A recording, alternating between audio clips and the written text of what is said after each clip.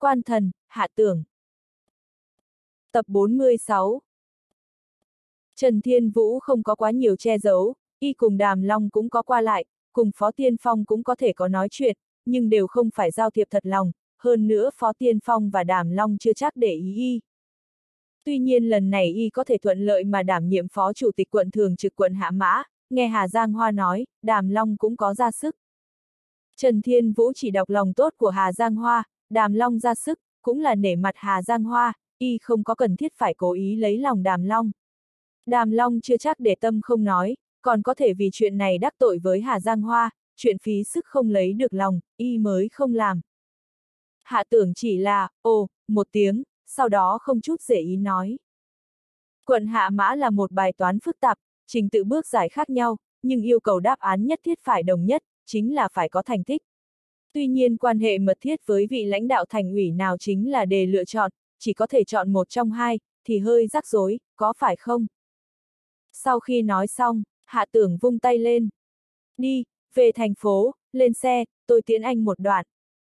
Trần Thiên Vũ khó hiểu mà lên xe, nhưng không hiểu ngụ ý trong lời nói của hạ tưởng, ngồi trên xe còn muốn nói gì, nhưng lại thấy hạ tưởng hết sức chuyên tâm lái xe, không có hứng thú muốn nói chuyện, liền đành phải ngậm miệng, buồn bực không vui mà suy nghĩ sự tình. Trần Thiên Vũ cũng ít nhiều có thể đoán được một chút, hạ tưởng có thể có ý lôi kéo y. Nhưng y không hiểu chính là hạ tưởng rõ ràng biết y là người của Hà Giang Hoa, mà Hà Giang Hoa và Trần Phong bất hòa, y sao có thể từ bỏ mặc kệ Hà Giang Hoa mà theo phe hạ tưởng. Hơn nữa Hà Giang Hoa rõ ràng từng nói, để y sau này ở trong bộ máy lãnh đạo dốc sức phối hợp công tác với Bạch Chiến Mặc. Mặc kệ là xuất phát từ góc độ bí thư quận ủy của Bạch Chiến Mặc, hay là góc độ bất hòa của Hà Giang Hoa và Trần Phong mà suy xét vấn đề, y cũng không thể quá thân cận với Hạ Tường. Chẳng lẽ nói, Hạ Tường đề xuất cho y phụ trách hạng mục tập đoàn đạt tài, là muốn xem y có phải có ý theo phe hắn. Chắc chắn đúng rồi, nếu không cũng sẽ không nói ra luận điệu để lựa chọn chỉ có thể chọn một trong hai, hiển nhiên là muốn y ở giữa Hà Giang Hoa và Hạ Tường, chỉ có thể chọn một người.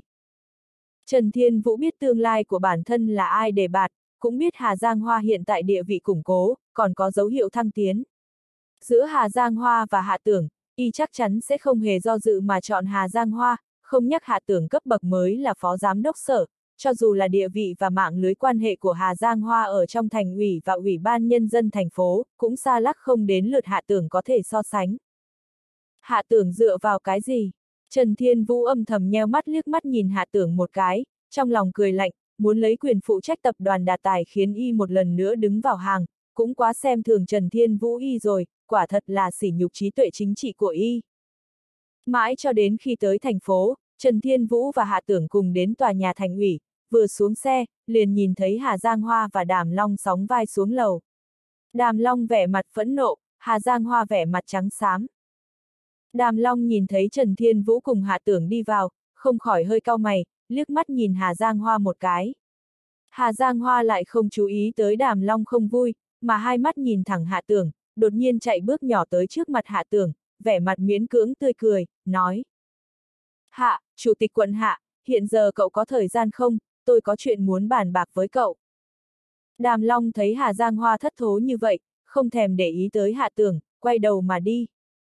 Trần Thiên Vũ càng là vẻ mặt kinh ngạc, khó hiểu mà nhìn Hà Giang Hoa, không hiểu vì sao đột nhiên ủy viên thường vụ thành ủy, phó thị trưởng Hà Giang Hoa hạ thấp thân phận như vậy, với một giọng điệu lấy lòng nói chuyện với Hạ Tường Hạ Tường vẫn lấy ra thái độ nên có, vội vàng nói. Thị trưởng Hà có chuyện cứ dặn dò, tôi có thời gian, xin ngài cứ nói. Hà Giang Hoa sâu sắc liếc mắt nhìn Trần Thiên Vũ một cái, hướng về y gật gật đầu nói. Thiên Vũ, cậu làm đúng, rất tinh mắt, đến văn phòng đợi tôi, chút nữa có chuyện quan trọng nói với cậu. Trần Thiên Vũ đành phải dầu dĩ mà đi lên lầu. Hà Giang Hoa kéo tay hạ tưởng không buông, đi tới góc bãi đỗ xe bên ngoài tòa nhà thành ủy nơi này vừa không có người qua lại, cũng không có gắn thiết bị theo dõi, là một góc chết ông mở miệng mà nói câu đầu tiên. Đồng chí hạ tưởng, xin cậu giúp tôi có được không? Hạ tưởng từ trên vẻ mặt kinh ngạc của Hà Giang Hoa thì có thể đoán được, Trần Phong đã ra tay. Hạ tưởng biết rõ mà còn hỏi. Rốt cuộc đã xảy ra chuyện gì? Thị trưởng Hà xin ngài đừng vội, từ từ nói. Nếu như nằm trong phạm vi năng lực của tôi, tôi nhất định làm hết sức. Hà Giang Hoa thấy hạ tưởng vẻ mặt chân thành, lại nghĩ tới vừa rồi đàm long sau khi nghe thấy ông phạm tội, không có đưa ra bất kỳ biện pháp khả thi nào, thầm nghĩ sớm biết hạ tưởng là một người tốt, lúc trước vì sao nhất định phải chèn ép hắn. Hạ tưởng rõ ràng cùng ông đối lập, dưới tình hình ông bệnh nguy kịch chữa trị loạn xạ, cầu xin hạ tưởng giúp đỡ, không ngờ hạ tưởng không có chút châm chọc khiêu khích, còn vẻ mặt thân thiết, khiến Hà Giang Hoa trong lòng vô cùng cảm động. Tuy nhiên Hà Giang Hoa không phải cái gì cũng có thể thử khi tuyệt vọng, mà là ông đã nghe được tin đồn, với tình cảnh khó khăn của ông trước mắt, chỉ có hạ tưởng ra tay mới có khả năng giải quyết vấn đề. Hà Giang Hoa là vô ý nghe được chính quan quần tới thành ủy làm việc đã nói, nói rằng Bí Thư Trần đã nắm chắc trong tay số lượng lớn chứng cớ tham ô nhận hối lộ, đang do dự có cần phải giao đến Ủy ban kỷ luật tỉnh hay không. Hà Giang Hoa vừa nghe lập tức hoang mang, bởi vì ông biết bản thân phạm tội lớn thế nào, không điều tra thì thôi, nếu điều tra tuyệt đối xảy ra chuyện lớn. Hơn nữa nghe giọng điệu của chính quan quần, tùy ý tiết lộ ra tên của vài công ty, làm cho Hà Giang Hoa hết hồn, biết trịnh quan quần lời nói không giả, chứng cớ trong tay bí thư Trần, tuyệt đối là chứng cứ rõ ràng. Hà Giang Hoa bị dọa đến chết khiếp, Trần Phong luôn bất mãn với y, y lại cùng Phó Tiên Phong, Đàm Long quá thân cận. Trên sự kiện hội nghị thường vụ lần này, y lại là tiên phong tích cực của Đàm Long, Trần Phong không hận y tới thấu xương mới là lạ. Hà Giang Hoa chỉ cảm thấy mồ hôi lạnh ở lưng, tự cho rằng chuyện trước đây làm được áo tiên không thấy vết chỉ khâu kít mít không chút kẽ hở, không ngờ đã bị người khác nắm giữ tình hình bên trong, y biết, tiền đồ của y đã hết. Tuy nhiên trịnh quan quần lại vô tình cố ý nói một câu, nói là hạ tưởng lại hướng bí thư Trần cầu xin tha thứ, thị trường Hà cũng vì phát triển của thành phố Yến đã làm ra không ít cống hiến, niệm tình y khoản tiền liên quan tới vụ án không lớn, thôi thì tha cho y một lần, chí ít cũng phải cho thị trưởng Hà một cơ hội ăn năn hối lỗi để làm lại từ đầu, cho y về nhà dưỡng lão cũng tốt, cũng khiến thị trưởng Hà có thể có một tuổi già yên ổn. Trịnh quan quần còn nói, hiện tại chỉ có hạ tưởng nói trước mặt bí thư Trần là hữu dụng nhất, cũng chính vì vài câu nói cầu xin của hạ tưởng, mới khiến bí thư Trần nhất thời do dự, còn đang suy xét có cần phải đệ trình lên ủy ban kỷ luật tỉnh hay không. Trịnh quan quần là người của Thôi Hướng, hiện đảm nhiệm phó trưởng ban thường trực ở ban tuyên giáo tỉnh ủy, lời nói của y chẳng những đáng tin, hơn nữa còn là nội tình tuyệt đối, Hà Giang Hoa liền vội vàng tìm Đàm Long thảo luận đối sách. Đàm Long cũng biết Hà Giang Hoa hơi tham tài, rất to gan, bị người ta phát hiện là bình thường, không bị phát hiện mới không bình thường. Phát hiện hay không phát hiện không quan trọng, quan trọng là, sau khi bị người ta phát hiện có điều tra y không mới là quan trọng. Hiện tại tốt rồi, đã bị Trần Phong nắm giữ chứng cớ, Hà Giang Hoa chết chắc, Đàm Long liền lập tức có ý nghĩ qua cầu rút ván, khi nhìn lại Hà Giang Hoa, thì đã không coi y là bạn đồng minh và phó thị trưởng nữa, mà coi như một tên tù nhân đáng thương. Trần Phong là ủy viên thường vụ tỉnh, có thể có quyền trực tiếp đề nghị mở cuộc họp hội nghị thường vụ tỉnh thảo luận vấn đề của Hà Giang Hoa, chỉ cần đưa lên hội nghị thường vụ thảo luận, vấn đề phạm tội kinh tế, không ai dám bảo vệ y, huống chi lại có chứng cớ xác thật. Đàm Long liền tùy ý ứng phó Hà Giang Hoa vài câu, hận không thể lập tức phân rõ giới hạn với y, sao còn dám thật lòng giúp y.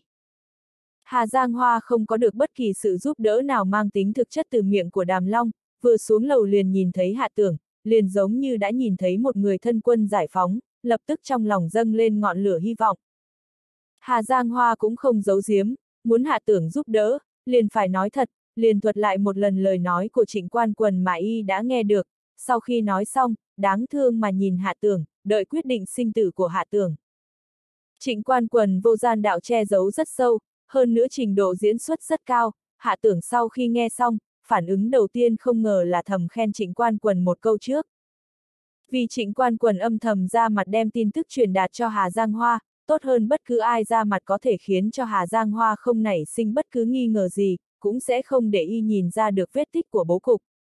Chỉ có điều có một điểm, hạ tưởng không thể lý giải đầy đủ, Trần Phong vì sao phải có ý tha cho Hà Giang Hoa một phen, kỳ thật theo cách nghĩ của hạ tưởng, nên đem Hà Giang Hoa ra trừng trị trước pháp luật mới đúng, cho dù vì vậy mà mất đi chỗ dựa của Trần Thiên Vũ, cũng có tác dụng cảnh giác với tất cả tham quan. Có lẽ Trần Phong thật sự là niệm tình cũ, không nhẫn tâm đem Hà Giang Hoa đuổi tận giết tuyệt.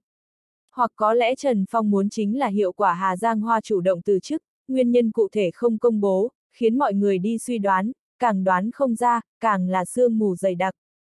Càng có thể thể hiện ra Trần Phong sâu không lường được. Mặc kệ như thế nào, Trần Phong định ra kế hoạch lớn, hạ tưởng sẽ phối hợp diễn trò, dù sao đều có hiệu quả mà mình muốn đạt được. Hắn có lẽ vẫn còn trẻ, cấp tiến một chút, thấy tham quan thì muốn trực tiếp quẳng vào tù. Mà trong mắt Trần Phong, tham quan cũng trở thành trọng lượng chính trị, trở thành thủ đoạn mây mưa thất thường, một lần nữa trở thành đòn bẩy tạo dựng quyền uy. Hạ tưởng lắc đầu, nghĩ thầm rằng lập trường bất đồng, góc độ đối đãi vấn đề quả nhiên bất đồng. Được, liền theo kế hoạch trước đó của Bí Thư Trần mà hành sự thì được rồi, hắn chủ yếu là thu nạp Trần Thiên Vũ, Trần Phong thì chủ yếu làm suy yếu phe phó tiên phong, kiêm cảnh cáo Hồ Tăng Chu. Hạ tưởng liền trần trừ trong chốc lát, gian nan mà nói. Tôi quả thật từng nói với Bí Thư Trần lời nói như vậy. Hắn nhìn thấy một tia vui sướng chợt lóe lên từ trong mắt Hà Giang Hoa, liền nghĩ dứt khoát làm người tốt đến cùng, liền nói. Tuy rằng xưa nay tôi và thị trưởng Hà không có giao tình gì, qua lại cũng không nhiều, hơn nữa trong nhiều lúc còn có bất hòa trên chính trị, nhưng tôi luôn cảm thấy con người của thị trưởng Hà cũng không tồi, thỉnh thoảng phạm một chút sai lầm cũng không là gì, huống chi nói thật lòng, người trên quan trường, rất nhiều chuyện cũng là thân bất do kỷ. Ừ, ừ, Chủ tịch quận Hạ nói đúng, nói đúng, tôi trước kia có điểm gì có lỗi với cậu, cậu đừng để trong lòng, là tôi có mắt không tròng, không nhìn ra con người của cậu, à, nếu như từ sớm đứng vào đúng phe thì hay rồi. Hà Giang Hoa vẻ mặt vô cùng đau đớn, nhìn ra được, bên trong có phần nào là diễn trò, cũng có mấy phần là thật tâm hối cãi, còn có thật tâm cảm kích đối với hạ tưởng. Bí thư Trần cùng tôi có quan hệ cá nhân tốt một chút, tôi đã tốn nửa ngày công sức để khuyên ông ấy, ông ấy mới tạm thời áp chế lại cách nghĩ để trình chuyện của ngài đến hội nghị thường vụ tỉnh ủy, nhưng mà thái độ của Bí thư Trần rất kiên quyết, nói rằng ngài đã không còn thích hợp đảm nhiệm chức vụ lãnh đạo nữa, nếu như có thể thật tâm hối cãi, có thể chủ động thừa nhận sai phạm với thành ủy và ủy ban nhân dân thành phố, viết một lá thư hối cãi cảm thụ sâu sắc. Hơn nữa chủ động xin từ chức, chuyện sẽ được khống chế trong phạm vi thành phố Yến. Hạ tưởng cũng không che giấu mà nói rõ, là trực tiếp nói ra ý của Trần Phong. Trên quan trường, có lúc phải chú ý hàm xúc, nhưng có lúc lại cần phải dứt khoát rõ ràng, trước mắt không phải thời điểm đánh vòng khiến Hà Giang Hoa suy đoán, lỡ như nghĩ không giống nhau, chuyện có sai sót thì không dễ thu dọn. Còn nữa, Bí thư Trần cũng cảm thấy đồng chí Trần Thiên Vũ năng lực công tác xuất sắc, nếu như vì chuyện của ngài bị liên lụy thì quá đáng tiếc. Đương nhiên, nếu như đồng chí Thiên Vũ kịp thời tỏ rõ lập trường, đứng đúng phương hướng, chẳng những sẽ không bị liên lụy, còn có khả năng được trọng dụng. Thân là người mà ngài một lòng nâng đỡ, cũng nên suy nghĩ nhiều hơn về tiền đồ của đồng chí Thiên Vũ, ngài nói xem, thị trưởng Hà chương 539, bố cục bước thứ hai, mây mưa thất thường. Hạ tưởng liền phát hiện trình độ làm công tác tư tưởng của hắn cũng không tệ, nói xong những lời biểu cảm, Hà Giang Hoa không ngờ hơi đỏ mắt. Hà Giang Hoa vốn dự tính bỏ ra tất cả tài sản, tặng quà cho Hạ Tưởng, tặng quà cho Trần Phong, chỉ cầu có thể an toàn rút lui là được, không ngờ Hạ Tưởng nghĩ cũng thật chu đáo, chỉ cần y chủ động đề xuất từ chức, thì sẽ bảo đảm y bình an vô sự, hơn nữa còn suy nghĩ cho tiền đồ của Trần Thiên Vũ, khiến y nhắc nhở Trần Thiên Vũ kịp thời đứng cùng phe, Hà Giang Hoa không khỏi không cảm kích rơi lệ đối với Hạ Tưởng. Bởi vì y từng tận hết sức lực mà chèn ép Hạ Tưởng, còn muốn trên hội nghị thường vụ cản trở tiền đồ của Hạ Tưởng, y là kẻ thù của Hạ Tưởng mới đúng, mà Hạ Tưởng chẳng những không nhớ thù, còn luôn suy nghĩ giúp y, sao không khiến Hà Giang Hoa nảy sinh cảm động. Đến đường cùng mới thấy con người thật, đến lúc gặp nguy mới thấy chân tình, trước đây y cũng thật sự đã trách lầm Hạ Tưởng, Hạ Tưởng thật sự là một người tốt bằng trời. Hạ Tưởng nhìn thấy Hà Giang Hoa vẻ mặt cảm động, còn có đôi tay kích động đến run rẩy, đột nhiên đã hiểu rõ. Trần Phong vẫn cao minh hơn hắn. Nếu như trực tiếp một gậy đánh chết Hà Giang Hoa, chẳng những thu hoạch không được sự nương tựa của Trần Thiên Vũ, càng không được có cảm kích của Hà Giang Hoa, kể cả những thu hoạch khác về những phương diện không nhìn thấy, ví dụ như Hà Giang Hoa nhất định sẽ một lòng một dạ với Trần Phong, sẽ xa cách đối với đám người đàm long, sẽ khiến thế lực của y đều nương tựa Trần Phong, v, v, Trần Phong lạt mềm buộc chặt, một lấy một thả, liền đem Hà Giang Hoa đùa bỡn trong lòng bàn tay.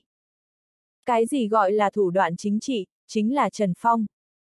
Lại liên tưởng tới Hồ Tăng Chu nôn nóng thiếu kiên nhẫn, hạ tưởng không khỏi thầm tiếc thay Hồ Tăng Chu, người thật sự có thực lực, người có trí tuệ chính trị, không phải là nôn nóng phân rõ danh giới, không phải là nôn nóng muốn phân rõ phạm vi thế lực, mà là dưới mọi tình hình đều bất động như tùng, một chiêu ra tay, thì có thể thay đổi cả thế cục. Hà Giang Hoa đã trở thành con ruồi không đầu, trên căn bản thì khiến y làm gì thì y sẽ làm theo, mặc kệ là khiến y chủ động từ chức, hay là khiến y đem thế lực của y cho Trần Phong quản lý, hay là khiến y trước khi lui xuống, hướng cấp trên tiến cử cao hải đảm nhiệm, v, v, tuyệt đối không cần bất kỳ ngã giá nào mà thực hiện ngay. Hà Giang Hoa chủ động từ chức, Trần Phong tuyệt đối sẽ không công bố ra ngoài nguyên nhân thật sự, còn có thể mang tiếng tốt là bảo toàn danh tiếng của Hà Giang Hoa, người biết được còn dễ nói, đa số người không biết, đều vì chuyện này mà sinh lòng kính nể Trần Phong. Lại có Cao Hải nếu như có thể thuận lợi tiếp nhận chức vụ của Hà Giang Hoa, tiến vào hội nghị thường vụ, mà Cao Hải là thân tín của Trần Phong, có ai không biết. Chân tướng liền miêu tả sinh động. Nhưng có miêu tả sinh động thì là không ra, rượu là rượu ở chỗ nửa kín nửa hở, mặc cho người khác suy đoán. Càng đoán càng thần bí, càng thần bí, hình tượng của Trần Phong càng cao thâm. Đến đây, hạ tưởng liền đối với dụng tâm của Trần Phong hoàn toàn hiểu rõ, ngoại trừ khâm phục thì vẫn là khâm phục. Đương nhiên, thủ đoạn của Trần Phong có cao tới đâu, cũng cần phải do hắn ra mặt để hoàn thành, sau đó hắn lại rất ngại ngùng mà thầm khen bản thân. Hà Giang Hoa lúc đầu chỉ là đỏ mắt, giờ thì trong mắt đã hoàn toàn tràn đầy nước mắt. Trên quan trường xưa nay không thiếu người có tài năng diễn xuất, nói khóc là khóc nói cười là cười cũng là một bản lĩnh thật, hạ tưởng chỉ coi Hà Giang Hoa 7 phần biểu diễn 3 phần cảm động là được rồi. Hà Giang Hoa nghẹn ngào nói. Cảm ơn Bí Thư Trần, cảm ơn Chủ tịch quận Hạ. Ân tình của các anh tôi ghi nhớ trong lòng, suốt đời không quên. Tôi hiểu rõ nên làm gì, xin chuyển lời tới Bí Thư Trần, xem hành động của tôi là được. Hà Giang Hoa đột nhiên quay người lại, sau đó kiên định sải bước mà đi. Hạ tưởng thấy bóng dáng của Hà Giang Hoa biến mất trong tòa nhà, hơi lắc đầu, suy nghĩ, cũng không lên lầu nữa, mà trực tiếp lái xe về nhà, bởi vì hắn biết, tòa nhà thành ủy sắp xảy ra chuyện, đã không có chuyện của hắn nữa, hắn chỉ cần đứng một bên xem một vở tuồng hay là được rồi. Ngày 12 tháng 8, khi mà cách quận ủy ủy ban nhân dân quận Hạ Mã chính thức thành lập còn có 3 ngày, thành ủy thành phố Yến vốn đã yên lặng một thời gian, đột nhiên truyền ra một tin tức kinh người, ủy viên thường vụ thành ủy, phó thị trưởng đồng chí Hà Giang Hoa, vì nguyên nhân cá nhân đề xuất từ bỏ toàn bộ chức vụ với tỉnh ủy. Tin tức vừa truyền ra, tỉnh Yến và thành phố Yến xôn xao một phen. Nhưng càng khiến người ta không thể tin đó là, khi Hà Giang Hoa theo thường lệ tiến cử người tiếp nhận chức vụ, ra sức tiến cử Cao Hải, tất cả mọi người đều mở rộng tầm mắt, Hà Giang Hoa không phải luôn qua lại thân mật với Phó Tiên Phong, cùng Đàm Long kẻ sướng người họa, cùng Trần Phong từ trước đến nay đối nghịch, làm sao y từ trước ngoài dự đoán, còn mạnh miệng tiến cử Cao Hải tiếp nhận chức vụ. Mặc dù nói ra với cấp bậc của Hà Giang Hoa, quyền tiến cử của y trong tỉnh ủy xem ra có thể có, có thể không, thậm chí sẽ không đặc biệt để ý tới, nhưng ý nghĩa tượng trưng trong chuyện này rất lớn. Tương đương với trực tiếp ở trên mặt của Phó Tiên Phong và Đàm Long, đánh một cái tát tai vang dội trước mặt mọi người. Càng không cần nhắc tới sự ra đi của Hà Giang Hoa và Cao Hải nhậm chức, sẽ đem lại ảnh hưởng có tính quyết định gì cho hội nghị thường vụ của thành phố Yến. Sự tình xảy ra sau đó, càng khiến người ta có cách nhìn khác. Tỉnh ủy với tốc độ cực nhanh, ngày hôm sau đã phê chuẩn Hà Giang Hoa xin từ chức, hơn nữa ban tổ chức cán bộ tỉnh ủy cũng thông qua xét duyệt tư cách của Cao Hải sớm nhất có thể, lập tức nhắc tới tiến hành thảo luận hội nghị thường vụ tỉnh ủy. Ngày thứ ba, tức ngày 14 tháng 8, hội nghị thường vụ tỉnh ủy mặc kệ phó bí thư tỉnh ủy thôi hướng phản đối, cưỡng ép thông quan bổ nhiệm Cao Hải, Cao Hải một bước tiến vào tầng cốt lõi quyền lực của thành phố Yến, trở thành lãnh đạo thành ủy thật sự. Quả thật là xét đánh không kịp bịt tai, tất cả mọi người đều chưa kịp phản ứng lại là chuyện gì, chưa kịp làm rõ chân tướng sự việc, trong bộ máy chính phủ ủy ban nhân dân thành phố Yến, đã hoàn thành một lần thay đổi nhân sự trọng đại. Ba nhân vật có thực quyền trong bộ máy chính phủ, Hồ Tăng Chu, Đàm Long và Cao Hải, Hồ Tăng Chu tự thành một phái, Đàm Long và Phó Tiên Phong là một hệ, còn Cao Hải, ai cũng biết y là người của Trần Phong. Đến đây, có những người tinh mắt đã nhìn ra được manh mối, từ đầu đến cuối không nhìn thấy Trần Phong có thái độ gì. Nhưng chuyện này người được lợi lớn nhất là Trần Phong, nói cách khác, người đứng sau lưng cho dù không phải là Trần Phong, với Trần Phong cũng có liên can không thể nào gạt bỏ. Chiều ngày 14, trên hội nghị tạm thời do Thành ủy và Ủy ban Nhân dân thành phố Yến tổ chức, Trần Phong đã chủ trì cuộc họp. Trên hội nghị, Trần Phong đưa ra khẳng định đầy đủ nguyên vẹn thành tích mà đồng chí Hà Giang Hoa đã làm ra trong thời gian công tác tại thành phố Yến, và nhấn mạnh chỉ ra, đồng chí Hà Giang Hoa xuất phát từ nguyên nhân cá nhân mà đề xuất từ chức, là một tổn thất lớn của thành phố Yến. Đối với nguyên nhân từ chức của đồng chí Hà Giang Hoa, mọi người không cần suy đoán lung tung. Phải tôn trọng riêng tư của đồng chí Hà Giang Hoa. Mọi người là đồng nghiệp nhiều năm của ông ấy, đều phải quan tâm ông yêu mến ông, mà không phải là thăm dò việc tư của ông ấy, nghị luận thị phi của ông ấy, hy vọng các đồng chí cẩn thận đối đãi. Theo Lý Đinh Sơn thuật lại tình cảnh lúc đó với Hạ Tưởng, Hà Giang Hoa vẻ mặt ngưng trọng mà ngồi ở phòng họp, từ đầu đến cuối không cười. Phó Tiên Phong tuy rằng ở mặt ngoài vẻ mặt thản nhiên, nhưng trong ánh mắt toát ra phẫn nộ không có cách nào khác. Đàm Long ngồi ở trên chỗ ngồi, thỉnh thoảng động đậy một chút, như đứng đống lửa, như ngồi đống than. Ủy viên thường vụ khác đều là vẻ mặt bất đắc dĩ, có người bi ai, có người kinh hoàng, cũng có người không cho là đúng, tóm lại lòng người hỗn loạn, khó mà hình thành một lực lượng nữa. So với Trần Phong vẻ mặt bình tĩnh thong dong, lòng tự tin mọi chuyện nắm vững trong tay, biểu hiện của Hồ Tăng Chu muôn màu muôn vẻ nhất. Y khi thì vẻ mặt nhạt cười, khi thì nhíu mày, lại thỉnh thoảng cố gắng duy trì chấn tĩnh, nhưng khi ánh mắt y dừng trên người Trần Phong, lại có bối rối che giấu không được. Mà khi y nhìn thấy Cao Hải lần đầu tiên ngồi ở dãy trước, lại là vẻ mặt căm hận thật sâu. Hạ tưởng nghe xong Lý Đinh Sơn phấn khích miêu tả, cười ha ha, mấy ngày liền chịu áp bức và âm trầm, phủi một cái đi hết. Hạ tưởng thậm chí còn suy đoán không phải không có ác ý, tối nay, chỉ sợ Hồ Tăng Chu và Phó Tiên Phong đều là suốt đêm khó ngủ. Hạ tưởng thật đoán đúng rồi, mặc dù sau khi hội nghị tạm thời kết thúc đã đến 8 giờ tối, Phó Tiên Phong vẫn cùng Đàm Long đi ra tòa nhà thành ủy, ngồi xe đi tới tĩnh tâm Sơn Trang lần trước cùng Thôi Hướng thả lỏng thư giãn. Thôi Hướng có việc chưa tới, Phó Tiên Phong, Đàm Long còn có trưởng ban tuyên giáo tỉnh ủy Mã Tiêu, chủ nhiệm ủy ban chính trị pháp luật thành phố Trần Ngọc Long, tổng cộng 4 người, đến chỗ khúc kính thông u con đường quanh co yên tĩnh, sau khi tìm được một ngôi nhà có sân sắp xếp xong, mọi người lần lượt ngồi xuống, mỗi người tự đưa ra ý kiến về một loạt sự tình đã xảy ra trước mắt của thành phố Yến. Đàm Long trước hết nói. Trần Phong giỏi thủ đoạn, gừng càng già càng cay, không ngờ. Một hành động của ông ta vặn ngã Hà Giang Hoa, còn sắp xếp Cao Hải vào, nhất cử lưỡng tiện, vừa suy giảm thực lực của chúng ta, vừa có người của mình trong bộ máy chính phủ, không ngờ, không thể nghĩ ra được, ra tay tàn nhẫn, một phát là chúng, vẫn là phong cách Trần Phong làm cho người ta lo lắng. Phó Tiên Phong phản đối nói. Không phải Trần Phong cao minh bao nhiêu, là bản thân Hà Giang Hoa tự thân bất chính, vấn đề quá nhiều. Cho nên chúng ta sau này nhất định phải quản lý tốt người của mình, nếu quản không tốt, cũng phải cố gắng làm đến mức độ che giấu thêm che giấu, đừng để lộ ra bất kỳ dấu vết nào. Không sợ có vấn đề, chỉ sợ bị người ta phát hiện vấn đề. Tuy rằng Phó Tiên Phong cố gắng bộc lộ ra giọng điệu miêu tả sơ lược, nhưng phẫn nộ và bất mãn trong ánh mắt, vẫn không thể che giấu. Y cầm lên một ly rượu uống một ngụm cạn sạch, lại, bang, một tiếng quẳng ly rượu lên bàn, phẫn nộ nói. Khẳng định là Trần Phong bày ra, hạ tưởng ra mặt, một già một trẻ, một tối một sáng, mới sách động Hà Giang Hoa. Đã sơ suất, đã thất sách, hạ tưởng quá nham hiểm, Trần Phong quá xảo quyệt. Phó Tiên Phong có bình tĩnh hơn, có thông minh hơn nữa, đột nhiên đối mặt thất bại lớn, cũng khó tránh khỏi lửa giận vào tim. Mặc dù trước đó đã thành công nâng đỡ bạch chiến mặc lên trước, nhưng Trần Phong phản kích quá nhanh quá sắc bén, khiến Phó Tiên Phong còn chưa có phản ứng lại thì đã được xác định, sao không khiến y nổi trận lôi đình. Hơn nữa thủ đoạn của Trần Phong có ý chống đối quá rõ ràng, khiến y âm thầm mượn tay ngô ra ở trên hội nghị thường vụ đả kích uy tín của Trần Phong đã có tác dụng, chỉ một hiệp đã khiến Trần Phong một lần nữa tạo dựng uy danh. Có thể nói, ý đồ y muốn mượn cơ hội uy danh của Trần Phong suy giảm để lôi kéo càng nhiều ủy viên thường vụ sẽ thất bại.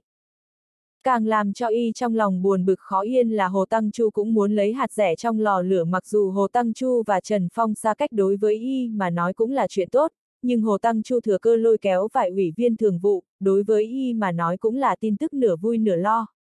Mà Trần Phong bất ngờ ra tay, chẳng những vượt ra ngoài dự kiến của y, cũng làm cho bước tiếp theo của bố cục tỉ mỉ của y hủy hoại chỉ trong chốc lát.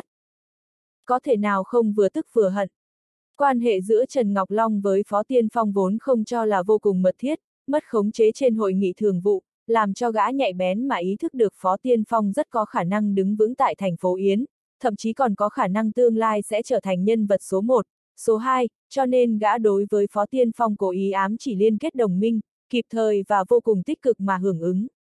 Hôm nay cũng là lần đầu tiên gã cùng với phe của Phó Tiên Phong, tiến hành tiếp xúc riêng.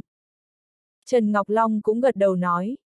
Trần Phong người này, ở mặt ngoài có khi khoa trương, nói chuyện dường như không suy nghĩ, kỳ thật nghĩ kỹ một chút về cử chỉ lời nói của ông ta, lại luôn có thâm ý sâu sắc. Trần Phong tại thành phố Yến đã nhiều năm căn cơ vẫn luôn rất ổn, cùng quan hệ trong tỉnh người ngoài xem ra bình thường, trên thực tế trong thời khắc quan trọng, trong tỉnh vẫn là có không ít người ủng hộ ông ta. Cho nên đối với Trần Phong, ngàn vạn lần không được sơ ý, nếu không tuyệt đối sẽ chịu thiệt thòi. Đàm Long vẻ mặt chán nản. Đều trách tôi, vốn Hà Giang Hoa trước đã thương lượng đối sách với tôi, tôi cảm thấy ông ta đã chết chắc, liền nghĩ cách làm thế nào giúp ông ta. Kết quả đến trước cửa đúng lúc gặp được Hạ Tưởng, hai người liền đi qua một bên nói chuyện, cũng không biết Hạ Tưởng đã nói gì, ngày hôm sau liền xảy ra chuyện lớn. Sơ sót, trước đó nên an ủi Hà Giang Hoa một chút, nếu không cũng không đến nổi làm cho Trần Phong mây mưa thất thường. Tuy nhiên nói đi nói lại, Hồ Tăng Chu hiện tại và Trần Phong quan hệ không như trước, cũng là một mặt có lợi cho chúng ta. Ngày tháng gần đây của Mã Tiêu cũng cho là tốt, trong tỉnh không có đại sự gì, luôn yên tĩnh, Diệp Thạch Sinh cũng không có gây rắc rối cho y, trịnh quan quần cũng khá phối hợp công tác của y, tiến vào một giai đoạn tương đối yên bình. Trong thời gian ngắn có lẽ trong tỉnh sẽ không có biến động gì lớn, chủ nhiệm ủy ban kỷ luật tỉnh mới tới Lý Ngôn Hoàng là người của Ngô Gia, lần trước Ngô Tài Dương ra tay thế tới rào rạt, nhưng lại thu tay với tốc độ nhanh hơn, khẳng định có nhân vật lớn lên tiếng, sau lưng hạ tường, còn có một cao nhân ẩn núp. Phó Tiên Phong nhìn sự việc xa hơn so với mấy người kia, y đối với lời nói của Mã Tiêu khen ngợi mà gật gật đầu, nói. Quận Hạ Mã, Hạ Tưởng trên cơ bản là chủ tịch quận tay không, công tác rất khó triển khai, đợi xem trò cười là được rồi.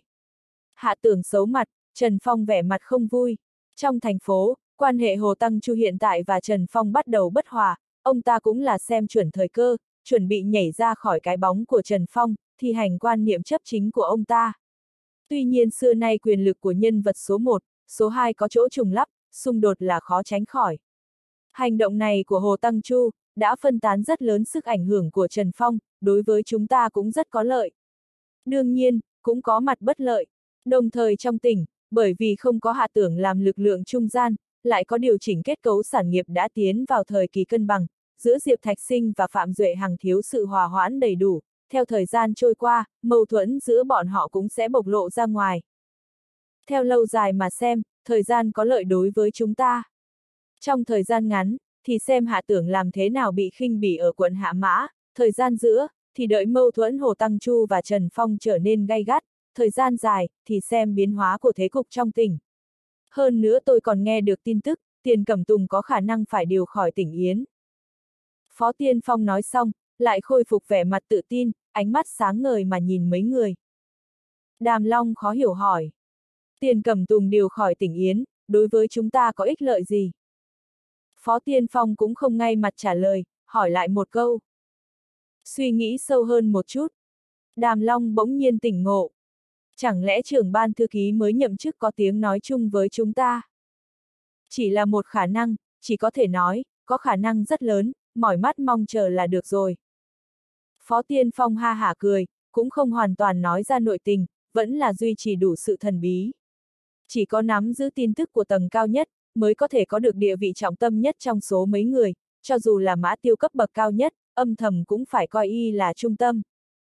Mấy người cũng biết tính cách của Phó Tiên Phong, đều hiểu ý mà cười một cái, không hỏi thêm nữa. Mọi người liền đầy cõi lòng khát khao, bắt đầu cao hứng mà ăn cơm. Trong lúc ăn cơm, Mã Tiêu bỗng nhiên nhớ tới cái gì, nửa há miệng ra hồi lâu cũng không nói chuyện, Đàm Long ngạc nhiên hỏi. Làm sao vậy bộ trưởng Mã, nhớ tới cái gì kỳ quái rồi? Mã Tiêu giơ một cây đũa ra chỉ trên bàn, khẽ gõ vài cái, lắc đầu cười một cái. Ta thật, luôn không chú ý tới quận Hạ Mã có gì kỳ quái, bây giờ mới vừa hiểu ra. Ngày mai quận Hạ Mã chính thức thành lập, hôm nay đã có một ủy viên thường vụ thành ủy, phó thị trưởng Hạ Mã xuống ngựa các ông nói xem, tên của quận Hạ Mã có phải có chút điểm xấu không? Từ xưa tới nay, tên của quận Hạ Mã là vì nguyên nhân sông Hạ Mã, khi đó Hạ Tưởng đề nghị quận mới, lười nghĩ nhiều, trực tiếp đề danh quận Hạ Mã, khi đến thành ủy thảo luận, bởi vì mọi người đều quen cái tên sông Hạ Mã, ai cũng không nghĩ mặt khác, liền thuận lợi thông qua đặt tên. Kỳ thật sông Hạ Mã cũng là một con sông rất có lai lịch, năm xưa khi lính Kim xâm lấn vùng đất lớn Yến Triệu, từng có một đội nghĩa quân ở sông Hạ Mã dựng mai phục. Khi đó quân Kim hỏi đường, một người đi đường nói cho quân Kim biết, nói rằng con sông này cần phải xuống ngựa qua sông, bởi vì cưỡi ngựa qua sông là bất kính đối với thần sông, sẽ bị trời trừng phạt. Quân Kim đương nhiên không tin, đều cưỡi ngựa qua sông, kết quả khi đi đến giữa sông, lính phục kích nổi lên bốn phía, giết cho quân Kim người ngã ngựa đổ. Bởi vì đáy sông có rất nhiều dây thường chắn chân ngựa, quân Kim không cách nào thoát thân, chết vô số. Từ đó, con sông này được mệnh danh là sông Hạ Mã.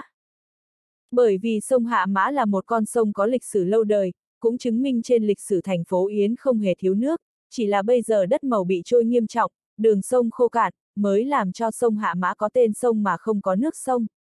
Nhưng mặc kệ thế nào cũng là tên một con sông lịch sử, khi thảo luận, cũng cảm thấy cần thiết phải phát huy một chút lịch sử lâu đời của thành phố Yến, liền không ai đề xuất dị nghị.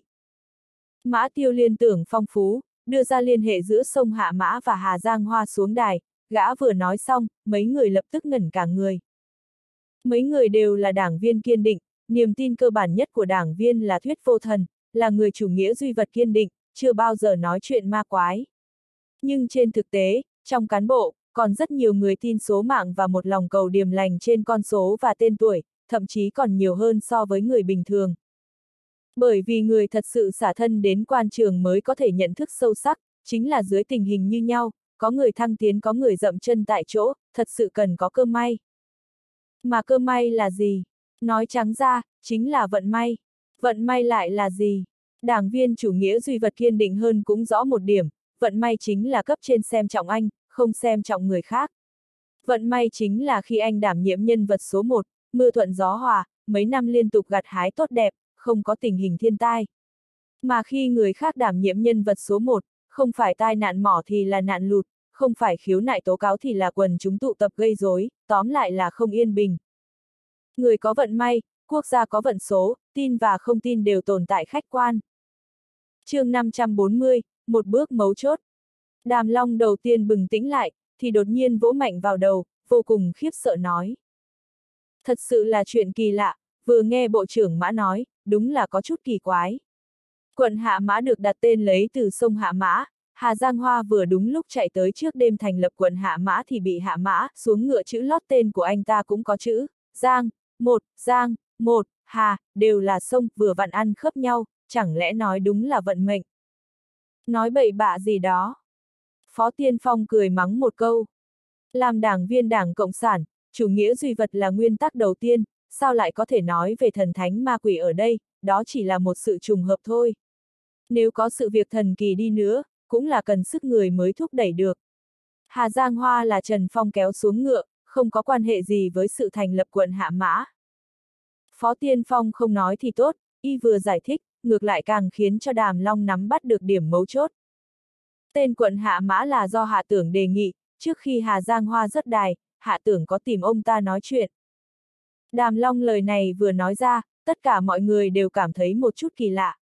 Nếu nói là trùng hợp, thì sao lại khéo đến thế, vừa nghĩ không ra được lời nói có đủ sức phản bác lại, lại không giải thích được, đều không ai bảo ai cùng nhau chọn sự im lặng. Người trong quan trường, sự tình liên quan đến lợi ích cá nhân và tiền đồ trước mặt, đối với một số tên mang điểm xấu, thì thà tin là có còn hơn là không, lời nói của Đàm Long, mang lại một ám ảnh khó hiểu không thể nói rõ trong buổi họp hôm nay. Mấy người không ai ngờ tới là, ngày hôm sau, thì có tin đồn bắt đầu truyền lưu đầu tiên là ở trụ sở thành ủy, nói tên của quận Hạ Mã là điểm xấu, thành lập quận Hạ Mã, quan lớn xuống ngựa, nói không chừng ai đi quận Hạ Mã nhậm chức, thì người đó sẽ xuống ngựa. Hai ngày sau, tin đồn lại bắt đầu truyền bá ở trụ sở tỉnh ủy. Diệp Thạch Sinh nghe xong thì giận dữ, nghiêm lệnh mọi người không được truyền bá tư tưởng mê tín, một khi phát hiện, sẽ nghiêm ngặt xét xử. Trần Phong cũng ở trong một lần hội nghị quan trọng, hàm xúc biểu đạt ý kiến giống với Diệp Thạch Sinh, kêu gọi mọi người kiên trì niềm tin không lay động của chủ nghĩa Mác Lênin, đường đường là cán bộ quốc gia, không nên bị trò chơi chữ gì đó hù dọa, cái gì lên ngựa xuống ngựa, chỉ là một cái tên không có ý nghĩa cụ thể mà thôi, thì như thành đô đã được gọi hơn 2.300 năm. Trong lịch sử vẫn không biến thành thành đô thủ đô. Mặc dù Trần Phong phát biểu nghiêm túc sống động, tạm thời áp chế lời đồn đại lưu truyền, nhưng sau đó không lâu quận Hạ Mã lại xảy ra một sự kiện lớn, lại một lần nữa giấy lên lời đồn đại về ngụ ý tên quận Hạ Mã với hàm nghĩa quan lớn xuống ngựa, hơn nữa còn diễn biến thành lời đồn đại, còn lưu truyền trong dân chúng, biến thành lời đồn đại, còn ở xu thế càng ngày càng nghiêm trọng. Đương nhiên, cái này sau này hãy nói, tạm thời không đề cập tới. Hồ Tăng Chu cùng mấy người phó tiên phong tụ cùng một chỗ thảo luận đối sách thì khác hẳn, sau khi về nhà, một mình tản bộ trong tiểu khu, suy đi nghĩ lại, suy xét rất lâu. Hồ Tăng Chu ở tại tiểu khu số 3 thành ủy, vốn ông cũng có căn hộ 2 tầng ở tòa lầu ủy viên thường vụ, tuy nhiên ông không vào ở, bởi vì chỉ hai người ông và người bạn già sống trong một căn hộ 2 tầng 200 mét vuông thật quá trống trải, cho dù có cả người giúp việc cũng thiếu hơi người. Hồ Tăng Chu không thích nhà ở vừa rộng vừa vắng vẻ, cho nên mới ở trong khu nhà ở tiểu khu số 3 thành ủy. Nhà cửa không lớn, chỉ khoảng 100 mét vuông. Hai người thêm một người giúp việc, vừa đủ ở. Hồ Tăng Chu hôm nay vừa tan sở liền về nhà sớm, ăn qua loa một ít cơm, thì một mình chắp tay sau lưng đi tới bên trong tiểu khu tản bộ. Tiểu khu số 3 thành ủy đặc biệt yên tĩnh, hộ gia đình không nhiều, phần lớn là lãnh đạo cơ quan thành ủy, trong tất cả ủy viên thường vụ thành ủy, chỉ có một mình Hồ Tăng Chu là sống tại tiểu khu số 3. Chẳng qua Hồ Tăng Chu bình thường vô cùng khiêm tốn, sớm đi tối về, cũng rất ít khi lộ diện, rất nhiều người thậm chí không biết nhân vật số 2 thành phố Yến sống ở bên cạnh. Đêm nay ánh trăng rất đẹp, ánh trăng sáng ngời, soi dọi khắp nơi, còn có vẻ xanh tươi um tùm của tiểu khu số 3 rất đẹp, dưới ánh trăng cũng đặc biệt đẹp hơn. Hồ Tăng Chu không lòng dạ nào để thưởng thức cảnh sắc, tâm tình của ông giống như bóng đêm xa xôi vô tận kia, ngưng trọng mà thâm trầm. Hà Giang Hoa không ngờ xuống ngựa, tạo cho ông đả kích vô cùng trầm trọng. Hồ Tăng Chu kỳ thật đối với quyết định vào thời điểm này mà bỏ rơi hạ tưởng rời khỏi Trần Phong, cũng là đấu tranh qua một thời gian dài mới đưa ra quyết định. Thúc đẩy ông cuối cùng quyết định hạ quyết tâm được ăn cả ngã về không chính là sau khi áp lực ngô ra tan biến, lúc ông gọi điện thoại xin chỉ thị của hậu trường ở thủ đô, hậu trường nói lời thật với ông. Làm việc thì phải đến nơi đến chốn, Tăng Chu, thời gian anh đến thành phố Yến cũng không ngắn, bên thành phố Yến có cái nhìn thế nào về thị trường anh đây thì tôi không biết, tôi ở thủ đô thì lại vô ý nghe được người ta nói, nói rằng nhân vật số một số hai của thành phố Yến là Trần Phong và Phó Tiên Phong, mà không hề có anh Hồ Tăng Chu. Hồ Tăng Chu lúc ấy liền mồ hôi ướt đẫm, ý thức được ông quả thật là quá thất bại khi làm thị trưởng thành phố Yến. Vừa không thoát khỏi bóng dâm của Trần Phong, lại bao phủ dưới quầng sáng của Phó Tiên Phong, thật sự quá là uất nghẹn. Biết mất mặt rồi sau đó mới dũng cảm, Hồ Tăng Chu đột nhiên bừng tỉnh, thời cơ tốt trước mắt không thể bỏ qua, uy danh Trần Phong đang giảm, cùng không ít ủy viên thường vụ có khúc mắc, nếu ông có thể nhân cơ hội thoát khỏi bóng dâm Trần Phong, tự mình xây dựng thế lực, lúc này đúng là thời điểm suy yếu nhất của Trần Phong, ra tay lúc này có thể thu được hiệu quả làm ít công to. Cơ hội một khi bỏ lỡ, đợi sau khi Trần Phong chấn chỉnh lại chống cờ thì ông có muốn hành động, chẳng những rất dễ dàng bị Trần Phong phát giác sớm, nói không chừng còn có thể bị Trần Phong cản trở kế hoạch của ông. Trước lợi ích cá nhân, giao tình so ra thì kém xa tiền đồ bản thân, Hồ Tăng Chu cuối cùng quyết định cũng vì bí quá hóa liều. Sốt cục, Hồ Tăng Chu đưa ra một bước mấu chốt.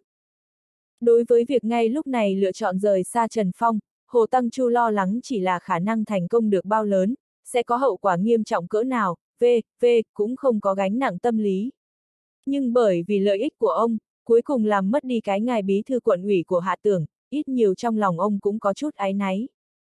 Bởi vì dù sao đi nữa lúc Hồ Tăng Chu tiến vào thành phố Yến thì hạ tưởng là người đầu tiên thật sự tin tưởng, cũng là người đầu tiên gần gũi với ông, và là người có lòng thật tâm trợ giúp qua ông. Cảm giác của ông đối với hạ tưởng vô cùng phức tạp, cũng xem hạ tưởng thành một cấp dưới trung thành đáng tin cậy, lại trở thành một bằng hữu có thể tin cậy, vì thế vào thời khắc mấu chốt ông đối với hành động kéo chân hạ tưởng của chính mình, trong lòng không yên. Audio điện tử võ tấn bền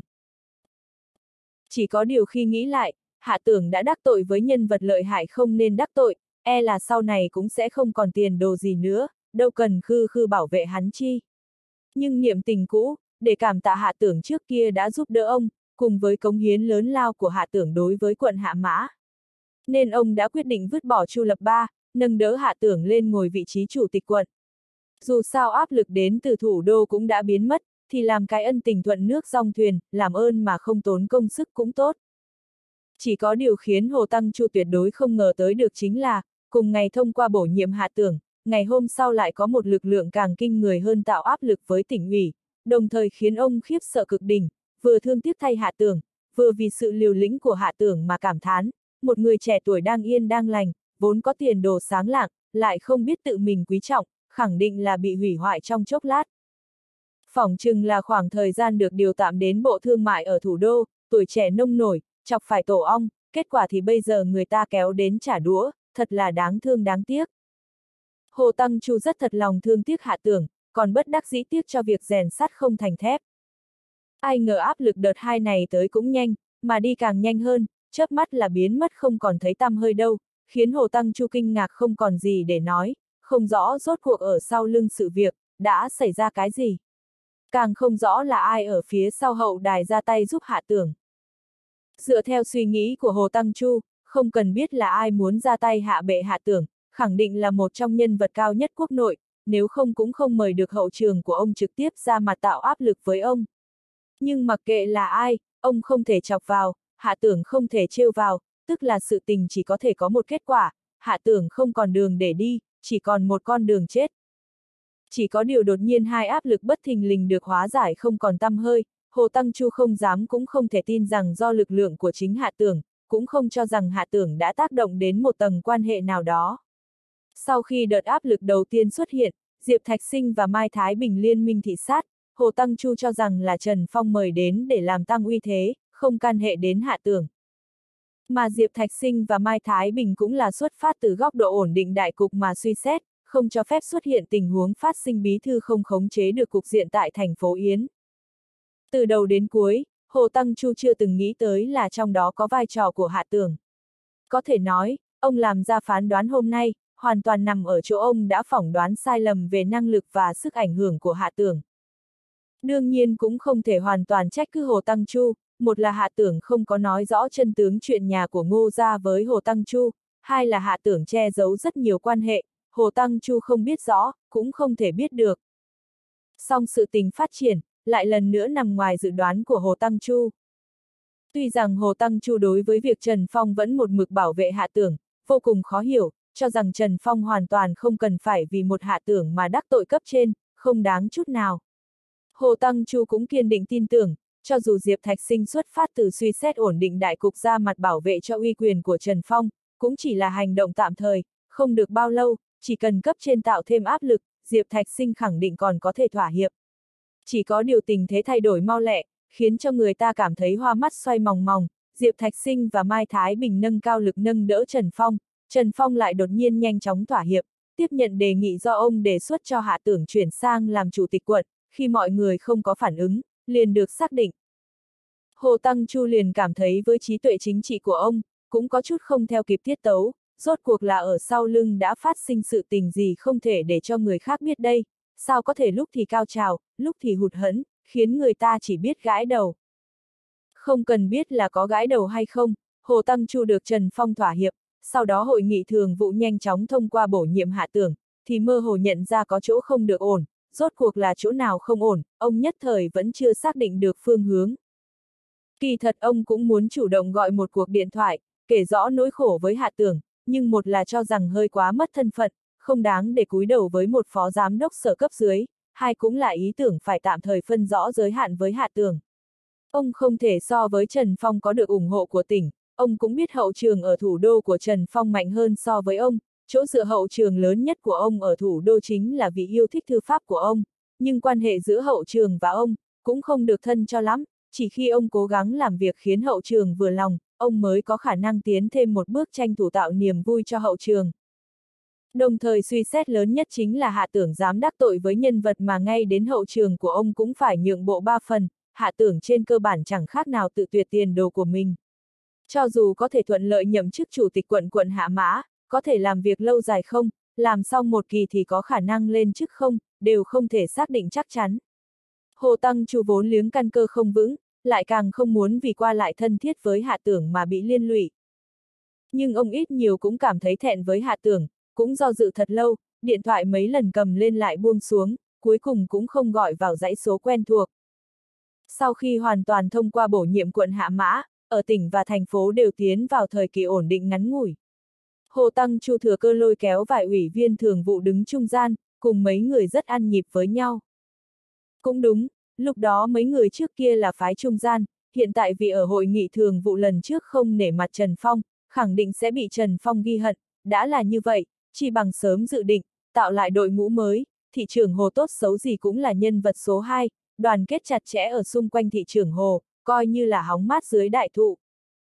Phải nói là kế hoạch lôi kéo của Hồ Tăng Chu được tiến triển vô cùng thuận lợi, trong khoảng thời gian ngắn, xung quanh ông đã liên kết được ba ủy viên thường vụ, trong hội nghị thường vụ tại thành phố Yến tổng cộng có 13 ủy viên thường vụ, dưới thế lực thiên hạ chia ba phần, tính cả ông vào đó tổng cộng có 4 người đồng thanh đồng tiếng, cũng là một phần lực lượng không thể xem nhẹ.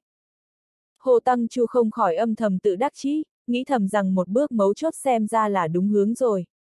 Quả nhiên là tìm kiếm rủi ro trong quyền thế, lấy hạt rẻ trong lò lửa tuy dễ bị phỏng tay, nhưng niềm vui sướng sau khi thành công thì rất là thoải mái dễ chịu. Chỉ có điều niềm vui của Hồ Tăng Chu duy trì không được mấy ngày, thì đột nhiên phát sinh sự kiện Hà Giang Hoa. Sự kiện Hà Giang Hoa mang đến đả kích trầm trọng cho Hồ Tăng Chu, tuyệt không ít hơn Phó Tiên Phong. Mặc dù Hà Giang Hoa cũng không phải người của ông, nhưng trước đó Trần Phong căn bản không hề thương lượng với ông, chỉ sau khi việc Hà Giang Hoa xảy ra, trưng cầu một chút ý kiến của ông về việc Cao Hải tiến vào hội nghị thường vụ, ông còn chưa kịp bày tỏ rõ thái độ, thì hội nghị thường vụ tỉnh ủy đã thông qua nghị quyết. Cao Hải là thân tín của Trần Phong, Cao Hải tiến vào hội nghị thường vụ, phân lượng quyền phát ngôn ở bộ máy chính phủ cũng lớn mạnh hơn nhiều, chẳng khác nào Trần Phong trực tiếp đóng đinh bên cạnh ông. Thủ đoạn thật là lợi hại, làm suy yếu Phó Tiên Phong, chặt chẽ dõi mắt theo ông, dưới thực lực hùng mạnh, Trần Phong chẳng những là nhân vật số một, ủy viên thường vụ liên kết bên ông ta cũng nhiều nhất, Phương Tiến Giang, Lý Ninh Sơn, Bạc Hậu Phát và Cao Hải, vẫn là một thực lực hùng mạnh nhất bên trong ba lực lượng. Hồ Tăng Chu cũng không biết đã đi lòng vòng bên trong tiểu khu được bao lâu, vầng trán vẫn nhíu mày suốt không hề giãn ra, ông chợt ngẩng đầu, mới phát hiện trăng đã ở phía tây, không khỏi lắc đầu cười, đã nửa đêm rồi. Hóa ra khi suy ngẫm vấn đề thời gian lại qua nhanh đến vậy. Trần Phong, vẫn hùng mạnh hơn nhiều so với trong tưởng tượng của ông, thủ đoạn cũng rất cao minh. Hồ Tăng Chu không phải không nghe qua tin đồn, cũng biết sau lưng sự kiện Hà Giang Hoa, cũng có bóng dáng hạ tưởng trong đó. Hạ tưởng à hạ tưởng, vừa nghĩ tới hạ tưởng, Hồ Tăng Chu day day cái chán, làm giảm bớt cơn đau đầu không thể ngăn chặn, trong lòng lại mơ hồ có một chút gì đó lo lắng, nếu hạ tưởng vì việc này mà ghi hận ông, nếu về sau liên kết cùng Trần Phong đối phó ông, thì ông nên ứng phó thế nào? Tuy nhiên lập tức lại suy nghĩ, ông vừa không có vấn đề kinh tế, lại không có vấn đề tác phong cuộc sống, Hạ Tưởng và Trần Phong dù sao cũng không thể bịa đặt nói không thành có, không cần sắp đặt những cái không đúng về ông phải không? Ông vẫn đường đường là cán bộ cấp phó tỉnh, muốn động vào ông, thì cần phải kinh động đến Trung ương, Hạ Tưởng và Trần Phong vẫn chưa có bản lĩnh lớn như vậy. Chỉ có điều lại nghĩ tới tài năng và con người của Hạ Tưởng, Hồ Tăng Chu vẫn còn âm thầm tiếc nuối, ông nếu đã cắt đứt với Trần Phong, mặc kệ cấp trên có người muốn chèn ép Hạ Tưởng hay không, vì quan hệ của Hạ Tưởng và Trần Phong, giữa ông và Hạ Tưởng chắc chắn càng lúc càng xa. Lúc này chỉ là mượn cơ hội phát tác sớm mà thôi. Quận Hạ Mã, một quận Hạ Mã còn chưa biết chắc chắn có hiệu lực không, vừa mới ở thế lên ngựa, thì đã khiến cho một quan lớn xuống ngựa, thật đúng là một việc để cho người khác suy nghĩ chế nhạo. Hồ Tăng Chu cũng bỗng nhiên ý thức được vấn đề tên quận Hạ Mã, ngây người sửng sốt, chốc lát sau lại tự nhủ mỉm cười. Sông Hạ Mã dẫn đến quận Hạ Mã, rồi quận Hạ Mã chặt bỏ Hà Giang Hoa, thành món hời cho Cao Hải. Vừa có Hà lại có Giang lại có Hải, thật khiến người không tưởng tưởng cũng không được. Sau khi cười xong, lại nghĩ tới ngày mai nghi thức chính thức khánh thành ủy ban nhân dân quận Hạ Mã, cũng là vào khoảng thời gian gần đây nhất, lần đầu tiên ông đối mặt với Hạ Tưởng, trong lòng không khỏi có chút không yên. Một thị trưởng thành phố cấp phó tỉnh lại đi sợ một chủ tịch quận khu trực thuộc, truyền ra ngoài đúng là chuyện cười, nhưng Hồ Tăng Chu vẫn thấy hoảng loạn có một áp lực trong lòng không kìm được cũng khó có thể nói rõ. Sốt cuộc là sợ gặp Hạ Tưởng, là ái náy, hay là vì giữa Hạ Tưởng và Trần Phong ra tay liền gạt bỏ đi Hà Giang Hoa, lại còn khiến Hà Giang Hoa mang ơn Trần Phong. Hồ Tăng Chu nói sao cũng không thể hiểu nổi. Ngày 15 tháng 8, nghi thức chính thức thành lập quận ủy và ủy ban nhân dân quận, long trọng cử hành tại tòa nhà quận ủy quận Hạ Mã mới khánh thành. Bí thư tỉnh ủy Diệp Thạch Sinh, Chủ tịch tỉnh Phạm Duệ Hằng, Phó Bí thư tỉnh ủy Thôi Hướng cùng với Ủy viên Thường vụ tỉnh ủy, Phó Chủ tịch tỉnh Tống Chiêu Độ đích thân tới hiện trường, lãnh đạo thành ủy tham dự nghi thức có, Ủy viên Thường vụ tỉnh ủy, Bí thư thành ủy Trần Phong, thị trưởng Hồ Tăng Chu, Phó Bí thư thành ủy Phó Tiên Phong, đám người Phó thành ủy Thường vụ Đàm Long. Nghi thức thành lập do Bí thư quận ủy quận Hạ Mã Bạch Chiến mặc chủ trì. Bạch Chiến mặc đầu tiên cảm tạ lãnh đạo tỉnh ủy và thành ủy trong bộn bề công việc vẫn tham gia nghi thức thành lập quận ủy và ủy ban nhân dân quận Hạ Mã, y đại diện quận ủy và ủy ban nhân dân quận bày tỏ sự cảm ơn đối với lãnh đạo hai cấp tỉnh và thành phố đã ủng hộ sự thành lập và xây dựng của quận Hạ Mã, bày tỏ sự chào đón nhiệt liệt hoan nghênh đối với hai cấp lãnh đạo đã đích thân tới hiện trường nghi lễ. Lời quan trường dập khuôn của Bạch Chiến mặc được nói ra cũng không tệ, là một con ngựa ô trong quan trường, cho đến bây giờ còn rất nhiều người vẫn chưa biết rõ về y lắm, vẫn là lần đầu tiên nghe được tên của y. Tuy nhiên thấy y ở trên đài nói chuyện rất có tổ chức sóng yên biển lặng, bộ dạng cũng khá, rất nhiều người có cái nhìn đầu tiên đối với y cũng không đến nổi. Hạ tưởng nhìn uy phong khoe mẽ trên đài của bạch chiến mặc, trong lòng bình lặng như nước, vừa không có lòng hâm mộ càng không có lòng ghen tị, chỉ là bỗng nhiên nhớ tới kinh nghiệm từng trải của Tống Chiêu Độ. Tống Chiêu Độ có hai lần trải qua đặc cách đề bạt, có thể nói ngựa ô trong ngựa ô, rồi thuận buồm xuôi gió làm tới vị trí trưởng ban thư ký tỉnh ủy, bị Cao Thành Tùng áp chế mấy năm không thể trở mình, cuối cùng vẫn là cùng hắn liên kết, một sáng một tối mới lật đổ Cao Thành Tùng, lại lần nữa vùng dậy. Chính Tống Chiêu Độ cũng có nói qua, đặc cách đề bạt là chuyện tốt, cũng là chuyện xấu. Chuyện tốt là thăng chức nhanh, dễ bị người chú ý. Chuyện xấu là chính vì thăng chức quá nhanh, lại bị người chú ý đồng thời, càng bị người đố kỵ. Nếu ở trên vị trí này không thể làm ra thành tích tương ứng, hoặc là nói, không thể làm ra thành tích tốt hơn so với người bình thường, thì rất dễ lọt vào miệng lưỡi của người khác. chương 541, Hội nghị thường vụ quận ủy đầu tiên. Ngựa ô không dễ làm, nhất là một số ngựa ô cố ý bị nhuộm đen, e rằng trải qua một trận mưa to, thì thuốc nhuộm màu đen trên người bị tẩy sạch bon, lộ ra diện mạo vốn có là con ngựa trắng ngựa vàng hoặc là ngựa nhiều màu, thì ngày tháng sau đó khó sống đây. Cũng may, hạ tưởng đánh giá đối với bài nói chuyện trên đài của Bạch Chiến mặc cũng tạm được, ít ra thì chưa nhìn ra thái độ đắc ý vinh váo của Bạch Chiến mặc bây giờ. Bài phát biểu của y đúng quy đúng luật, thái độ biểu hiện cũng đủ thành khẩn và khiêm tốn, phù hợp thân phận của một bí thư quận ủy. Hạ tưởng liền âm thầm gật đầu, Bạch Chiến mặc là người thông minh. Phó Tiên Phong đứng bên cạnh Hồ Tăng Chu, ánh mắt chớp lóe, đảo qua trên người hạ tưởng, lại lần lượt thoáng nhìn qua ủy viên thường vụ quận hạ mã xếp hàng sau lưng hạ tưởng, trong lòng cũng không biết đang toan tính cái gì. Ánh mắt y và ánh mắt hạ tưởng ngẫu nhiên chạm nhau, liền nhanh chóng rời ra, cuối cùng lại dừng trên người Hồ Tăng Chu. Hồ Tăng Chu vẻ mặt tươi cười tàn mạn, biểu hiện ra rất là khí thế, trên thực tế nội tâm vừa khẩn trương lại vừa bất an. Vừa rồi hạ tưởng thoáng nhìn mỉm cười với ông, ông cũng trả lại một nụ cười, trái tim lại không biết điều đập mạnh vài cái. Chuyện lạ, ông không sợ Trần Phong, không sợ Diệp Thạch Sinh, sao có chút sợ hạ tưởng. trí nhớ từ từ trở về, Hồ Tăng Chu bị ánh mắt thăm dò của Phó Tiên Phong đảo qua, bỗng nhiên lúc đó trong lòng hiện lên một tia sáng, đã rõ cái mà ông vẫn luôn lo lắng là gì rồi.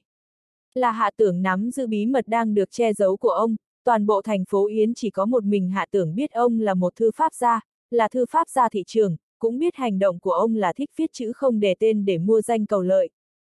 Nếu hạ tưởng đem việc này để lộ ra ngoài, trở thành lời đồn đại truyền bá khắp nơi, sẽ có ảnh hưởng cực lớn đối với danh dự của ông, bởi vì đến lúc đó tất cả mọi người đều biết ông thích khoe khoang thư pháp, lại không dám để tên, khi có quan lớn khen ngợi mới dám thừa nhận, nếu không có, coi như là tác phẩm vô danh, hành vi như thế lại xuất hiện trên một người đường đường là thị trường, chắc chắn là một xì căng đan lớn. Hồ Tăng Chu Bình sinh rất chú trọng danh tiếng, lại coi thân phận thư pháp ra là bí mật lớn nhất, thật sự mà bị hạ tưởng lấy đó ra uy hiếp, ông nên ứng đối thế nào? Hồ Tăng Chu tuy rằng đứng ở trên đài, nhưng lòng lại không yên, thỉnh thoảng ánh mắt lại dừng trên người hạ tưởng, rồi lại không dám đối diện với hắn. Hạ tưởng cũng phát hiện Hồ Tăng Chu khác thường, cũng không có suy nghĩ sâu xa về nguyên nhân mà Hồ Tăng Chu biểu hiện khác thường, hắn cũng hiểu tất yếu phải cùng Hồ Tăng Chu giáp mặt nói chuyện, theo hắn thấy, cho dù là có quan hệ không chặt chẽ cùng Hồ Tăng Chu, cũng không đến mức bất hòa mới tốt. Đỡ phải bị Phó Tiên Phong thừa cơ tiến vào, nếu chẳng may ở một số vấn đề mấu chốt y và Hồ Tăng Chu đạt tới nhất trí với nhau, thì sức khống chế của Trần Phong tại thành phố Yến sẽ giảm đi. Tuy nhiên Hạ Tưởng không ngờ rằng, sau nghi lễ, Hồ Tăng Chu không cho hắn có cơ hội nói chuyện, vội vàng rời đi. Nghi thức được tiến hành vô cùng thành công, tất cả lãnh đạo nói chuyện xong, do Hạ Tưởng lên sân khấu chủ trì nghi lễ bế mạc.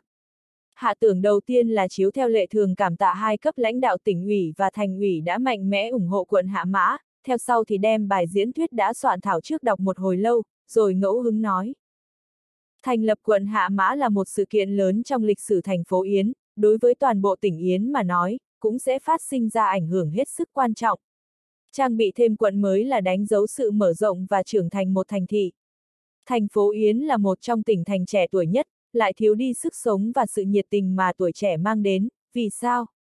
Không phải vì nhân dân thành phố Yến không có sự nhiệt tình, cũng không phải nhân dân thành phố Yến không muốn không có sự nhiệt tình, mà là cán bộ đảng viên chúng ta không có sự nhiệt tình, thiếu đi sức sống hăng hái tiến về phía trước. Thành lập quận Hạ Mã, chính là chỗ để cho mọi người có thể giải phóng sự nhiệt tình phát huy sức sống, tôi nghĩ dưới sự ủng hộ mạnh mẽ của lãnh đạo hai cấp tỉnh và thành phố, cộng thêm cố gắng của tất cả cộng đồng cán bộ đảng viên quận Hạ Mã, quận Hạ Mã có thể trở thành một cửa sổ khiến tỉnh Yến một lần nữa xem xét lại thành phố Yến. Trở thành một cơ hội được cả nước biết đến thành phố Yến. Trên cơ bản phát biểu của Hạ Tưởng cùng bài phát biểu của Diệp Thạch Sinh thị sát thành phố Yến lần trước, liền mạch với nhau, Hạ Tưởng vừa dứt lời, Diệp Thạch Sinh liền tươi cười dạng dỡ vỗ tay đầu tiên, khen ngợi nói. Đồng chí Hạ Tưởng có quyết đoán, có cái nhìn sâu sắc, nói chuyện rất đặc sắc, đáng để các đồng chí học hỏi. Bí thư tỉnh ủy đã dẫn đầu vỗ tay, mọi người ở đây ai dám không tức khắc phụ họa, lập tức vỗ tay vang rền, rất là nhiệt liệt. Theo sau, Diệp Thạch sinh thân thiết cùng một hàng lãnh đạo đảng và chính phủ quận Hạ Mã mới nhậm chức, bắt tay từng người một. Đầu tiên bắt tay với Bạch Chiến Mặc, Diệp Thạch sinh nhìn thật sâu Bạch Chiến Mặc, nói. Đồng chí Chiến Mặc điềm đạm trầm ổn, có được sự thành thục không tương xứng với tuổi tác, là chuyện tốt, tuy nhiên cũng nên có sự nhiệt tình tương xứng với người trẻ tuổi. Quận Hạ Mã là quận mới, phải có bầu không khí hoàn toàn mới. Lời nói Diệp Thạch sinh ngoài thì như động viên khích lệ, kỳ thực ám chỉ Bạch Chiến mặc không có trí tiến thủ. Bạch Chiến mặc vừa mới thấy Diệp Thạch sinh khen ngợi hạ tưởng, không ngờ chỉ chớp mắt trước mặt y, thì trở thành lời chế nhạo, khiến y hơi có chút xấu hổ, vừa định nói vài câu, không ngờ Diệp Thạch sinh chỉ khẽ gật đầu, lập tức chuyển sang bắt tay hạ tưởng. Một cảnh tượng bắt tay của Diệp Thạch Sinh và Bạch Chiến mặc lọt vào trong mắt người có lòng, tất cả mọi người âm thầm phỏng đoán, Bạch Chiến mặc mặc dù đảm nhiệm bí thư quận ủy, nếu không làm ra thành tích, e rằng không qua nổi cửa ải của bí thư tỉnh ủy. Phạm Duệ Hằng còn tốt, đối đãi Bạch Chiến mặc và Hạ Tưởng không khác gì nhau là thái độ đối xử bình đẳng. Phạm Duệ Hằng cũng không tham dự đến việc tranh giành của hội nghị thường vụ thành ủy thành phố Yến, trên cơ bản ông vẫn duy trì một thái độ trung lập, cũng là sự tình đã được xác định, không cần phải bày tỏ thêm, vẫn là thỏa đáng bày ra thái độ đứng ngoài cuộc không quan tâm. Vài lãnh đạo tỉnh ủy phía sau, cũng đều là sóng yên biển lặng mà đi ngang qua sân khấu. Khi đến lượt Trần Phong, lại tạo ra một chút ngoài ý muốn. Khi Trần Phong và Bạch Chiến mặc bắt tay, đặc biệt khẩn thiết, còn dùng lực vỗ vỗ bả vai Bạch Chiến mặc, cười ha ha. Đồng chí Chiến mặc, Thành ủy và Ủy ban Nhân dân thành phố giao quận Hạ Mã cho anh và Hạ Tưởng chủ trì công tác, nhất định không được phụ trọng vọng, phải hoàn thành tốt trọng trách xây dựng quận Hạ Mã. Bạch Chiến mặc một bộ dạng sợ hãi và bối rối, liên tục gật đầu. Cảm tạ bí thư Trần ủng hộ, tôi nhất định đi sâu học tập tinh thần chỉ thị của thành ủy và ủy ban nhân dân thành phố, dốc hết toàn lực xây dựng quận Hạ Mã, cúc cung tận tụy đến chết mới thôi. Vẻ tươi cười trên mặt Trần Phong lập tức cương cứng, dùng giọng điệu rất không vui nói. Cách mạng công tác trong thời đại hòa bình là công tác xây dựng, là công tác đổi mới, là công tác trí tuệ, không phải là công tác thô kệch chỉ biết vùi đầu làm việc cúi đầu mà làm. Tôi không phản đối lãnh đạo cán bộ làm việc chăm chỉ. Nhưng tôi rất yêu thích cán bộ có trí tuệ có đầu óc, khoa học kỹ thuật là lực lượng sản xuất đầu tiên, mà không phải thái độ khinh suất.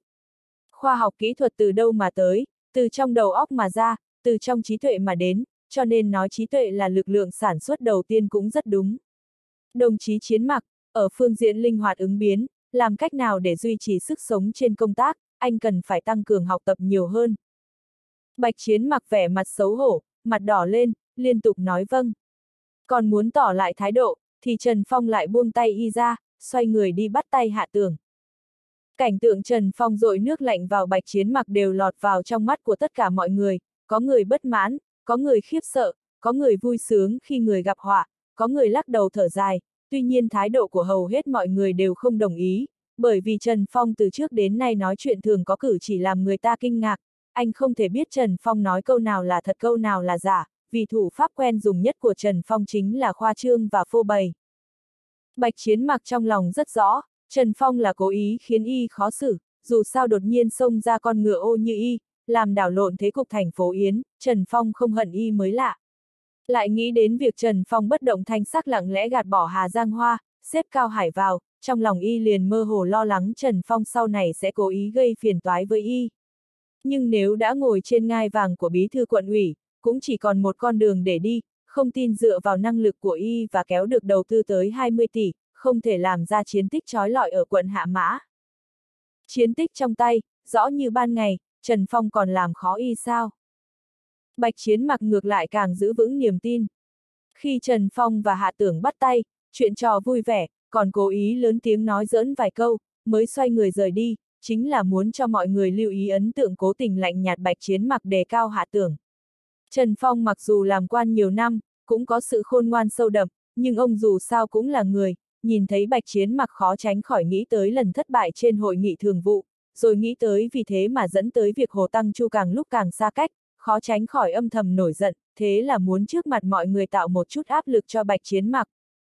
Bản nhạc đệm qua đi, tất cả mọi người trong lòng đều biết, nghĩ thầm rằng công tác quận hạ mã về sau e là triển khai không được suôn sẻ, hiện tại cũng đã có thể thấy rõ sự phân chia cực lớn giữa bí thư và chủ tịch quận, nhân vật số 1 và số 2 bất hòa là chuyện thường gặp, tuy nhiên bình thường đều cố tìm kiếm cái chung, gác lại cái bất đồng. Ít nhất sẽ không công khai ra, nhưng lúc này hãy còn chưa tiến vào trạng thái đã đem bất hòa bày ra trước mặt, về sau đừng nói tới hợp tác, e là không thể thiếu những cảnh tranh cãi và đập bàn. Mọi người ở đây đều biết rằng Hạ Tưởng là người của Trần Phong, Bạch Chiến Mặc là người của Phó Tiên Phong, hiện tại giữa Trần Phong và Phó Tiên Phong đã dương cung múa kiếm, Hạ Tưởng và Bạch Chiến Mặc còn có thể như không có việc gì mà ở đó phân công hợp tác sao. Còn có không ít người đều âm thầm lắc đầu, không mấy lạc quan về triển vọng của quận Hạ Mã. Có bao nhiêu việc lớn đều bị hủy trên đấu tranh chính trị. Đến lượt Hồ Tăng Chu và Bạch Chiến mặc bắt tay, Hồ Tăng Chu chỉ gật gật đầu, ngay cả nói cũng không có nói. Theo sau ông vừa bắt tay hạ tưởng, cũng chỉ nói một câu. Đồng chí hạ tưởng, hợp tác thì cả hai cùng có lợi, xung đột thì cả hai cùng bị tổn hại, hãy cùng nhau cố gắng. Không đợi hạ tưởng nói, ông liền đi bắt tay với người tiếp theo. Cũng không biết ông ám chỉ giữa ông và hạ tưởng hợp tác thì cả hai cùng có lợi, xung đột thì cả hai cùng bị tổn hại, hay là cảnh báo giữa hạ tưởng và bạch chiến mặc hợp tác thì cả hai cùng có lợi, xung đột thì cả hai cùng bị tổn hại, cũng có thể là có ám chỉ khác, vậy thì không biết được. Sau khi nghi thức chính thức thành lập quận Hạ Mã chấm dứt, Bạch Chiến Mặc và Hạ Tưởng bận rộn hồi lâu, cuối cùng thì tiến bước lãnh đạo tỉnh thành xong, xem như đã yên ổn. Hạ Tưởng khách sáo nói vài câu với Bạch Chiến Mặc, cuối cùng đồng ý ngay lập tức mở hội nghị đầu tiên với toàn thể bộ máy đảng chính quận Hạ Mã. Hạ Tưởng bây giờ vẫn là thay mặt chủ tịch quận, cần phải đợi sau Quốc hội Nhân dân, chính thức thông qua tuyển cử mới được xem là bổ nhiệm chính thức, nhưng hiện tại đã có thể sử dụng quyền lực chủ tịch quận, thực sự là nhân vật số 2. Buổi chiều gần như mở buổi hội nghị 4 năm tiếng đồng hồ. Đầu tiên là tổ chức một lần cuộc họp toàn thể, trên hội nghị, đơn giản là truyền đạt lại tinh thần chỉ thị của tỉnh ủy và thành ủy, tiến hành một lần động viên tư tưởng đối với tất cả cán bộ đảng chính của quận Hạ Mã, kêu gọi mọi người năng nổ nhiệt tình, vì sự phát triển của quận Hạ Mã tạo ra cống hiến nên có. Kế tiếp lại mở hội nghị thường vụ đầu tiên từ khi thành lập quận Hạ Mã cho tới nay. Hội nghị thường vụ cử hành trong phòng họp hội nghị thường vụ ở lầu 6 của tòa nhà quận ủy mới khánh thành. Hội nghị do Bạch Chiến Mặc chủ trì, bởi vì thư ký của Bạch Chiến Mặc vẫn chưa có người, nên tạm thời do tránh văn phòng quận ủy Phó Hiểu Bân thay thế ghi chép lại. Bạch Chiến Mặc đầu tiên phát biểu cách nói rất có quy cũ. Phải thừa nhận, Bạch Chiến Mặc nói chuyện khá có trình độ, rất trơn tru, nghe ra thì không làm người ta phiền chán, có tiêu chuẩn nhất định, có thể thấy được trước kia thường xuyên phát biểu trong bộ và ủy ban trung ương. Nói chuyện không có ý gì mới, trong nghi thức chính thức thành lập, lời nên nói đã nói hết, mục đích chủ yếu của hội nghị hôm nay chỉ là đi qua cho có lệ, để mọi người làm quen với nhau. Theo sau khi đến lượt hạ tưởng lên tiếng, hạ tưởng vẫy tay cười. Nói thật, hôm nay mọi người nghe phát biểu đã quá đủ rồi, lời tôi nói cũng được nói quá nhiều rồi, sớm đã khô miệng khô lưỡi, cho nên hiện tại điều tôi muốn làm nhất chính là ngậm miệng, là nghe mọi người nói. Tuy nhiên bởi vì rất nhiều người cùng ngồi đây đều là lần đầu gặp mặt, trước hết tôi xin tự giới thiệu một chút. Hạ tưởng nhìn quanh mọi người đang ngồi một lần, trên mặt lộ ra nụ cười thản nhiên. Phòng họp hội nghị thường vụ mới khánh thành có vài cửa sổ, một bàn tròn rộng lớn, ghế ngồi thoải mái, rèm cửa bằng lụa mỏng sáng sủa, điều kiện làm việc so với thành ủy thì tốt hơn rất nhiều, cuối cùng là tòa nhà còn mới, vẫn còn mùi sơn thoang thoảng, ngửi lâu, cũng làm cho người ta có cảm giác không thoải mái. Hơn 10 ủy viên thường vụ sắp xếp theo thứ tự vây quanh bàn tròn, trên quan trường, quy củ lớn bằng trời, từ lúc định ra chức vụ mỗi người, thì đã được lập thứ tự. Mười mấy người đều dựa theo thứ tự mà ngồi, không người nào ngồi sai vị trí. Tính cả hạ tưởng trong đó, tổng cộng 13 người, ngoại trừ một phụ nữ là Biện Tú Linh ra, cán bộ còn lại đều là đàn ông, tỷ lệ nam nữ mất cân đối nghiêm trọng. Cũng không có biện pháp, tình trạng bình thường của quan trường, xưa nay đã như vậy. Tuy nhiên Biện Tú Linh xếp khá đầu bảng, cô là người bên hình đoan đài, hình đoan đài sắp xếp đưa cô từ Ủy ban kỷ luật tỉnh đến quận Hạ Mã đảm nhiệm phó bí thư kiêm chủ nhiệm Ủy ban kỷ luật, cũng là vì mở đường cho con đường làm quan về sau của cô. Biện Tú Linh năm nay 38 tuổi tóc dài, mặt tròn, trang điểm sơ, thùy mị thướt tha, tuy rằng không là vẻ đẹp bắt mắt, nhưng lại có vẻ đẹp rất thu hút. Thân trên của cô mặc cái áo sơ mi màu sáng, thân dưới mặt chiếc váy ngắn, có thể thấy là vì nghi thức hôm nay, hẳn là đã kẽ mi, đã chăm chút tỉ mỉ hơn. Biện Tú Linh đón nhận ánh mắt của Hạ Tưởng, mỉm cười đáp lại. Phó Bí Thư Khang Thiếu Diệp năm nay 38 tuổi, tuy nhiên diện mạo còn rất trẻ, nhìn thì chỉ vào khoảng 35 tuổi. Diện mạo y bình thường, nhưng đôi mày đặc biệt rậm dễ làm người khác chú ý, dễ khiến người ta nhìn một cái là chú ý nhất chính là cái chán của y, dù là bất kỳ lúc nào cũng hơi nhíu lại một chỗ, như là đang đâm chiêu suy nghĩ một vấn đề nghiêm trọng gì đó. Gặp ánh mắt hạ tưởng lướt tới, Khang Thiếu Diệp khẽ gật đầu, lông mày vẫn không giãn ra. Phó Chủ tịch Thường trực quận Trần Thiên Vũ thì hạ tưởng đã gặp qua, là một người trong số ủy viên thường vụ đang ngồi đây, mà hắn tiếp xúc nhiều nhất. Trần Thiên Vũ giữ nụ cười tươi giói đối với ánh mắt hạ tưởng, trong nụ cười có rất nhiều tâm trạng phức tạp, ánh mắt cũng có một vẻ bất đắc dĩ và ủ rủ. Phó Bí Thư kiêm chủ nhiệm Ủy ban Chính trị Pháp luật Lý ứng dũng người cũng như tên, một người bình thường không thể bình thường hơn nữa, nếu muốn nói về đặc điểm của y, Lý ứng dũng năm nay 41 tuổi vầng trán rộng lớn, tướng mạo thật thà chất phác, giống như một lão nông trung thực hiền lành. Nhưng người có quen biết với Lý ứng dũng đều biết rằng, trải qua công tác ở hệ thống chính trị thời gian dài, kinh nghiệm của y rất phong phú cũng như tính cách đa dạng. Đầu năm Lý ứng dũng ở đồn công an cơ sở, từng tay không đánh ngã mấy tên lưu manh, là một người có sức mạnh phi thường đáng được chú ý. Y đối với ánh mắt hạ tưởng rất là thờ ơ, thậm chí không có ý đáp lại. Trưởng ban tổ chức cán bộ Mộ Duẫn Sơn so ra thì trẻ hơn, 35 tuổi, trong ủy viên thường vụ ở quận Hạ Mã, được cho là một thế hệ tuổi trẻ. Mặt mũi y thì trắng trẻo, vô cùng lịch sự, còn đeo cặp kính cận dày, mới nhìn, còn tưởng rằng là giáo sư một trường đại học nào đó. Mộ Duẫn Sơn vốn làm việc tại tổ chức công tác cơ sở, kinh nghiệm tổ chức công tác phong phú, coi như là nhân vật phái trẻ tuổi. Y đón nhận ánh mắt hạ tưởng, khẽ cười một cái. Trưởng ban tuyên giáo đằng phi 38 tuổi, vóc dáng khá cao, khung xương khá lớn, tuy nhiên lại khiến người ta có cảm nhận không cường tráng. Khuôn mặt y quá dài, thông tục có thể gọi là mặt ngựa, nhìn phớt qua thì không lộ rõ bộ mặt thật. Vẻ mặt của y hơi nghiêm túc, có khi bất chợt vô ý nhíu mày hoặc là ngưng thần, thì lộ ra vẻ mặt như là có thâm thù cay đắng, khiến người ta có cảm giác khó gần. Ánh mắt đằng phi và ánh mắt hạ tưởng chạm nhau một cái, liền nhanh chóng rời ra, cũng không có đáp trả gì cho hạ tưởng.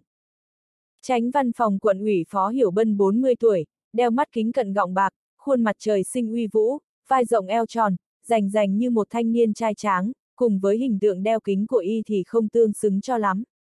Y có chuyện hay không có chuyện thì cũng vẫn là một bộ dáng tươi cười, giống như mọi chuyện đều rất là vui vẻ. Ánh mắt hạ tưởng vừa mới lướt tới, y lập tức mặt mày hớn hở để chào đón, còn lập tức gật đầu ra hiệu.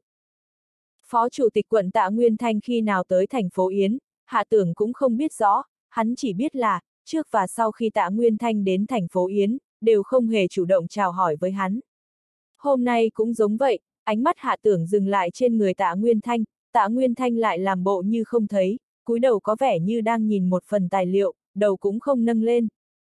Chủ tịch mặt trận Tổ quốc Kỳ Thắng Dũng là một trong tất cả ủy viên thường vụ lớn tuổi nhất, năm nay 45 tuổi, ông là hình tượng một người hiền lành vui tươi hớn hở, có hay không có chuyện thì vẻ mặt vẫn luôn tươi cười, thấy người nói chuyện thì luôn vô cùng nhiệt tình, mặc kệ đối phương lớn tuổi hay nhỏ tuổi chức vụ cao hay thấp, ông đều đối xử bình đẳng, vẫn là khuôn mặt tươi cười đón chào. Ánh mắt hạ tưởng còn chưa lướt tới chỗ ông, ông đã chủ động chào đón ánh mắt hạ tưởng, tươi cười dạng dỡ hướng về hạ tưởng gật đầu chào hỏi, thái độ rất nhiệt tình, làm người ta không thể nghi ngờ lòng thành của ông. Phó chủ nhiệm Ủy ban Chính trị Pháp luật kiêm Cục trưởng Công an Hoàng Kiến Quân xuất thân là quân nhân, 37 tuổi, cán bộ chuyển ngành, tư thế ngồi của gã vẫn còn duy trì tác phong vững như núi thẳng như tùng được bộ đội rèn luyện ngày trước, hơn nữa giữa hai đầu chân mày luôn toát ra thái độ uy nghiêm, nghiêm túc mà không mất ngưng trọng. Gã nhìn không chớp mắt, đối với ánh mắt hạ tưởng thì chỉ dùng ánh mắt đáp lại, cũng không hề gật đầu. Chính ủy ban chỉ huy quân sự quan Khải Minh vóc dáng không cao, mặt nhỏ mắt cũng nhỏ, ngồi trong cái ghế to lớn, thoạt nhìn, có chút hương vị buồn cười. Vẻ mặt của y khá đa dạng, có lẽ nguyên nhân là ánh mắt không được tốt, thỉnh thoảng lại chớp mắt một cái, khiến người thấy được không kìm nổi rất muốn bật cười. Quan Khải Minh đáp lại ánh mắt hạ tưởng rất là đặc biệt, đầu tiên là y chớp chớp con mắt, người không biết còn tưởng y nháy mắt ra hiệu gì đó, ngay cả hạ tưởng cũng rất là buồn bực, nghĩ thầm rằng quan Khải Minh có ý gì đây. Không ngờ theo sau đó quan Khải Minh lại cười ngượng ngùng, lại hướng về hạ tưởng gật gật đầu. Hạ tưởng mới hiểu được, động tác chớp mắt của quan Khải Minh, là thói quen chớp mắt, không phải ám chỉ. Hạ tưởng lướt nhìn qua tất cả mọi người một lượt, thì trong lòng sơ sơ đã hiểu ra, mới tiếp tục nói. chương 542, lần đầu tiên đối đầu chính diện. Tôi tên Hạ Tưởng, tuy vóc dáng không gọi là thấp nhất, nhưng tuổi tác khẳng định nhỏ nhất. Sau này cùng với mọi người cùng nhau công tác, có chỗ nào thiếu sót, mọi người cứ việc chỉ ra, tôi khẳng định sẽ khiêm tốn tiếp thu. Nếu như mà không khiêm tốn tiếp thu, chắc chắn sẽ là các vị có điểm nào đó nói không đúng. Ha ha! Tất cả mọi người đều mỉm cười, bị hạ tưởng chọc cười một trận, không khí thoải mái hơn nhiều so với khi bạch chiến mặc nghiêm trang phát biểu. Hạ tưởng liền tiếp tục nói.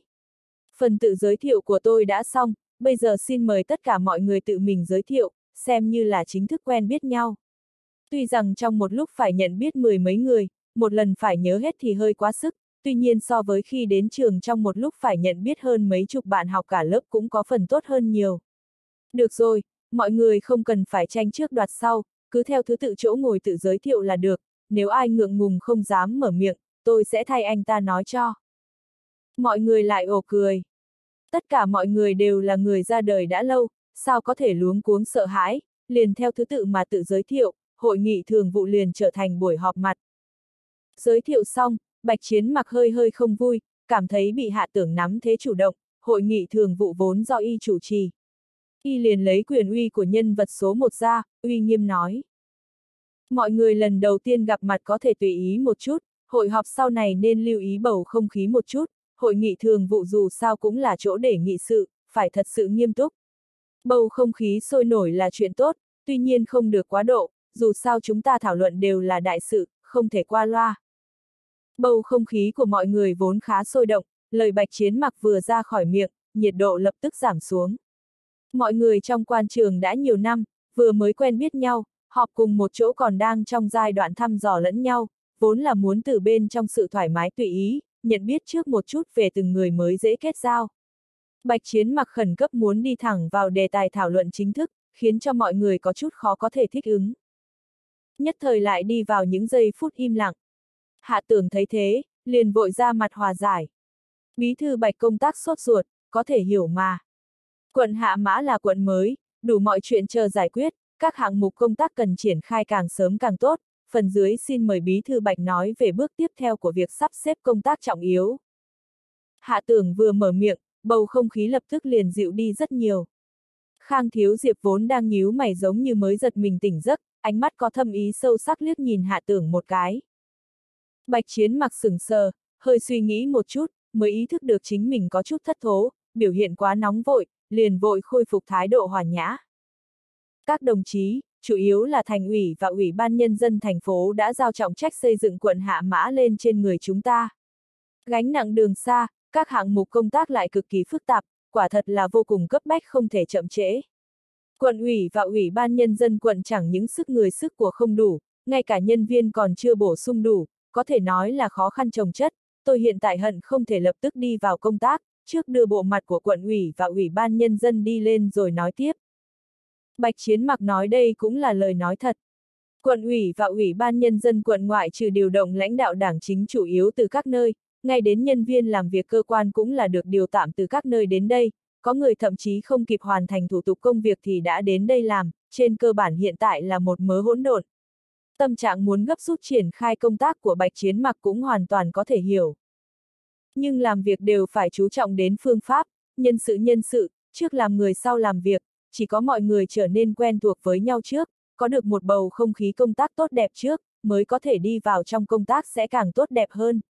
Hạ tưởng liền đối với biểu hiện hôm nay của Bạch Chiến mặc mà giảm bớt điểm số ấn tượng đối với y, mặt ngoài thì y điềm đạm ổn định, nhưng không che giấu được tính cách hấp tấp nóng nảy của y.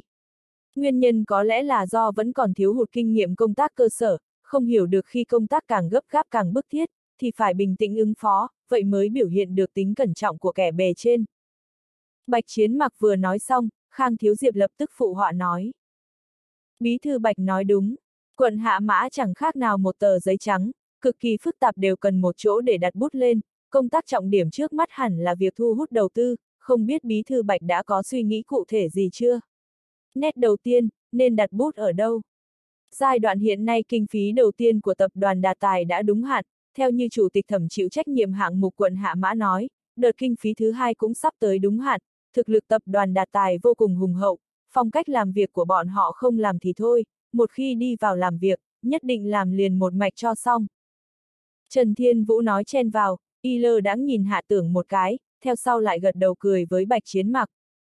Bí thư Bạch từ Văn Châu kéo về 20 tỷ đầu tư, không biết khi nào thì có thể tới được. Nếu có được thời gian cụ thể, chính phủ bên này cũng tiện làm tốt công tác giai đoạn đầu, sắp xếp chuyên gia phụ trách tiếp đãi. Nếu có thể mau chóng thúc đẩy đầu tư Văn Châu đúng hạn, tin rằng việc xây dựng quận Hạ Mã sẽ tăng tốc không ít. Bạch Chiến mặc hứa hẹn 20 tỷ đầu tư của thành phố Văn Châu, đã ký kết hợp đồng kêu gọi đầu tư cùng Ủy ban Nhân dân thành phố. Nhưng tài chính khi nào rót xuống, khi nào khởi công, sau khi ký kết xong hợp đồng, thì không có đoạn sau. Hạ tưởng cố ý vô tình nhìn Trần Thiên Vũ một cái, trong lòng có chừng mực. Ủy viên thường vụ đang ngồi, có mấy người trước khi đến quận Hạ Mã, cũng là ủy viên thường vụ huyện Giao, đối với lề lối trong quan trường rất là tinh tường. Ngoại trừ tạ Nguyên Thanh nghe chưa hiểu lời phát biểu vừa rồi của Khang Thiếu Diệp và Trần Thiên Vũ có thâm ý gì sâu xa, những người khác trong lòng lập tức đều có suy tính, hiểu rõ ai theo phe ai. Rất rõ ràng, Khang Thiếu Diệp và Bạch Chiến Mặc là một phe. Lời Khang Thiếu Diệp thì muốn để cho Bạch Chiến Mặc mượn tình hình cực kỳ phức tạp hiện tại. Danh chính ngôn thuận nhúng tay vào công việc chính phủ, tạo thành một việc đã thành. Thu hút đầu tư cùng với phát triển kinh tế, là việc cần chia sẻ của chính phủ, bí thư có thể chỉ huy trên đại cục, nhưng sự tình cụ thể vẫn là không tiện khoa tay múa chân, nếu không sẽ khiến cho chủ tịch quận bất mãn. Dụng ý của Khang Thiếu Diệp hiển nhiên là muốn để Bạch Chiến mặc trực tiếp chỉ thị chính phủ làm sao triển khai công việc cụ thể. Mà Trần Thiên Vũ lúc này ngược lại chỉ trích 20 tỷ đầu tư mà Bạch Chiến mặc hứa hẹn, hơn nữa trọng điểm đưa ra là chính phủ phải tập trung vào xây dựng kinh tế, là kiểu phản kích một mũi tên bắn hai con chim. Tức là đã phủ định đề nghị mà Khang Thiếu Diệp đề xuất, nằm ngoài đề tài đã nói, lại là quầng sáng chói mắt nhất của Bạch Chiến Mặc, 10 tỷ đầu tư của tập đoàn Đà Tài đã bắt đầu đưa vào hoạt động, 20 tỷ tài chính Văn Châu hiện tại ở đâu? Ủy viên thường vụ có mặt tại đây trong lòng đều biết rõ, ngày đầu tiên thành lập, hội nghị thường vụ lần đầu tiên đã phân chia danh giới rõ ràng, Khang Thiếu Diệp và Bạch Chiến mặc có cùng ý tưởng đen tối, mà Trần Thiên Vũ tất nhiên là tiên phong tích cực của hạ tưởng. Không ít ủy viên thường vụ nhất là ủy viên thường vụ lớn tuổi, đối với Bạch Chiến mặc ít nhiều cũng còn có chút coi trọng, dù sao trên tuổi tác khiến người ta không bới móc được gì. Hạ tưởng thân là chủ tịch quận, cho dù là nhân vật số 2, cũng là quá trẻ. Chủ tịch quận 28 tuổi, các vị đang ngồi thậm chí còn lớn hơn hắn hơn 10 tuổi, khiến bọn họ thật sự không thể tự hạ thể diện cung kính kêu hạ tưởng một tiếng, chủ tịch quận. Rất nhiều người đều tưởng, hạ tưởng tuổi trẻ không thể chống đỡ nổi trận cục, khẳng định sẽ bị bạch chiến mặc ép tới gắt gao, trong hội nghị thường vụ cũng sẽ không có bao nhiêu người ủng hộ hắn, thân là chủ tịch quận, nói không chừng cả bộ máy cũng không thể cầm giữ chặt chẽ ở trong tay mình. Không ngờ hội nghị thường vụ đầu tiên, lần đầu tiên đối đầu chính diện, thân là ủy viên thường vụ phó chủ tịch thường trực quận Trần Thiên Vũ đã có thái độ kiên định đứng về bên hạ tưởng, lập tức khiến không ít người nhìn hạ tưởng với cặp mắt khác xưa.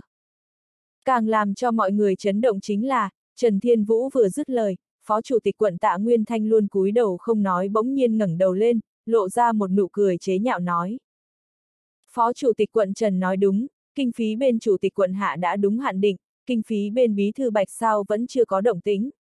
Hay chỉ là lâu đài trên cát, vẽ cho mọi người một cái bánh to tướng, cuối cùng cũng chỉ là uổng công vui mừng một trận.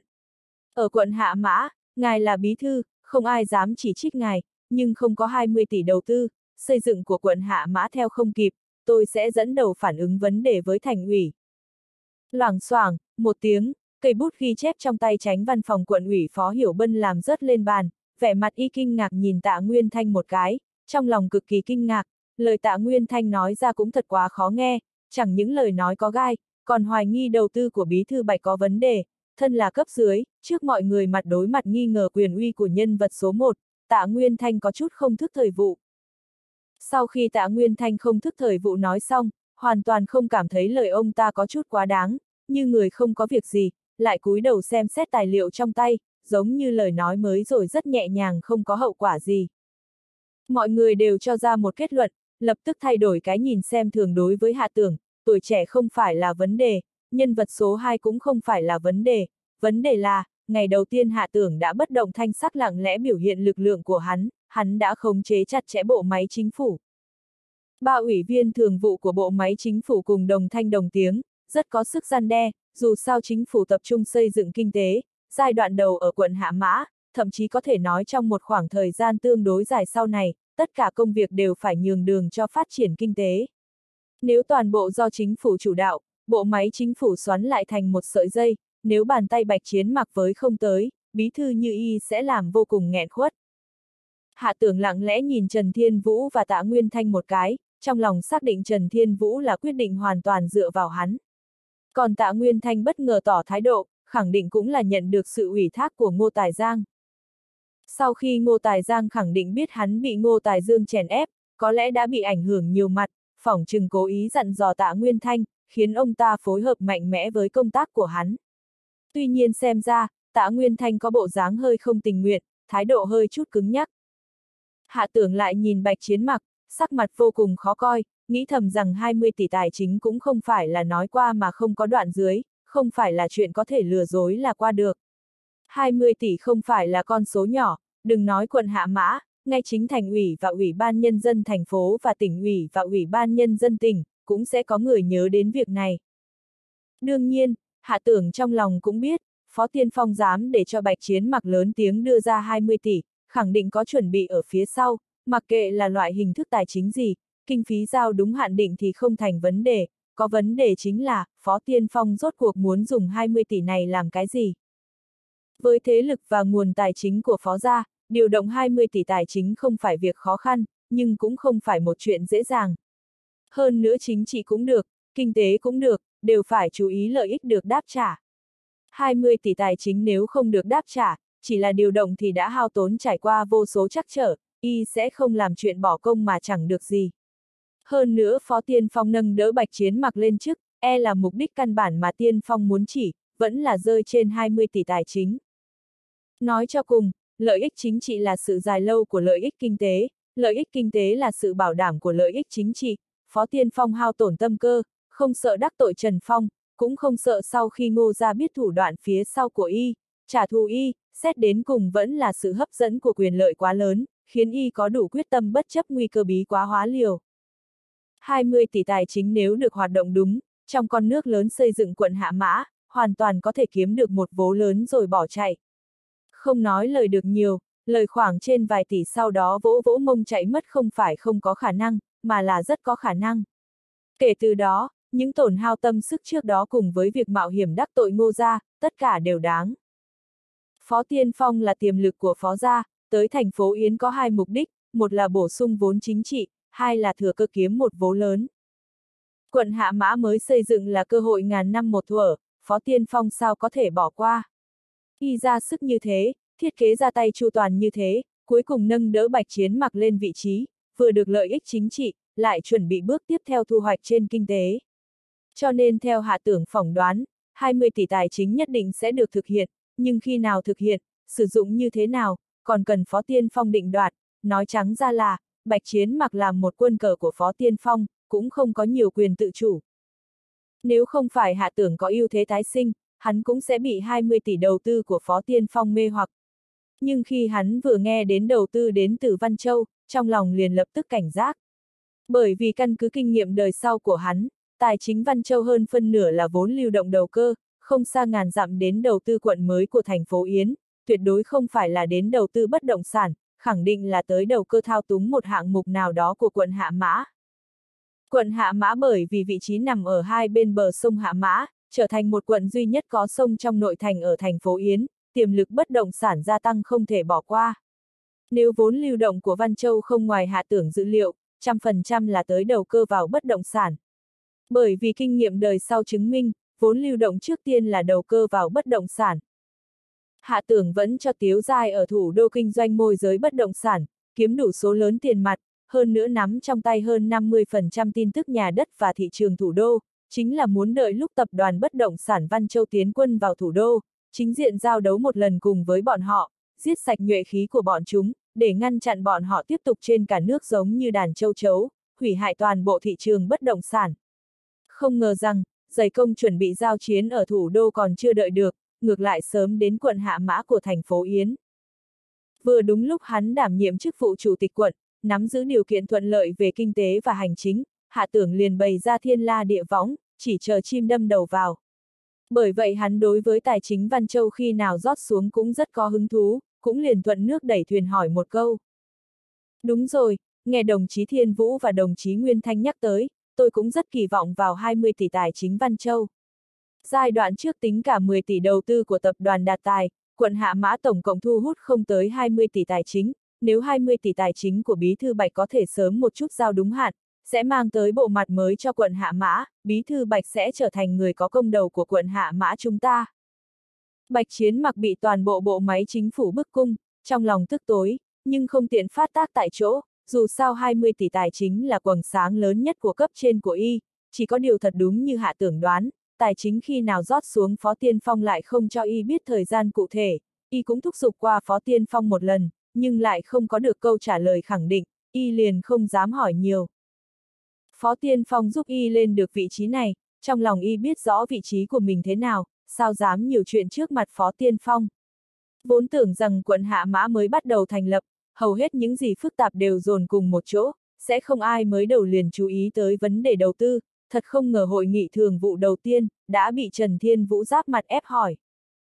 Trần Thiên Vũ, trong lòng bạch chiến mặc nổi lên một sự chua xót, đấu tranh chính trị đúng là thay đổi như nhanh chóng, khi y được bổ nhiệm là bí thư quận ủy quận Hạ Mã, Phó Tiên Phong liền nói với y, chẳng những Phó Bí thư Khang Thiếu Diệp là đồng minh với y ở hội nghị thường vụ, Phó Chủ tịch Thường trực quận Trần Thiên Vũ cũng sẽ phối hợp với y ở trên hội nghị thường vụ, là trợ lực đắc lực nhất bên trong bộ máy chính phủ mà tay y có thể với tới. Bởi vì sự tồn tại của Trần Thiên Vũ, Chủ tịch quận của Hạ Tưởng sẽ bị hai sự kiềm chế đến từ quận ủy và bộ máy chính phủ, có thể nói là bước đi khó khăn. Ai có thể ngờ rằng, trong nháy mắt Hà Giang Hoa thất thế, Cao Hải thế chỗ, lúc Phó Tiên Phong bị đánh trở tay không kịp, đều bỏ qua sự tồn tại của Trần Thiên Vũ, hóa ra Trần Thiên Vũ và Hạ Tưởng đã đi cùng nhau, lại thêm một tạ nguyên thanh, bạch chiến mặc bi ai phát hiện ra, ý đồ của y muốn vươn tới bên trong bộ máy chính phủ, chẳng những không thực hiện được, ngược lại hoàn toàn bị phong kín, không còn khả năng tiến thêm một bước nữa. Hạ tưởng, quả nhiên là một đối thủ cực khó đối phó, bạch chiến mặc đối mặt với vẻ mặt thản nhiên tươi cười của hạ tưởng, trong lòng bỗng nhiên thoáng qua một sự bực bội, nhất thời khống chế không được, thốt ra. Chủ tịch quận hạ có phải hơi nóng vội hay không? 20 tỷ tài chính không phải con số nhỏ, sao có thể nói rót xuống là rót xuống được. Tôi cũng biết không thể giao phó trong một lần, thì như 10 tỷ kinh phí của tập đoàn Đạt Tài, cũng là từng đợt giao đúng kỳ hạn. Hạ tưởng nói không chút hoang mang, quay đầu hỏi Trần Thiên Vũ một câu. Đồng chí Thiên Vũ, kinh phí của tập đoàn Đạt Tài đã đưa được bao nhiêu? Trần Thiên Vũ vô cùng phối hợp cúi đầu suy nghĩ. Khoảng 2 tỷ, hơn nữa 2 tỷ đợt 2 cũng đã bắt đầu hoạt động, trong vòng 3 ngày sẽ giao ra đúng hạn. Mấu chốt là toàn bộ hạng mục của tập đoàn Đà Tài đều đã bắt đầu khởi công, mang đến lòng tin cực lớn cho các nhà đầu tư khác. Một câu cuối cùng, Trần Thiên Vũ tăng thêm khẩu khí. Hạ tưởng và Trần Thiên Vũ kẻ sướng người ca, hơn nữa Trần Thiên Vũ cố ý tăng thêm khẩu khí, càng làm cho Bạch Chiến mặc như có gai sau lưng. Bạch Chiến mặc cũng biết rõ nếu như 20 tỷ tài chính mà y hứa hẹn không đưa ra đúng kỳ hạn, chẳng những không thể giải thích với các ủy viên thường vụ đang ngồi đây, đối với thành ủy và ủy ban nhân dân thành phố cũng không có cách nào giải thích, nhưng vấn đề là sự việc không do y làm chủ, cũng chỉ biết lập lờ nói. Tôi sẽ tranh thủ thời gian thúc giục một chút, đầu tư Văn Châu khẳng định sẽ đúng kỳ hạn, bọn họ đối với triển vọng quận Hạ Mã vô cùng xem trọng, có lòng tin đầu tư rất mãnh liệt. Khang Thiếu Diệp mang chút không hài lòng nói. Quận Hạ Mã vừa mới thành lập, sự tình hỗn loạn, cực kỳ phức tạp cũng phải bắt đầu từ đầu, tâm trạng nóng lòng muốn xây dựng quận Hạ Mã của Chủ tịch quận Hạ và Phó Chủ tịch quận Trần có thể hiểu, nhưng thái độ phải nghiêm chỉnh chút cho thỏa đáng. Trưởng ban tổ chức cán bộ Mộ Duẫn Sơn tiếp lời, thuận theo lời Khang Thiếu Diệp nói tiếp đoạn sau. Bí thư Khang nói đúng, Rome không thể xây dựng trong một ngày, mọi việc nên tính toán dài lâu, có chuẩn bị mới tránh được nguy cơ. Quận Hạ Mã vừa mới thành lập, lúc này còn có rất nhiều mặt công tác cần làm trước, vấn đề khác có thể gác lại. chương 543, khởi đầu không tồi. Lời này có chỗ không đúng. Bộ trưởng mộ. Biện Tú Linh chỉnh trang lại áo, ngồi thẳng lưng, có nề nếp nói. Việc thành lập quận Hạ Mã đã được chuẩn bị hơn nửa năm, công tác sơ bộ đều đã thực hiện, nhân sự cũng đã được bổ nhiệm, chính phủ hai cấp tỉnh thành đều cho quận Hạ Mã không ít hỗ trợ, muốn người có người, muốn tiền có tiền, là vì cái gì? Chính là muốn sau khi chúng ta nhậm chức, lập tức với nhiệt tình tràn đầy và tình trạng no đủ đi vào công tác, hiện tại chúng ta đã vào nhậm chức, không lập tức triển khai xây dựng kinh tế còn chờ cái gì. Biện Tú Linh là người của hình đoan đài an bài, bởi vì quan hệ của hình đoan đài và Tống Chiêu Độ, lại bởi vì quan hệ của Tống Chiêu Độ và Hạ Tường, cô tự nhiên sẽ đứng về bên Hạ Tường. Chủ nhiệm ủy ban chính trị pháp luật Lý ứng dũng khoát tay cười. Bí thư biện nói không sai, tuy nhiên sự tình phải phân nặng nhẹ, điểm dừng chân của bí thư Bạch là ở trên mặt nhân sự và tổng hợp nguồn vốn, trọng tâm của chủ tịch quận Hạ là ở trên mặt xây dựng kinh tế, đều đúng cả, đều là việc trong phận sự. Tuy nhiên dù sao bí thư Bạch chủ chỉ toàn diện công tác, tin rằng bí thư Bạch cũng đã có sắp xếp chu đáo chặt chẽ. Chúng ta phải cho bí thư Bạch chút thời gian, cũng phải nghe theo sự chỉ huy của bí thư Bạch. Lời nói Lý ứng dũng không mềm không cứng, chẳng khác nào đóng cây đinh mềm vào biện tú linh. Biện tú linh không cho là đúng cười một cái, lại nói một câu. Tôi chỉ là đề xuất ra quan điểm cá nhân của tôi, lời bí thư lý cũng là quan điểm cá nhân của ông. Ý tứ chính là lời ai nấy nói, biện tú linh cũng không lùi bước, cũng trả lại một thái độ không sao cả cho Lý ứng dũng.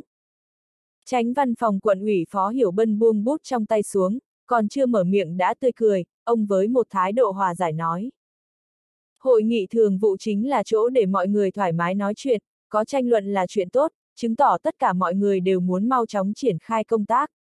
Tuy nhiên mọi người tùy việc mà xét, không nên cố ý tranh chấp. Quan điểm của tôi là, về trọng điểm và phương hướng của công tác bước tiếp theo, trước tiên nên hình thành tài liệu, sau đó đợi hội nghị thường vụ tiếp theo tiếp tục tiến hành thảo luận, các đồng chí nói có phải khả thi hay không. Không ngờ tạ Nguyên Thanh một chút cũng không nể mặt Phó Hiểu Bân, lại ngẩng đầu lên ném ra một câu lạnh như băng. Trọng điểm công tác là phát triển kinh tế, phương hướng công tác là thu hút đầu tư, còn muốn hình thành tài liệu. Không phải nói đùa chứ. Tiêu điểm vấn đề hiện tại là, đầu tư của Bí Thư Bạch khi nào thì đưa ra đúng vị trí, bởi vì so sánh thì tài chính mà Chủ tịch quận Hạ hứa hẹn đã giao đúng hạn định, nếu mà tài chính bên Bí Thư Bạch vẫn còn trì hoãn kéo dài không có tin tức, sẽ tạo ấn tượng không đáng tin cậy cho người ta. Tạ Nguyên Thanh đủ sắc bén, dám đánh trực diện. Bạch Chiến mặc vốn lần đầu tiên họp hội nghị thường vụ, không muốn tức giận, để tránh để lại ấn tượng khó chịu cho mọi người, không nghĩ tới tạ Nguyên Thanh cứ bắt lấy vấn đề tài chính mà truy đuổi sát sao không chịu buông tha. Y rốt cục không nhẫn nhịn nổi, không vui nói. Vấn đề tài chính tôi sẽ mau chóng chứng thực, khẳng định sẽ cho thành ủy và ủy ban nhân dân thành phố một lời giải thích, mọi người không nên thúc giục nữa, thân là bí thư, trong lòng tôi có chừng mực, khẳng định sẽ chịu trách nhiệm với thành ủy và ủy ban nhân dân thành phố. Ngụ ý là, tạ Nguyên Thanh ông vẫn là không có tư cách ở đó trách vấn tôi, tôi phải chịu trách nhiệm là thành ủy và ủy ban nhân dân thành phố, không phải là ông. Tạ Nguyên Thanh không hề gì duỗi duỗi tay. Lời của Bí Thư Bạch là nói ngay trước mặt các đồng chí, tất cả mọi người phải làm nhân chứng. Rằng co, hội nghị thường vụ đầu tiên đã xuất hiện sự đối đầu giữa phái Bí Thư do Bạch Chiến mặc dẫn đầu và phái Chủ tịch quận do Hạ Tưởng dẫn đầu. Trên cơ bản phe bên Bạch Chiến mặc hơi bị thất thế, vì bị phe Hạ Tưởng nắm chặt cái đuôi không buông tha. Trong bày tỏ thái độ của ủy viên thường vụ, hiển nhiên Khang Thiếu Diệp là kiên định đứng cùng trận tuyến với Bạch Chiến mặc, Lý ứng dũng cũng là theo phái bí thư, mộ duẫn sơn nói chung có khuynh hướng nghiêng về bạch chiến mặc, mà Phó Hiểu Bân thì tạm thời không nhìn ra là đang hướng về ai. Trần Thiên Vũ thì kiên định theo phái hạ tưởng, là người tiên phong tích cực, tạ Nguyên Thanh với thân phận dường như là kẻ gây rối, nhưng lại không được ăn ý lắm với hạ tưởng. Biện Tú Linh hẳn là lực lượng bên ngoài của hạ tưởng, bình thường có lẽ sẽ không đi đầu làm trước. Nhưng khẳng định là người ủng hộ kiên định của hạ tưởng. Các ủy viên thường vụ còn lại thì mỗi người một tâm trạng khác nhau, đều không lên tiếng phát biểu, có người thì ở đó quan sát tình hình, có người thì không muốn theo phe phái nào cả, còn có người thì cảm thấy thời cơ không được ổn, chờ đến thời cơ tốt nhất rồi nói sau. Bạch Chiến mặc bị ép tới đường cùng, đành phải kiềm nén lửa giận, tỏ thái độ nói. Tôi Bạch Chiến mặc nói lời giữ lời, tất cả mọi người đều có thể nhớ kỹ lời của tôi, tài chính nhất định đến đúng hạn. Sau khi tan họp, ba người hạ tưởng, Trần Thiên Vũ và Tạ Nguyên Thanh xuống lầu, văn phòng ủy ban nhân dân ở lầu 1 tới lầu 3, lầu 4 tới lầu 6 là văn phòng đảng ủy, vừa đi tới cầu thang, biện Tú Linh đuổi lên từ phía sau, gọi hạ tưởng lại. Chủ tịch quận hạ, ngài còn nhớ tôi không? Không ngờ chúng ta trở thành đồng sự. Trên mặt biện Tú Linh hơi lộ ý phấn kích, vẻ mặt chờ mong nhìn hạ tưởng, e sợ hạ tưởng nói ra là không nhớ được cô là ai. Hạ tưởng đối với Biện Tú Linh quả thật có một chút ấn tượng, trong sự kiện quốc bảo lần trước, khi Diệp Thạch Sinh chạy tới hỏi han người bên ủy ban kỷ luật, chính là Biện Tú Linh đúng lúc ra mặt trả lời, lúc ấy sở dĩ hắn nhớ kỹ cô, bởi vì hắn cũng nhìn ra, Biện Tú Linh không phải là người của cổ nhân kiệt, hẳn là người của hình đoan đài. Hạ tưởng dừng bước, quay đầu lại cười nói. Nhớ chứ, đương nhiên là nhớ, khi đó vẫn là chủ nhiệm biện, tôi đã nhớ ra. Dừng lại một chút, lại hỏi. Chủ tịch hình gần đây khỏe không? Hình đoan đài đã nhậm chức chủ tịch tỉnh ở tỉnh Tây, nhậm chức đã hơn nửa năm, nghe nói phong cách chấp chính vô cùng vững vàng. Cũng tốt, cũng tốt, chủ tịch tỉnh hình vẫn nhớ đến ngài, lần trước còn dặn dò tôi nói là, tôi phải cố gắng học tập ở ngài, có khó khăn nhỏ thì đến tìm ngài, có khó khăn lớn thì tìm chủ tịch tỉnh Tống. Khi Biện Tú Linh nói chuyện, nụ cười bên trong đôi mắt toát ra ánh mắt nhiệt tình, biểu hiện ra ý tứ nương tựa rõ ràng. Hạ tưởng cũng hiểu được tình cảnh của Biện Tú Linh, hình đoan đài hậu trường lớn nhất của cô vừa đi, thì chỗ dựa của cô tại tỉnh Yến cũng mất đi, hình đoan đài sẽ phó thác cô cho Tống Chiêu Độ, nhưng Tống Chiêu Độ chưa chắc sẽ giống như hình đoan đài chiếu cố cô, cho nên cô muốn tạo quan hệ tốt với hắn là bước đầu tiên thắng được thiện cảm của Tống Chiêu Độ. Hạ tưởng tất nhiên sẽ không đẩy Biện Tú Linh sang phía bạch chiến mặc, liền mỉm cười. Được, có thời gian thì hẹn Chủ tịch tỉnh Tống ra tụ họp, Chủ tịch tỉnh Tống là một người nhớ ân tình cũ. Biện Tú Linh thấy Hạ Tưởng đã tiếp nhận cô, nụ cười trên mặt càng tha thiết hơn, nhìn xung quanh không có người, cô tiến sát tới một bước. Nhỏ giọng nói với Hạ Tưởng một câu. Tránh văn phòng quận ủy Phó Hiểu Bân đề cử cho ngài hai ứng cử viên thư ký, một người tên là Thang Văn Cử, có quan hệ với Khang Thiếu Diệp, một người tên là Triều Vĩ Cương, là thân thích của Phó Hiểu Bân. Sau khi nói xong, Biện Tú Linh liền lui lại một bước, duy trì khoảng cách thích hợp với hạ tưởng.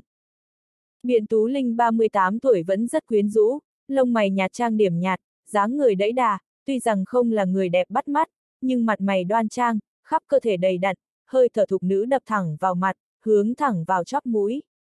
Hạ tưởng không phải thích thục nữ, cũng không tự chủ được thản nhiên dâng lên một loại cảm giác quen thuộc, hơi trùng hợp với cảm giác đời sau của hắn. Biện Tú Linh đã nhận ra sự khác thường của hạ tưởng, lặng lẽ mỉm cười, nói một câu thì xoay người đi, để lại một hình dáng chân thành cho hạ tưởng. Hạ tưởng lắc đầu cười, đi xuống lầu, trở lại văn phòng của mình ngồi xuống, nhớ tới tin tức mà Biện Tú Linh vừa mới tiết lộ, trong lòng mừng thầm, biết là lại có một cơ hội tốt được đặt ở trước mắt. Khang Thiếu Diệp nghe nói là người của Hồ Tăng Chu, có thể nói là qua lại rất mật thiết với Hồ Tăng Chu. Nhưng hôm nay thấy biểu hiện của y, y chưa chắc là cây gậy sắt của Hồ Tăng Chu, còn có ý muốn dựa dẫm Phó Tiên Phong, hơn nữa ở hội nghị thường vụ hôm nay một lòng bảo vệ bạch chiến mặc, hạ tưởng liền đưa ra kết luận đối với người này, không thể kết giao. Vốn hạ tưởng còn muốn lôi kéo Khang Thiếu Diệp, làm phó bí thư chuyên trách, quyền lực y cũng không nhỏ, ít nhất có thể bóp cổ trên vấn đề nhân sự. Tuy nhiên nếu y và Hồ Tăng Chu vốn có quan hệ không tồi, lại đi dốc lực thể hiện thiện ý với bạch chiến mặc, bởi vậy có thể thấy được người này là phần tử đầu cơ điển hình, chỉ có thể lợi dụng không thể liên minh. Con người Phó Hiểu Bân xem ra có vẻ khôn khéo hơn, thái độ trước mắt cũng là hơi có khuynh hướng nghiêng về bạch chiến mặc. Cũng khó trách, y là tránh văn phòng quận ủy, đương nhiên phải đồng tâm cùng với bí thư, nếu không rất dễ bị kiềm hãm. Muốn khiến y hoàn toàn chuyển hướng sang chính mình thì không gì tốt hơn, tuy nhiên hơi khó khăn. Nhưng chỉ cần để y duy trì lập trường trung lập, công bằng không thiên vị cũng không phải là việc gì khó cả. Sợ là sợ, nếu như Phó Hiểu Bân lại cùng một lòng với Khang Thiếu Diệp, nếu bọn họ mà liên hợp cùng nhau trợ giúp cho Bạch Chiến Mặc, thì đảng ủy ở cùng một chỗ sẽ trở thành thùng thiếc. Hạ tưởng tất nhiên sẽ không cho phép tình huống như vậy xuất hiện. Biện Tú Linh bất ngờ tiết lộ tình huống, là một thời cơ to lớn. Đang mãi mê suy tư, thì nghe được tiếng gõ cửa nhẹ. Bên ngoài truyền đến thanh âm của Phó Hiểu Bân. Xin hỏi Chủ tịch quận Hạ có đó không? Phó Hiểu Bân tới nhanh thật, Hạ tưởng mỉm cười, nói.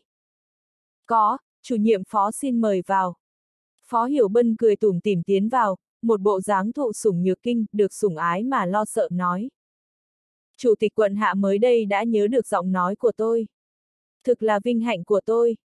Phó Hiểu Bân rất biết nói chuyện, hạ tưởng liền cười, đứng lên tỏ chút lễ phép. Mời ngồi, chủ nhiệm phó. Làm quản gia của quận ủy, giọng nói của anh tôi cần phải nhớ kỹ mới được. Sao nào, có việc. Phó Hiểu Bân lại không ngồi xuống, lấy hai phần tài liệu đưa ra trước mặt hạ tưởng. Mời chủ tịch quận hạ xem qua, đây là hai ứng cử viên thư ký mà tôi thay ngài sắp xếp. Hai phần tài liệu của Phó Hiểu Bân được sắp đặt đáng để chú ý, phần tài liệu trên mặt là dữ liệu và ảnh chụp của Triều Vĩ Cương, được làm vô cùng tinh tế. Phần bên dưới là thông tin chi tiết của thang văn cử, ở bên ngoài thì nhìn không ra là có gì khác biệt, hạ tưởng ánh mắt sắc bén, liếc mắt một cái liền nhìn ra hai phần tài liệu cho dù là từ đóng sách hay là trình độ chỉnh tề mà xem, thì thang văn cử kém hơn một chút. Còn tài liệu của Triều Vĩ Cương vì nguyên nhân chỉnh sửa tỉ mỉ lại, ít nhất tạo cảm giác sáng sủa trong mắt người xem. Dụng tâm và sự thận trọng của Phó Hiểu Bân, từ đây có thể thấy rõ. Hạ tưởng giả bộ không biết, tùy ý lật xem vài lần, nói. Được, cứ để ở đây trước, chờ khi tôi có thời gian sẽ xem lại kỹ càng tỉ mỉ hơn, dù sao cũng không vội. Chủ nhiệm phó còn có việc khác không? Hạ tưởng chẳng khác nào ra lệnh đuổi khách. Phó Hiểu Bân vẻ tươi cười không giảm, nói. Không có, không có, vậy tôi đi trước, không quấy dày ngài làm việc. Sau khi chọn xong người, ngài cho tôi biết một tiếng, tôi sẽ tiện sắp xếp bọn họ mau chóng vì ngài phục vụ. Y là người thông minh, biết có một số việc chỉ có thể làm ở chỗ tối, không thể nói ở chỗ sáng. Y và hạ tưởng không quen, mặc dù cũng hy vọng Triều Vĩ Cương mượn cơ hội này tiến vào Ủy ban Nhân dân quận công tác, nhưng cũng không thể biểu hiện quá rõ ràng, nếu không khiến cho hạ tưởng hoài nghi sẽ không tốt lắm. Phó Hiểu Bân vừa mới đi tới cửa, vừa mở cửa ra, đúng lúc nhìn thấy Trần Thiên Vũ đứng ở cửa, đang định gõ cửa, y liền gật đầu cười, lên tiếng chào hỏi. Phó Chủ tịch quận Trần. Trần Thiên Vũ gật đầu cười. Chủ nhiệm phó thật cần mẫn. Phó Hiểu Bân cười cười, không nói gì, nghĩ thầm rằng hạ tưởng không đơn giản, vừa mới nhậm chức đã khống chế gắt cao bộ máy chính phủ, khiến Bạch Chiến mặc khó mà nhúng tay, xem ra thì đấu tranh quyền lực sau này giữa bí thư và chủ tịch quận, khẳng định sẽ không thoải mái. Đối với người đang chọn hàng ngũ như y, cũng là một sự lựa chọn khó cả đôi đường. Phó Hiểu Bân lắc đầu, không muốn nghĩ nhiều chuyện phiền não, nhưng lại không thể không nghĩ. Y vốn định an bài Triều Vĩ Cương đảm nhiệm chức thư ký của Bạch Chiến Mặc, nhưng Bạch Chiến Mặc đã có người chỉ định, ý nguyện hụt hẫng, y liền thăm dò chủ ý của Hạ Tưởng.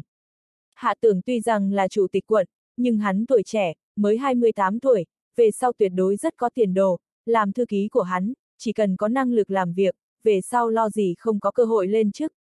Không nghĩ tới Khang Thiếu Diệp cũng nhúng một tay vào, cũng là muốn sắp xếp người nhà đảm nhiệm thư ký của Bạch Chiến mặc nhưng không có kết quả, cũng lại thăm dò chủ ý của Hạ Tưởng. Kết quả liền tạo thành cạnh tranh giữa Thang Văn Cử và Triều Vĩ Cương. Phó Hiểu Bân liền vô cùng bất mãn đối với Khang Thiếu Diệp, thang văn cử luận về diện mạo luận về lý lịch kinh nghiệm so ra đều kém Triều Vĩ Cương, chính là tốt nghiệp trường đại học uy tín, trên bằng cấp so ra thì Triều Vĩ Cương được hơn. Lãnh đạo hiện tại đều coi trọng bằng cấp, nghe nói chủ tịch quận hạ là văn bằng nghiên cứu sinh, nếu chủ tịch quận hạ chỉ coi trọng sinh viên của trường đại học uy tín hàng đầu, thì Triều Vĩ Cương khẳng định trúng tuyển. Phó Hiểu Bân có chút lo lắng, Triều Vĩ Cương là em vợ y, y đã cam đoan với bà xã, nhất định phải làm cho Triều Vĩ Cương mượn cơ hội này tiến vào quan trường, tuy nhiên không có mấy người biết được quan hệ giữa Triều Vĩ Cương và y, bởi vì bà xã y và Triều Vĩ Cương không cùng họ, bà xã theo họ mẹ, bí mật này giấu được rất nhiều người. Triều Vĩ Cương có năng lực, cũng biết ăn nói, người cũng linh hoạt nhanh nhẹn, rất hợp tính với Phó Hiểu Bân. Phó Hiểu Bân liền cảm thấy gã rất thích hợp phát triển trên quan trường, luôn tìm đủ mọi cách giúp gã tiến vào quan trường. Chẳng qua là cơ hội vẫn không thích hợp, vừa lúc thành lập quận Hạ Mã, cần phải tuyển thư ký cho bí thư và chủ tịch quận, thời cơ tốt sao có thể bỏ qua, Phó Hiểu Bân liền vội vàng giúp Triều Vĩ Cương chỉnh sửa lại tài liệu cho tốt, chuẩn bị đệ trình cho Hạ Tưởng xem qua. Y trong lòng cho rằng dựa vào điều kiện bản thân Triều Vĩ Cương không tồi, khẳng định có thể lọt vào mắt Hạ Tưởng. Không ngờ rằng có người cũng có chủ ý giống Y, Khang Thiếu Diệp tự nhiên biến chứng, khiến Y vô cùng khó chịu. Chỉ dụng tâm suy nghĩ trên tài liệu chưa chắc có thể khiến Hạ Tưởng chắc chắn nhìn chúng Triều Vĩ Cương, bởi vì tài liệu của thang văn cử cũng vô cùng xác thực, hơn nữa còn có rất nhiều điểm tốt. Nếu chẳng may hạ tưởng chọn chúng thang văn cử thì sẽ không tốt lắm, Triều Vĩ Cương sẽ lỡ mất cơ hội. Chẳng những lỡ mất thời cơ tốt tiến vào quan trường, vứt bỏ cơ hội công tác bên cạnh hạ tưởng, thật là đáng tiếc. Phó Giám đốc Sở 28 tuổi, toàn bộ tỉnh Yến có được mấy người. Theo sát hạ tưởng, Triều Vĩ Cương quả thực là lên đúng thuyền rồi. Làm sao bây giờ? Phó Hiểu Bân tâm tư không ngừng xoay chuyển, vẫn là quyết định nên nghĩ biện pháp, không thể đem hy vọng ký thác trên cơ hội. Hạ tưởng thấy Phó Hiểu Bân vừa đi, Trần Thiên Vũ liền tiến đến, sau khi biết y bày tỏ thái độ trên hội nghị thường vụ, khẳng định là cá nhân vẫn muốn chính miệng bày tỏ thái độ với hắn, liền đứng dậy chào đón, biểu hiện ra đủ thành ý. Thiên Vũ đến đấy à? Vừa hay trong tay tôi có chút trà ngon, là do thị trưởng Hà tặng cho tôi mấy ngày hôm trước, chúng ta cùng nhau nếm thử. Sau khi Hà Giang Hoa lui xuống, vì tỏ lòng biết ơn, y cố ý tới nhà bày tỏ lòng cảm ơn đối với hạ tưởng.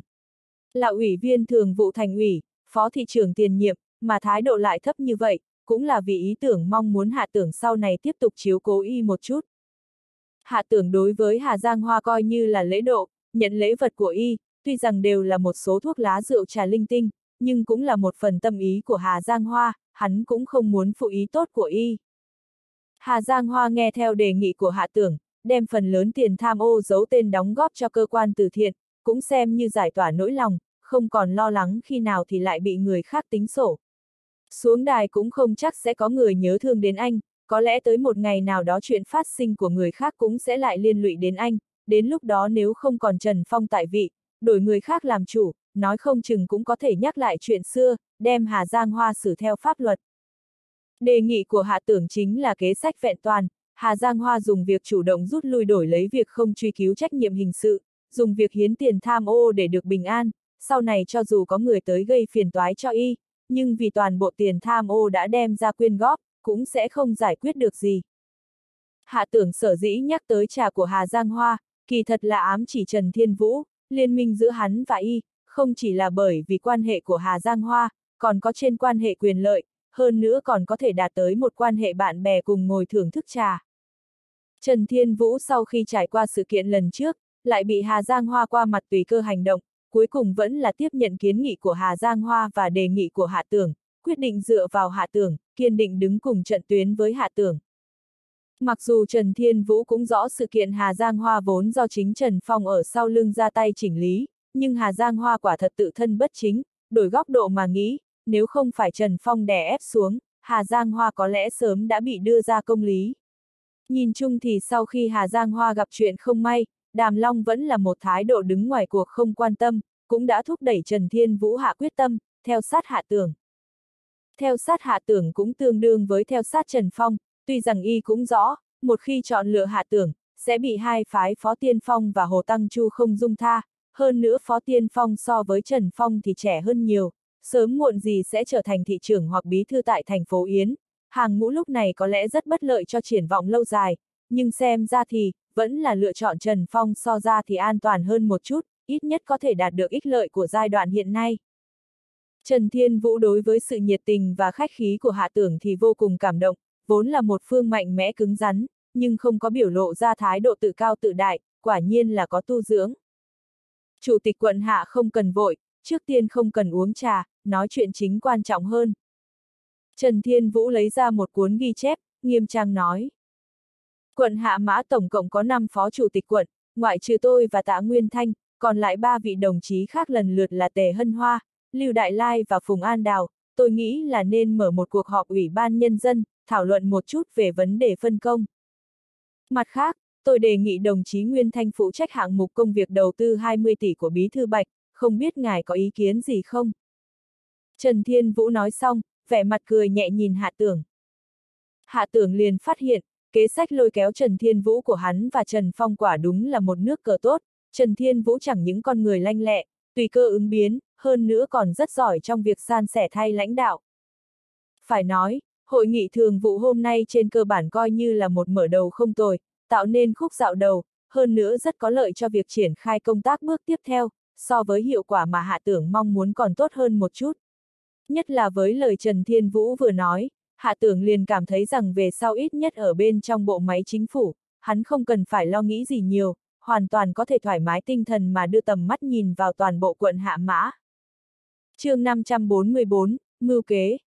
Trần Thiên Vũ đề nghị tạ Nguyên Thanh phụ trách vấn đề 20 tỷ đầu tư, rõ ràng là muốn để cho tạ Nguyên Thanh không ngừng đi gây phiền toái cho Bạch Chiến Mặc, khiến Bạch Chiến Mặc mau chóng chứng thực vấn đề tài chính. Bởi vì theo như Trần Thiên Vũ thấy, tài chính của Bạch Chiến Mặc một ngày không được rót xuống, y vẫn hoài nghi Bạch Chiến Mặc có hiểm nghi lừa đời lấy tiếng. Hạ tưởng gật gật đầu đồng ý. Đề nghị rất hay, tôi tỏ vẻ tán thành. Vậy đi, trước tiên cho gọi đồng chí Nguyên Thanh tới, chúng ta mở một cuộc họp hội ý, sau khi phân công sắp xếp công tác cho anh và Nguyên Thanh đâu vào đấy, rồi mới tiếp tục phân công cho các phó chủ tịch quận khác cũng không muộn. Là ủy viên thường vụ, địa vị của Trần Thiên Vũ và Tạ Nguyên Thanh cao hơn so với các phó chủ tịch quận khác, sắp xếp ưu tiên cũng là hợp tình hợp lý. Trần Thiên Vũ gật đầu nói. Tôi đi mời đồng chí Nguyên Thanh. Hạ tưởng khoát tay chặn lại. Nếu tôi không đoán sai, đồng chí Nguyên Thanh cũng sắp tới rồi. Còn chưa dứt lời, liền vang lên tiếng gõ cửa, quả nhiên là tạ Nguyên Thanh xuất hiện. Tạ Nguyên Thanh hôm nay ở trên hội nghị thường vụ đột nhiên tỏ thái độ ủng hộ mạnh mẽ đối với hạ tưởng, quả thật là từ Ngô Tài Giang bày mưu đặt kế. Ngô Tài Giang cũng là bởi vì Ngô Tài Dương ra tay với hạ tưởng, cảm thấy có chút áy náy. Chính ông ta ra mặt yêu cầu hạ tưởng thuyết phục liên nhược hãm đưa con về nước, kết quả làm náo loạn cả lên, làm cho con đường làm quan của hạ tưởng gặp phải chút ngăn trở. Cho dù kỳ thật theo ngô tài giang thấy, hạ tưởng một bước đến chỗ đảm nhiệm bí thư, thực ra là có chút liều lĩnh, cơ sở dễ bị lung lay, nhưng dù sao cuối cùng lên làm chủ tịch quận lại không phải là mong muốn của hạ Tường, Ông vẫn là thẹn trong lòng, liền nghĩ dù gì cũng phải có chút hành động, cũng tiện thể bồi thường chút ít cho hạ Tường. Ông liền kêu tạ Nguyên Thanh đến, với vẻ mặt vô cùng nghiêm trọng giáo huấn tạ Nguyên Thanh một trận, cảnh báo với y rằng nếu còn muốn có đường sống ở quận Hạ Mã, nhất định phải duy trì tính nhất quán cao độ với hạ Tường, theo sát bước tiến của hạ Tường. trên hội nghị thường vụ phải có cùng một tiếng nói với hạ Tường. Tạ Nguyên Thanh còn muốn phản bác, Ngô Tài Dương liền bịt kín đường lui của y, nói với y, nếu y và hạ tưởng không cùng một lòng, con đường sau này của y thì tự mà đi, đừng nghĩ đến việc là ông sẽ ra tay giúp đỡ lần nữa. Một câu nói đã khiến cho tạ Nguyên Thanh không thể nổi cáu, đành phải đồng ý. Bởi vì tạ Nguyên Thanh cũng biết chỗ dựa lớn nhất hiện nay của y chính là Ngô Tài Giang, không có trợ giúp của Ngô Tài Giang, tiền đồ y trong quan trường sau này chắc chắn bị giới hạn, nói không chừng sẽ bị vùi lấp tại thành phố Yến không bao giờ quay về thủ đô được nữa. Tuy nhiên Ngô Tài Giang cũng không phải là người không biết lễ độ, giờ gậy đánh xong, lại cho tạ Nguyên Thanh một củ cà rốt, hứa hẹn chỉ cần y phối hợp công tác cùng hạ tưởng, sau 3 năm ông sẽ chịu trách nhiệm làm cho y thăng lên phó giám đốc sở. Tạ Nguyên Thanh vui mừng quá đỗi, vội không ngừng đồng ý nhất định mọi chuyện sẽ nghe theo đề nghị của hạ tưởng.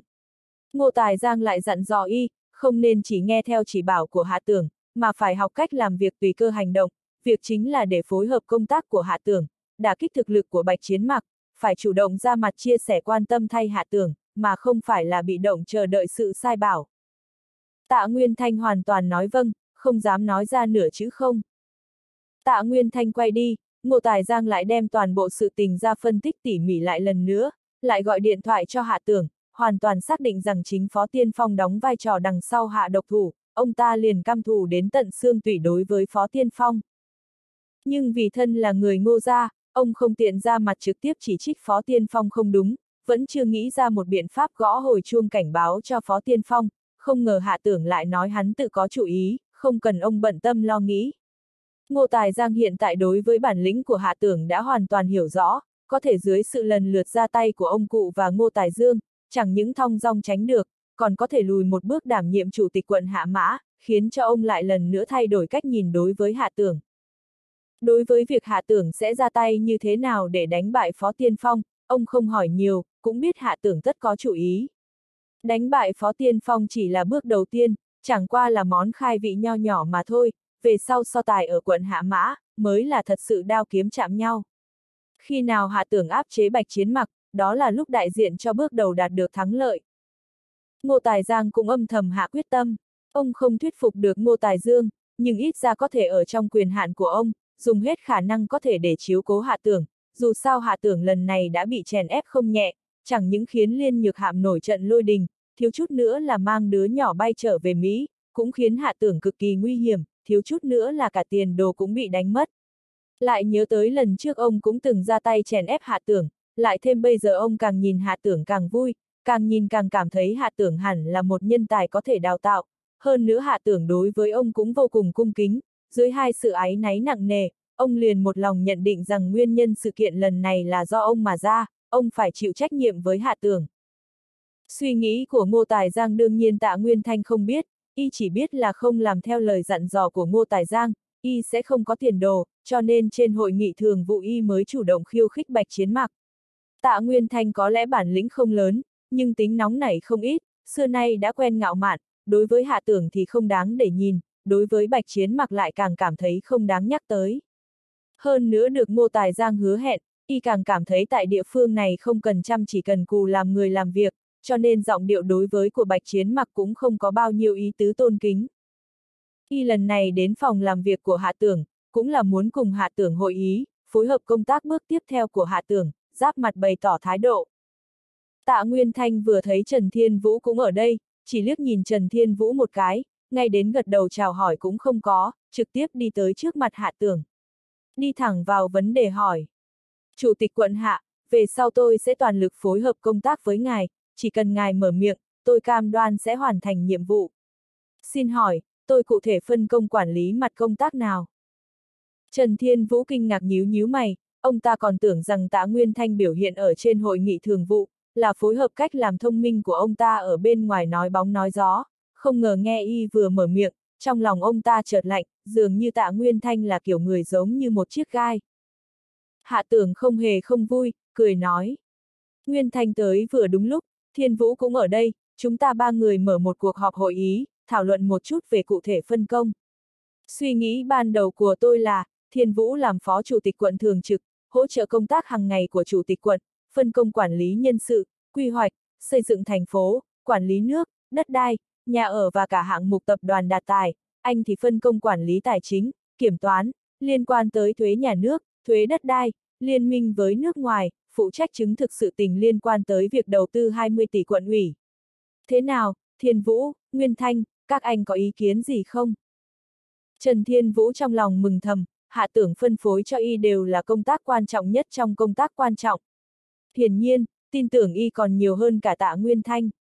Tuy rằng tạ Nguyên Thanh được phân công quản lý tài chính và kiểm toán đều là bộ phận mấu chốt, nhưng bởi vì đem công tác liên quan 20 tỷ đầu tư quận ủy giao cho gã, tương đương với một công việc chỉ phí sức mà không thu được kết quả tốt, cũng là đưa cho tạ Nguyên Thanh một vấn đề khó khăn lớn bằng trời. Chứng thực được tốt, tài chính đưa tới đúng thời hạn, chưa chắc sẽ do tạ Nguyên Thanh phụ trách.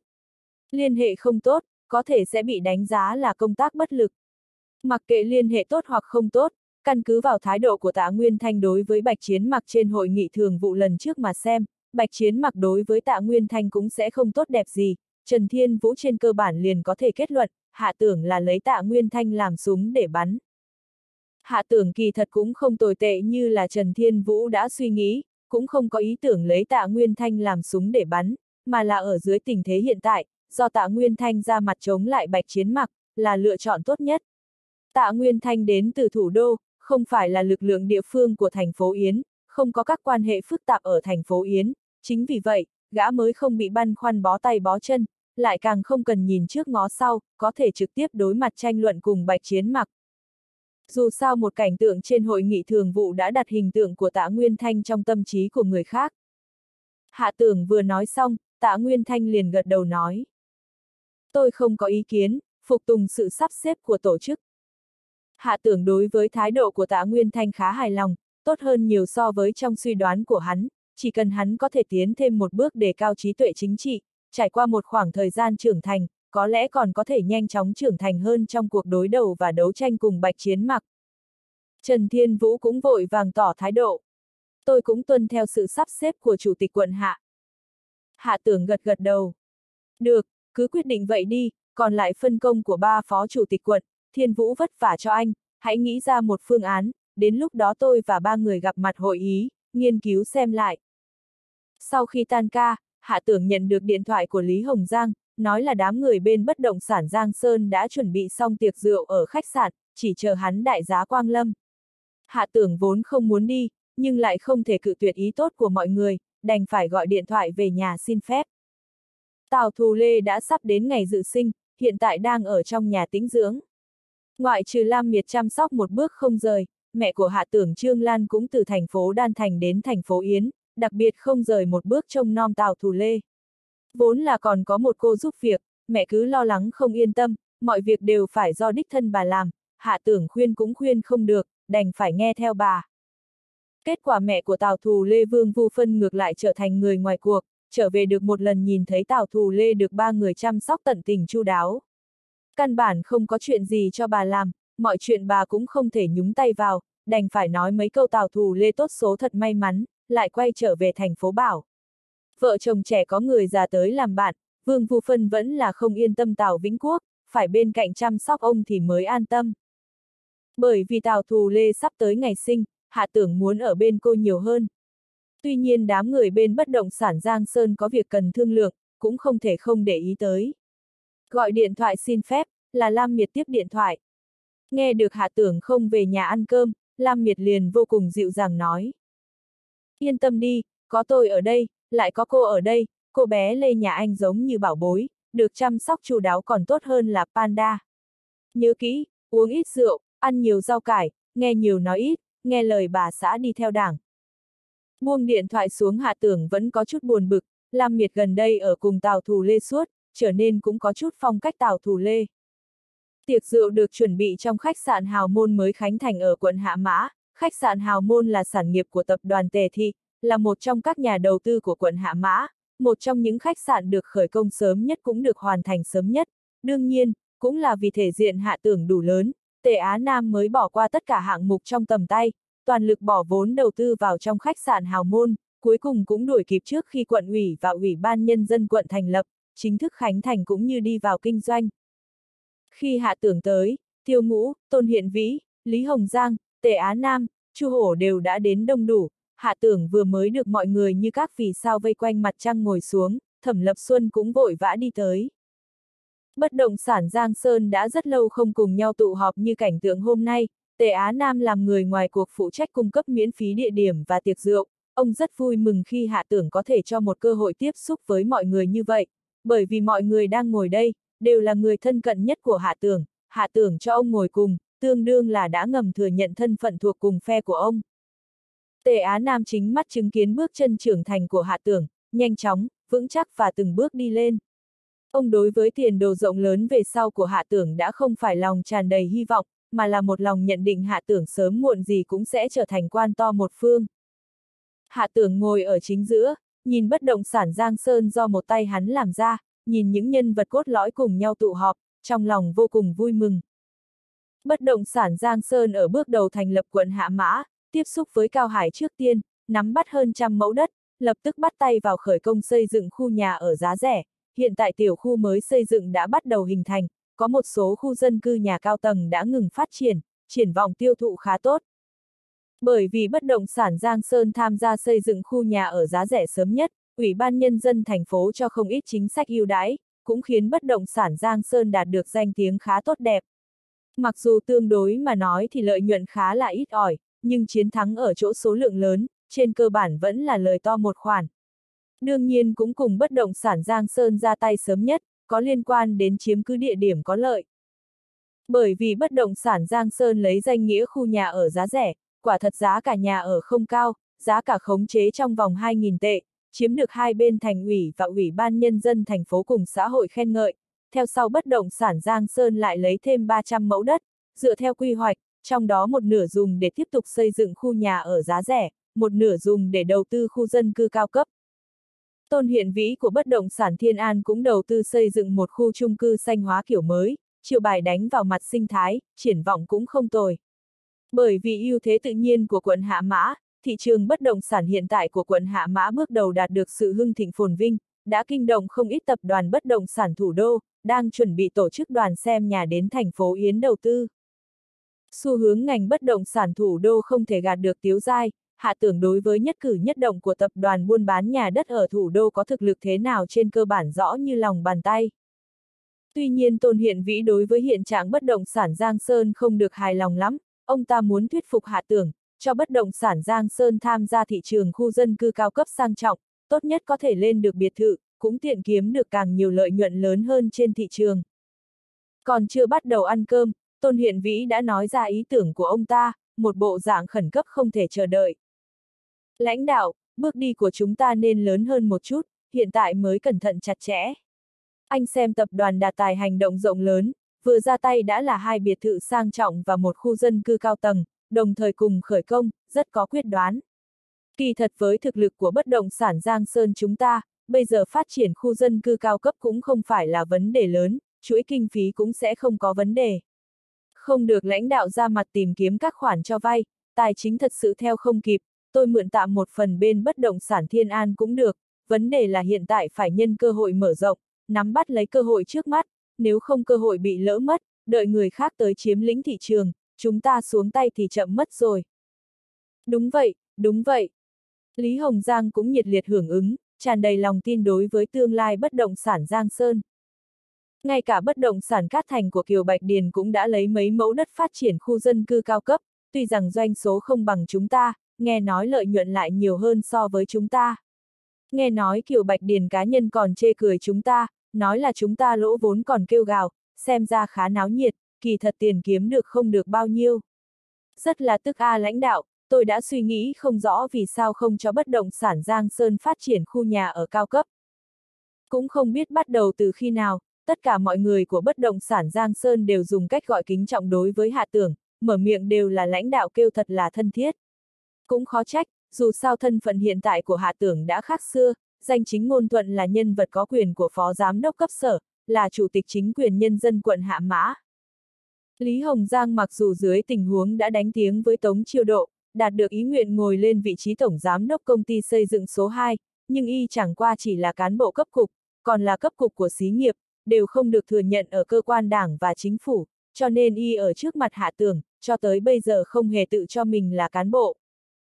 Tiêu ngũ nghe lời hạ tưởng nhất, chưa bao giờ tranh cãi cũng không muốn tranh cãi, ưu điểm lớn nhất của y là biết được thiếu sót của bản thân, tuy rằng y trên danh nghĩa là chủ tịch bất động sản Giang Sơn, nhưng kế hoạch phát triển của công ty, cho tới bây giờ các phương hướng lớn đều là do hạ tưởng vạch ra, cụ thể thì do Tôn Hiện Vĩ và Lý Hồng Giang thực hiện. Một số xã giao không cần thiết, thì do Chu Hổ ra mặt. Trên thực tế, tiêu ngũ ngược lại là người thoải mái nhất ở bất động sản Giang Sơn, y chân thành cảm ơn sự chiếu cố của hạ tưởng đối với y, là hạ tưởng đã trợ giúp y ngồi lên vị trí này. Hạ tưởng không trả lời sự nghi ngờ của Tôn Hiện Vĩ và Lý Hồng Giang trước, mà hỏi ngược lại Thẩm Lập Xuân. Lập Xuân, anh nói xem, bước tiếp theo của bất động sản Giang Sơn nên phát triển mặt nào? Thẩm Lập Xuân cũng đoán không ra ý tưởng của hạ tưởng, nếu hạ tưởng quả thật là căn cứ vào ý tưởng phân ưu vì chính phủ, thì mục đích hiện tại đã đạt tới, còn với thực lực trước mắt của bất động sản Giang Sơn, hoàn toàn có thể một bên vừa xây dựng khu nhà ở giá rẻ, một bên phát triển khu nhà ở cao cấp, hỗ trợ lẫn nhau, có thể bảo đảm bội thu cả hiệu quả và lợi ích từ hai mặt kinh tế và xã hội. Nhưng hạ tưởng vẫn không hề hé môi, chỉ cho tinh thần và thể lực chủ yếu tiến vào khu nhà ở giá rẻ, hoặc là nói, ngoại trừ khu nhà ở giá rẻ, thì không đặt tinh thần và thể lực chủ yếu trên khu nhà ở cao cấp, cũng là khiến y thấy khó hiểu. Thị trường không sợ cạnh tranh, chỉ sợ không có sức mua. Hiện tại chính là thời cơ cực tốt giải phóng sức mua của cư dân, lại có chính sách ưu đãi của các hạng mục cho vay phụ trợ, phát triển khu nhà ở cao cấp trên cơ bản là chỉ có lời không lỗ. Hạ tưởng là không muốn cho bất động sản Giang Sơn kiếm tiền, hay là có kế hoạch khác. Thẩm Lập Xuân cũng biết khẳng định là loại thứ hai. Cụ thể tôi cũng không nói lên được, dù sao lãnh đạo khẳng định đã có ý tưởng khác, nói không chừng còn có một kế hoạch vô cùng to lớn. Thẩm Lập Xuân nói một cách mơ hồ, tiện thể nịnh bợ hạ tưởng một chút. Hạ tưởng cười ha hả, nói. Lập Xuân nói đúng, đối với bước tiếp theo của bất động sản Giang Sơn, tôi quả thật có một kế hoạch, tuy nhiên không phải kế hoạch to lớn, cũng không phải kế hoạch vẹn toàn, mà là một kế hoạch rất mạo hiểm. Thành công, có thể lập tức kiếm lời được 10 tỷ, thất bại, có thể là bất động sản Giang Sơn bị phá sản từ đây. Hạ tưởng thật đúng là không lên tiếng thì thôi một khi lên tiếng đều khiến người người kinh ngạc, lời vừa ra khỏi miệng, mọi người ở đây lập tức ngơ ngác nhìn nhau, sợ ngây người. Chơi quá chớn rồi, muốn kiếm thì lời 10 tỷ, muốn bồi thường thì mất cả Giang Sơn, hạ tưởng bình thường luôn cẩn thận trong cẩn thận, sao mới đây lại chơi dại như vậy, còn cực kỳ nguy hiểm nữa. chương 545, trả đòn. Hạ tưởng thấy bộ dáng của mọi người, thì biết đã hù dọa được bọn họ, lại cười và khoát tay. Các anh tự mình quyết định làm hay không làm, nếu không làm, thì cứ phát triển từng bước là được, dù sao tiền kiếm được cũng không ít, cũng đủ mọi người tiêu xài. Làm, vì sao không làm? Tôn Hiện Vĩ trước tiên giật mình tỉnh dậy, đập bàn liền nói. Tổng tài sản hiện tại của bất động sản Giang Sơn không vượt hơn 2 tỷ, cho dù có mất tất cả, tin rằng chúng ta làm lại từ đầu, nhân thời cơ thị trường bất động sản hiện tại cực tốt, chỉ 2-3 năm là có thể một lần nữa tạo ra một bất động sản Giang Sơn. Nhưng nếu kiếm được tiền, ít nhất tương đương với trả trước lợi nhuận trên 5 năm. 10 tỷ, để tính xem, phải xây bao nhiêu khu nhà ở giá rẻ. Chu Hổ lập tức tiếp lời mà nói. Nhà ở giá rẻ của chúng ta lợi nhuận trên mỗi M2 chỉ vào khoảng 300 tệ, 10 tỷ, thì là hơn 30 triệu M2, sắp xỉ mấy chục khu nhỏ. Đáng, rất đáng giá. Thẩm Lập Xuân vẫn là vững vàng một chút. Có phải đánh cuộc hơi quá hay không? Lãnh đạo, có thể tiết lộ một chút sốt cuộc là có kế hoạch gì hay không? Hạ tưởng hơi trầm ngâm, vẫn là hơi tiết lộ ra một chút tình hình nội bộ. Nếu tôi phỏng đoán không lầm, sắp tới sẽ có 20 tỷ nguồn tiền nóng được đưa vào thị trường bất động sản ở quận Hạ Mã, bất động sản Giang Sơn chính là muốn xé ra hổ viết văn, bắt tay từ 20 tỷ tiền nóng. Tất cả mọi người như hít phải khí lạnh, với 2 tỷ đấu với 20 tỷ, thì như con nít đánh nhau với người lớn, hy vọng thắng lợi quá xa vời. Tuy nhiên nếu hạ tưởng 10 phần tin tưởng mà nói ra, tất cả mọi người mắt to chừng mắt nhỏ nhìn hạ tưởng, nghe hắn tiến thêm một bước nói rõ chi tiết.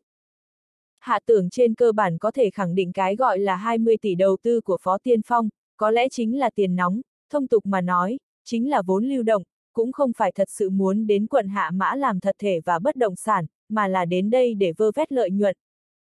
Hạ tưởng còn có ý liên hợp bất động sản Giang Sơn và Tiếu Giai, lại mượn dùng lực lượng tập đoàn Đạt Tài, ba bên liên hợp hỗ trợ cho nhau, đem 20 tỷ vốn lưu động chôn chặt ở quận Hạ Mã, khiến cho Phó Tiên Phong mất cả chỉ lẫn trài. Phó Tiên Phong hao tâm tổn sức nâng đỡ bạch chiến mặc lên trước, lúc đầu thì hạ tưởng không làm rõ được chỗ tồn tại của mục đích thực sự của y. Nhưng bởi vì 20 tỷ vốn lưu động hiện tại, hắn cũng từ từ mò ra chân tướng, nếu hoạt động thích đáng, 20 tỷ vốn lưu động thổi quét qua quận Hạ Mã, cuốn đi 1 đến 5 tỷ lợi nhuận không phải là nói xuông. Vì vài tỷ lợi nhuận, lại có kế hoạch mượn cây đao của ngô ra trừ khử hắn, Phó Tiên Phong không tiếc vốn gốc nâng đỡ bạch chiến mặc lên trước cũng có thể nói là đã thông suốt. Hơn nữa Phó Tiên Phong còn thông minh ở chỗ, y mượn tay ngô ra chèn ép hắn, chỉ là không muốn cho hắn lên làm bí thư, cho nên một khi Trần Phong thỏa hiệp lần nữa để danh hắn đảm nhiệm chủ tịch quận. Y lập tức tỏ vẻ tán thành, biểu hiện ra tiềm năng của một chính trị gia còn non trẻ. Bởi vì mục đích của Y đã đạt tới, chỉ cần bạch chiến mặc lên làm nhân vật số 1, là có thể phối hợp với Y đem 20 tỷ tiền nóng với thủ đoạn hợp pháp vơ quét hết lợi nhuận của người khác, kiếm lấy món hời cách xù. Chỉ tiếc, hạ tưởng có ưu thế tái sinh, luôn đối với vốn lưu động Văn Châu canh cánh trong lòng, ngay từ đầu không chỉ có vốn lưu động đầu cơ vào làm bất động sản, sau này ngay cả lương thực và thuốc đông y cũng đầu cơ vào, làm cho giá hàng hóa dâng cao, tổn hại nghiêm trọng đến ích lợi bình thường của dân chúng. Hiện tại nếu hắn đã gặp được, nếu dám đến quận hạ mã mà hắn chủ quản dương oai, vậy có can đảm thì phóng ngựa lại đây, kiếm sắc của hạ tưởng đã sẵn sàng dơ lên cao, chỉ còn chờ vung tay múa kiếm. Muốn bắn trả phó tiên phong một mũi tên để trả thù thì quá dễ dàng, nhưng bởi vì sau lưng y có thế lực hùng mạnh, muốn đánh cho y hoa rơi nước chảy rất là khó. Hiện tại quá tốt, Phó Tiên Phong muốn lợi dụng toàn bộ ưu thế của thị trường kinh tế, muốn lợi dụng hợp pháp hóa tiền nóng để đến quận Hạ Mã thoải mái mà kiếm lấy món lãi cách xù. Theo Hạ Tưởng thì thấy, đây chính là thời cơ tốt để hắn đánh cho Bạch Chiến mặc và có cả Phó Tiên Phong ở trong đó thất bại thảm hại. Tuy nhiên nội tình trong đó vẫn là không thể lộ ra quá tỉ mỉ với mọi người đang ngồi, hắn suy nghĩ một chút, liền nói. Sách lược cụ thể, chờ sau khi tôi xác định có nắm bắt chắc chắc, sẽ cùng mọi người mở cuộc họp thương lượng thảo luận một chút. Lúc này mọi người cần phải làm là, mau chóng đem giai đoạn 2 của nhà ở giá rẻ phát triển rộng ra, cùng lúc đó, cũng phải khởi công xây dựng hai khu dân cư nhỏ tầm trung, tranh thủ trong vòng 2-3 tháng, có hơn 10.000 M2 để tiêu thụ. Nói xong, Hạ Tưởng còn quay đầu nói với Thẩm Lập Xuân. Trở về anh nói với Chủ tịch Thành một tiếng, nói là có thời gian tôi muốn mời ông ta uống trà, thương lượng một chút về các hạng mục công việc tương quan cần chú ý của 20 tỷ tài chính Văn Châu. Thẩm Lập Xuân trên cơ bản đã hiểu rõ chủ ý của Hạ Tưởng là muốn đánh vào 20 tỷ tài chính Văn Châu, nhưng làm thế nào thực hiện, và có kế hoạch chu toàn gì, Hạ Tưởng không nói, y cũng không tiện truy hỏi. Hiện tại Hạ Tưởng không thể so với trước kia, mặc dù trong các vị đang ngồi đây, tuổi đời Hạ Tưởng là nhỏ nhất, nhưng cấp bậc lại cao nhất, lại là nhân vật trung tâm, hắn dường như có một chút bí mật không thể tiết lộ với người ngoài, đến thời khắc mấu chốt lại thường thường có cử chỉ làm người ta kinh ngạc, hơn nữa cuối cùng còn có thể thu được hiệu quả làm ít công to. Thẩm Lập Xuân tin tưởng Hạ Tưởng sẽ không đánh trận mà chưa chuẩn bị gì, hợp tác mấy năm qua chứng minh, Hạ Tưởng muốn ra tay, chưa bao giờ thất bại. Chẳng sợ chỉ là có chút thu hoạch, mà là lớn hơn rất nhiều so với dự đoán của y. Y liền trả lời lại. Không thành vấn đề, Chủ tịch Thành nhất định chờ mong họp mặt cùng lãnh đạo. Tề Á Nam nghe xong lời nói của Hạ Tưởng, chỉ với 2 tỷ mà dám đi chống lại 20 tỷ, không khỏi có chút ham muốn, nói. Lãnh đạo, tập đoàn Tề Thị đầu tư nhà máy rượu tương đài, triển vọng hiện tại rất tốt, kinh phí hoạt động bình thường, đã không cần thêm vào đầu tư nữa, chỉ ngồi chờ thu doanh số. Nếu đến lúc đó cần vận dụng tài chính thì cứ lên tiếng, Tề Thị không có nhiều, gom góp 3, 500 triệu tài chính không phải là vấn đề lớn. Hạ tưởng không hề có một chút ý định sẽ dùng tiền người khác, ngược lại vô cùng thản nhiên mà cười nói. Á Nam xin cứ yên tâm, có chuyện tốt không quên anh đâu. Chỉ dựa vào thực lực của bất động sản Giang Sơn, vẫn không đủ để chạm chán cuộc đối đầu này. Tôi ước tính ít nhất phải vận dụng trên 10 tỷ tài chính, ngoại trừ bất động sản Giang Sơn, còn có vài tỷ tài chính đến từ thủ đô, còn cần phải mượn dùng vài tỷ vốn lưu động của tập đoàn Đạt Tài, tề thị lại ra mấy trăm triệu, cũng được kha khá rồi. Người ngoài muốn vào đây kiếm tiền, không có cửa đâu. Cơ hội kiếm tiền tốt vậy sao có thể đưa cho người ngoài? Mọi người cười to, biết hành động lần này của Hạ Tưởng không phải là ý nghĩ nông nỗi, mà là một trận đánh ác liệt sớm đã có chuẩn bị, mọi người không khỏi xoa tay, chiến ý tăng vọt. Hạ Tưởng đúng lúc này lại tạt một chậu nước lạnh vào mọi người trên thế giới này không có việc gì được trăm phần trăm bảo đảm. Nếu ai không muốn mạo hiểm, hiện tại đề xuất còn kịp, có thể trả lại cổ phần, để cho hiện vĩ phụ trách chia tiền mặt cho người đó. Nếu hiện tại không đề cập tới nữa, nếu như ở bên ngoài tôi nghe được ai để lộ tin tức, đừng trách mọi người không thể làm được bạn bè. Hạ tưởng chẳng qua là cố ý tạo chút áp lực cho mọi người, để cho bọn họ bình tĩnh một chút, hắn cũng biết mấy người đang ngồi đây đều là tâm phúc, là người tuyệt đối có thể tín nhiệm. Quả nhiên, tất cả mọi người ồn ào hẳn lên. Lãnh đạo nói cái gì thế, không tin tưởng chúng tôi phải không? Đúng đó, mất sạch tiền còn có thể kiếm lại mấy hồi, không được làm bạn bè thì là tổn thất cả đời. Hạ tưởng liền nắn nắn tay cười. Tôi biết các anh đều đáng tin cậy, chỉ là nói đùa cho mọi người vui thôi, tuy nhiên nhất định phải nhớ kỹ, việc này không được nói với bất cứ ai, ngay đến cả bà xã của mình cũng không được nói hắn cố ý lấy tay chỉ tôn hiện vĩ. Nhất là anh, người có mấy bà xã, người nào cũng không được để lộ ra nửa câu, nếu không thì, cái tôi có chính là biện pháp để mấy bà xã ngồi cùng anh chơi mạt trược. Tôn Hiện Vĩ vẻ mặt cầu xin nói. Lãnh đạo, tôi rất vất vả mới có thể sắp xếp mấy bà xã sống yên ổn với nhau, cũng không ai biết ai, ngài lại muốn bọn họ ngồi cùng bàn mà chơi mạt trược. Vậy bọn họ không phải là chơi mạt trược, mà là thêm phiền phức, hơn nữa sẽ còn đánh cho tôi tan tác không còn gì. Mọi người cười vang. Hạ tưởng sau khi kết thúc buổi gặp mặt về đến nhà đã hơn 10 giờ tối rồi, mọi người trong nhà đã đi ngủ. Hắn bước đi nhẹ nhàng trở về phòng sách, không khỏi âm thầm cảm thán, chuyện đã xảy ra trong một ngày hôm nay thật đúng là nhiều, thật sự là mệt chết đi được. Vị trí càng cao, quyền lực càng lớn, sự tình càng nhiều, trách nhiệm lại càng nặng, hắn ngăn cản vốn lưu động của Phó Tiên Phong, ý ban đầu không chỉ riêng là vì sự thất bại khi trở về hội nghị thường vụ của Phó Tiên Phong, cũng là xuất phát từ ý tưởng vì nước vì dân. Bởi vì sự nguy hại của vốn lưu động và tiền nóng đời sau càng ngày càng nghiêm trọng, thậm chí tạo nguy hiểm cho trình độ quốc kế dân sinh, thậm chí đại đa số các ủy ban quốc gia không thể liên hợp lại, lập ra chính sách liên quan ổn định giá cả hàng hóa. Nếu không cứ để mặc vốn lưu động tiếp tục tàn sát bừa bãi, nhỏ, có thể cho thành quả cố gắng mấy chục năm của một thành phố bị hủy hoại chỉ trong chốc lát. Lớn, có thể khiến cho nền kinh tế quốc dân của một quốc gia thụt lùi vài năm. Bởi vì vốn lưu động phát triển đến cuối cùng, không chỉ có nguồn vốn tư bản trong nước, còn có tài chính khổng lồ của nước ngoài có dụng tâm khác muốn thừa cơ kiếm trác ở trong nước. Như nguy cơ tài chính Đông Nam Á năm đó, khiến cho cái gọi nền kinh tế bốn con rồng nhỏ Á Châu chịu tổn thất nặng nề, từ đó về sau hơn 10 năm còn chưa gượng dậy nổi. Bài học kinh nghiệm đau thương, không thể không đề phòng. Hắn đang muốn tắm rửa một cái để sau đó thoải mái mà đi ngủ, chỉ cần hắn về trễ một chút. Lam Miệt sẽ ngủ cùng với Tào Thù Lê, hắn chỉ có thể ngủ phòng sách, bỗng nhiên điện thoại reo lên. Đã là đêm hôm khuya khoác, ai lại điện thoại tới? Hạ tưởng cầm lấy điện thoại xem qua, thật bất ngờ là điện thoại của Ngô Tài Giang. Giọng nói Ngô Tài Giang trong đêm khuya yên tĩnh nghe ra đặc biệt vang dội, nguyên nhân có lẽ là ông hơi hưng phấn, dù sao cũng đã làm lỗ tai của hạ tưởng dung chuyển kêu ong ong. Tiểu hạ, Phó Tiên Phong đã quay về thủ đô, bị ông cụ của y hung hăng mắng một trận. Có phải cậu ở sau lưng hạ độc thủ phải không?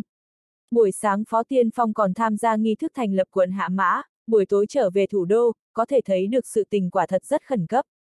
Tuy nhiên Ngô Tài Giang lại hoài nghi hắn hạ độc thủ, hạ tưởng liền không đồng ý. Xem ra, lời chú ba nói có chút không thỏa đáng, cháu nào giờ không ở sau lưng đâm người, Phó Tiên Phong bị ông cụ y mắng, là chuyện nhà của y, không có quan hệ gì với cháu cả. Hạ tưởng ngoài miệng không thừa nhận, trong lòng lại hiểu được là đã xảy ra chuyện gì, khẳng định là kế sách của hắn đã có hiệu quả. Phó Tiên Phong sau lưng đâm hắn một cái, mượn cơ hội nâng đỡ bạch chiến mặc lên trước, hạ tưởng lúc ấy không kịp trả đòn, chỉ cần có thể tự bảo vệ được mình, tuy nhiên đợi sau khi việc bổ nhiệm được xác định chắc chắn, hắn sao có thể để mặc Phó Tiên Phong ung dung tự tại không bị gì. Mặc dù hạ tưởng không đoán được ông cụ ngô ra ra tay ở sau lưng còn có bí ẩn gì nữa, có mục đích khác hay không, nhưng trong lòng hắn rõ ràng một điểm, nếu ông cụ ngô ra đã biết là do Phó Tiên Phong ở giữa quấy rối, cố ý lẫn lộn đường ngắm, để y đục nước béo cò, ngư ông đắc lợi, ông cụ khẳng định sẽ không vui, hơn nữa còn rất là không vui. Hắn liền nhờ Liên Nhược Hạm chuyển lời cho ông cụ một câu. Liên Nhược Hạm rất nhanh phản hồi lại cho Hạ Tưởng, nói là ông cụ sau khi nghe xong, rất là giận dữ, đến cái ly mà ông yêu quý nhất cũng bị quăng bể luôn. Ông cụ là thật sự tức giận hay là có chút diễn xuất ở trong đó, Hạ Tưởng cũng không muốn tốn sức đoán mò, hắn chỉ biết là ông cụ sẽ không chịu để yên. Bởi vì lời mà hắn chuyển cho ông cụ chính là Phó gia châm ngòi, ngô gia bắn pháo, mai gia thổi gió, khâu ra náo nhiệt. Bốn nhà náo loạn, phó gia vui cười. Rất rõ ràng, ý tứ lời nói của hắn là, bốn nhà liên kết, cuối cùng chỉ có phó gia được mùa bội thu, ba nhà khác đều phí công sức gây náo loạn một trận. Đương nhiên, về phần ba nhà có đạt tới dự kiến như mong muốn trong lòng hay không, hạ tưởng tất nhiên không biết, hắn cần chính là nhắc nhở để ông cụ biết được, đừng cho phó gia được lợi mà còn khoe mã. Đồng thời, hạ tưởng cũng không quên gọi điện thoại lần nữa cho khâu tự phong, tỏ lòng biết ơn với ông, đồng thời cũng nói những lời có ý nghĩa sâu sắc. Bởi vì chuyện của tôi kinh động không ít người, trong lòng thật sự thấy thẹn. Tuy nhiên trải qua một hồi suy nghĩ sâu xa, tôi phát hiện một chỗ rất là đáng để chú ý, cố ý nhắc nhở cậu một tiếng. Làm bạn tốt, tự phong, tôi cảm tạ trợ giúp của cậu. Cùng một loại, cũng là vì tình bạn giữa chúng ta, tôi nghĩ có một vấn đề cậu phải thận trọng mà xử lý. Phó Tiên Phong từ Văn Châu kéo về 20 tỷ vốn từ đầu lớn đưa vào quận Hạ Mã, rất có khả năng sẽ thu được hồi báo hậu hĩnh. Phó gia sở dĩ muốn nắm bắt vị trí bí thư quận Hạ Mã, cũng là vì muốn bảo đảm 20 tỷ đầu tư có thể đạt được hồi báo. Cứ thận trọng ước tính, phó gia sẽ đạt được trên 30% lợi nhuận từ quận Hạ Mã. Quyền lợi của bốn đại gia tộc rắc rối phức tạp, nhìn chung mà nói cạnh tranh nhiều hơn hợp tác, là xu thế bên được bên mất. Hạ tưởng đối với khâu tự phong là lời thật cảnh báo, là nhắc nhở khâu tự phong, phó gia làm ẩm ý một trận, ba nhà cùng nhau xem náo nhiệt, phó gia cuối cùng thu hoạch không chỉ có một ngai vàng bí thư quận ủy quận Hạ Mã, còn có lợi nhuận lớn từ 20 tỷ đầu tư. Kể từ đó, thực lực phó gia sẽ được bành trướng. Thực lực phó gia được gia tăng, tương ứng với sự cân bằng quyền lực của mấy nhà sẽ có thay đổi, ngô gia trong lòng không vui, khâu gia cũng sẽ trong lòng không mừng, nhất là khâu gia xếp hạng cuối nhất, việc không muốn xem nhất là quyền lực của phó gia thăng tiến quá nhanh. Nếu chỉ đơn giản là phó gia bóp nghẹt tài sản còn dễ nói một chút, mấu chốt là việc này của phó gia đã kinh động đến tất cả mọi người, cuối cùng người khác đều đứng ngoài cuộc, chỉ có một nhà phó gia đạt được lợi ích thực tế, để cho người khác đều cùng phó gia xem náo nhiệt, khẳng định sẽ khiến trong lòng người ta không thoải mái.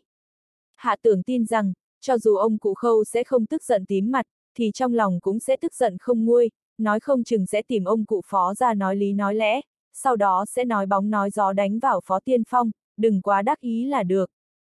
Dù sao cũng mặc kệ có phải như hạ tưởng dự đoán hay không, cũng không rõ lắm ông cụ ngô và ông cụ khâu có hành động thế nào, hôm nay nghe được tin tức tốt của ngô Tài Giang, hắn biết được rằng, sự tức giận của các ông cụ, vẫn là rất có uy lực. Ngô Tài Giang thấy hạ tưởng không muốn thừa nhận, thì ha ha, cười một cái. Được rồi, không hỏi cậu nữa, biết cậu không lời thật. Lần trước sự tình của ông cụ và anh hai, cậu cũng đừng trách bọn họ. Cậu trách không nổi ông cụ, cũng không đủ tư cách. Anh hai tôi cậu có trách cũng phí sức, hơn nữa cậu cũng không có lý do trách ông ta. Nếu con gái cậu theo người khác như vậy, cậu cũng sẽ tức giận thôi. Tuy nhiên nói cho cùng cậu coi như sau khi làm chuyện xấu lại làm chuyện tốt, nếu không phải là tiểu liên hạ, ông cụ nói không chừng sẽ không qua được cơn bạo bệnh này. Tuy rằng nhược hãm theo cậu đã chọc ông cụ tức giận, nhưng nếu nó không theo cậu, thì cũng không có sự ra đời của liên hạ đem lại niềm vui cho ông cụ. Sự tình trên thế giới lúc nào cũng có lợi có hại, chú thay mặt ông cụ nhận tấm lòng của cậu. Ngô Tài Giang có thể hàm xúc nói ra lời xin lỗi đối với Hạ Tưởng, thật sự vượt xa sự bất ngờ của Hạ Tưởng. Hạ Tưởng liền muốn nói gì đó, không ngờ Ngô Tài Giang không cho hắn cơ hội, đề tài vừa chuyển, lại nói tới sự tình của Phó Tiên Phong. Chú nghe nói Phó Tiên Phong bị cấm cửa ở nhà tự kiểm điểm, phỏng chừng trong vòng một tuần không thể quay về thành phố Yến. Gậy ông đập lưng ông, mượn lực đẩy lực, tuyệt. Ngô Tài Giang cười ha hả. Tuy nhiên tiểu hạ, thủ đoạn nhỏ cuối cùng cũng chỉ xử lý được phần ngọn không giải quyết được phần gốc, cậu vẫn phải nghĩ ra ý tưởng thủ đoạn phản kích mạnh hơn, phải đập cho Phó Tiên Phong thật đau, đập cho khi y biết sợ, y mới có thể thành thật. Nếu không nói không chừng một lúc nào đó y vẫn sẽ ra tay đâm sau lưng cậu, bởi vì thù hận của y và cậu đã được gieo hạt, hơn nữa vì quan hệ của bạch chiến mặc, giữa cậu và gã như nước với lửa, không có khả năng để hợp tác. Ngô Tài Giang tình cảm thân thiết bộc lộ trong lời nói, sau khi hạ tưởng buông điện thoại xuống, tâm trạng khó mà bình tĩnh trong một hồi lâu. Ngô Tài Giang nói rõ với hắn, để ông cụ chấp nhận hắn thì tạm thời không có khả năng, huống chi Ngô Tài Dương hiện tại đối với hắn vẫn là hận thấu xương, ngày một ngày hai sẽ không thể nguôi giận. Mà Ngô Tài Giang cũng không tiện ra mặt giúp hắn, hơn nữa ông hiện tại ở Ủy ban Trung ương cũng không có thực quyền, có khả năng về sau sẽ thả tới bên ngoài các tỉnh Tây Bắc xa xôi. Trên cơ bản hiện tại hết thảy vẫn phải dựa vào chính hắn tự phấn đấu ở thành phố Yến, Ngô Tài Giang cũng tin tưởng với năng lực của hắn, có thể làm tốt tất cả công tác. Bóng đêm đã sâu, hạ tưởng vẫn chưa muốn ngủ, ánh mắt xuyên thấu qua cửa sổ nhìn về phương Bắc, nghĩ thầm rằng không biết ở trong thủ đô, Phó Tiên Phong đang được nếm mùi vị hành hạ gì đây. Phó Tiên Phong quả thật đang bị ông cụ của trách. Ông cụ phó ra đầu tóc bạc trắng, mặc một bộ quần áo sẩm, tinh thần minh mẫn, tuy rằng thời gian đã là đêm khuya, lại vẫn như cũ không hề có chút gì mệt mỏi, ngược lại trong cơn giận dữ, lấy tay chỉ vào Phó Tiên Phong đang khoanh tay mà đứng con, con, con, mà nói không ra lời. Tại thành ủy thành phố Yến một phó tiên phong điềm tĩnh tự nhiên, từ trước đến nay mắt cao hơn đỉnh, hiện tại lại là vẻ mặt sợ hãi, cúi đầu, không nói được lời nào, mặc cho lửa giận của ông cụ chút lên trên người y. Cái đồ khốn khiếp, đấu tranh thì đấu tranh, vì sao cứ phải đụng vào ông già ngô. Con không biết là ông luôn che giấu khuyết điểm, ngoài mặt trừng trị hạ tưởng, nhưng hiện tại đã biết là do con âm thầm thúc đẩy, không ghét hận con mới là lạ. Chuyện nhà của ngô gia, đâu cần người ngoài như con nhúng tay vào. Con không biết dùng thủ đoạn khác đi đối phó tên hạ tưởng gì đó, vì sao lại cố tình mượn lực lượng của ngô gia. Ông cụ phó gia tức giận đến nổi đâm ra khó thở, liền ngồi lại trên ghế, cơn giận vẫn còn sót lại chưa nguôi tiếp tục giáo huấn. Chọc vào ông già ngô thì không nói, còn kinh động đến cả ông già khâu, bản lĩnh con đúng thật là lớn nhỉ. Khiến hai lão già này tìm tới cửa, ngoài thì cùng ông nói chuyện phiếm, lại âm thầm mỉa mai ta hết nửa ngày, còn khiến cho cái mặt già của ông đặt ở đâu. Hai lão ngô gia và khâu gia dùng lời sỉ nhục ông, ông lại không nói được lời nào, hai ông già cùng ông cả đời tranh đấu, cuối cùng đã tìm được lý do để công kích ông, đều là cái họa mà con rước lấy. Phó Tiên Phong biết rõ tính tình của ông cụ, khi ông mắng người thì không thể phản bác, mặc kệ anh có bao nhiêu lý do đi nữa, cũng chỉ có thể chịu đựng. Đợi ông mắng xong, nguôi giận được một nửa, rồi mới giải thích rõ ràng, có lẽ còn có thể có đường sống được tha thứ. Phó Tiên Phong đối với hạ tưởng lại oán hận tột đỉnh, y không ngờ hạ tưởng sẽ dùng đến chiêu này, âm thầm xúi dục hai ông cụ ngô ra và khâu ra đến gây sự, mới khiến ông cụ phó ra bẽ mặt nổi trận lôi đình, phải vội vã kêu y trở về thủ đô ngay trong đêm, giáp mặt mắng y một trận tơi bời. chương 546, có qua mà không có lại là vô phép. Hạ tưởng thật đúng là thâm hiểm, không ngờ lại dùng kế vu hồi kế đi đường vòng, nghĩ tới việc lợi dụng thế cục tranh đấu gay gắt giữa mấy nhà mà khiến hắn mắc nghẹn, cũng là khiến Phó Tiên Phong bốc cháy dữ dội. Hắn cũng có suy nghĩ qua sau khi ngô ra biết chân tướng, khẳng định sẽ thù ghét hắn, lại thật không ngờ rằng chẳng những ông cụ ngô ra tự mình ra mặt đến lý luận, ngay cả ông cụ khâu cũng đi theo giúp vui, là cái đạo lý gì đây? Cũng khó trách ông cụ sẽ tức giận, rõ ràng ông cụ khâu và phó gia vốn là chỗ thông gia, lại cùng ông cụ ngô gia tiến đến đây hỏi tội, khẳng định đã khiến ông cụ cảm thấy thật mất mặt. Phó Tiên Phong liền đối với hạ tưởng căm thù đến tận xương tủy, cho rằng hạ tưởng quả thật cực kỳ đáng ghét, thủ đoạn xấu xa, phương pháp nham hiểm, mà cuộc đời y rất hiếm thấy.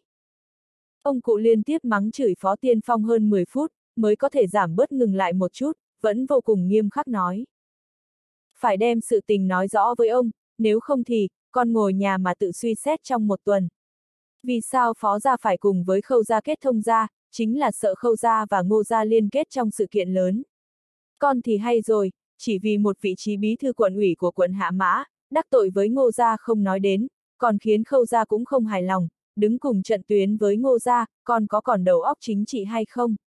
Là một vị trí bí thư quận ủy quan trọng, hay là hậu quả Ngô Gia và Khâu Gia hát cùng một giai điệu nghiêm trọng hơn? Phó Tiên Phong bị ông cụ mắng tồi tệ, dám giận mà không dám nói. Đương nhiên sự tức giận của y cũng là nhằm vào hạ tưởng mà phát, không dám nhằm vào ông cụ.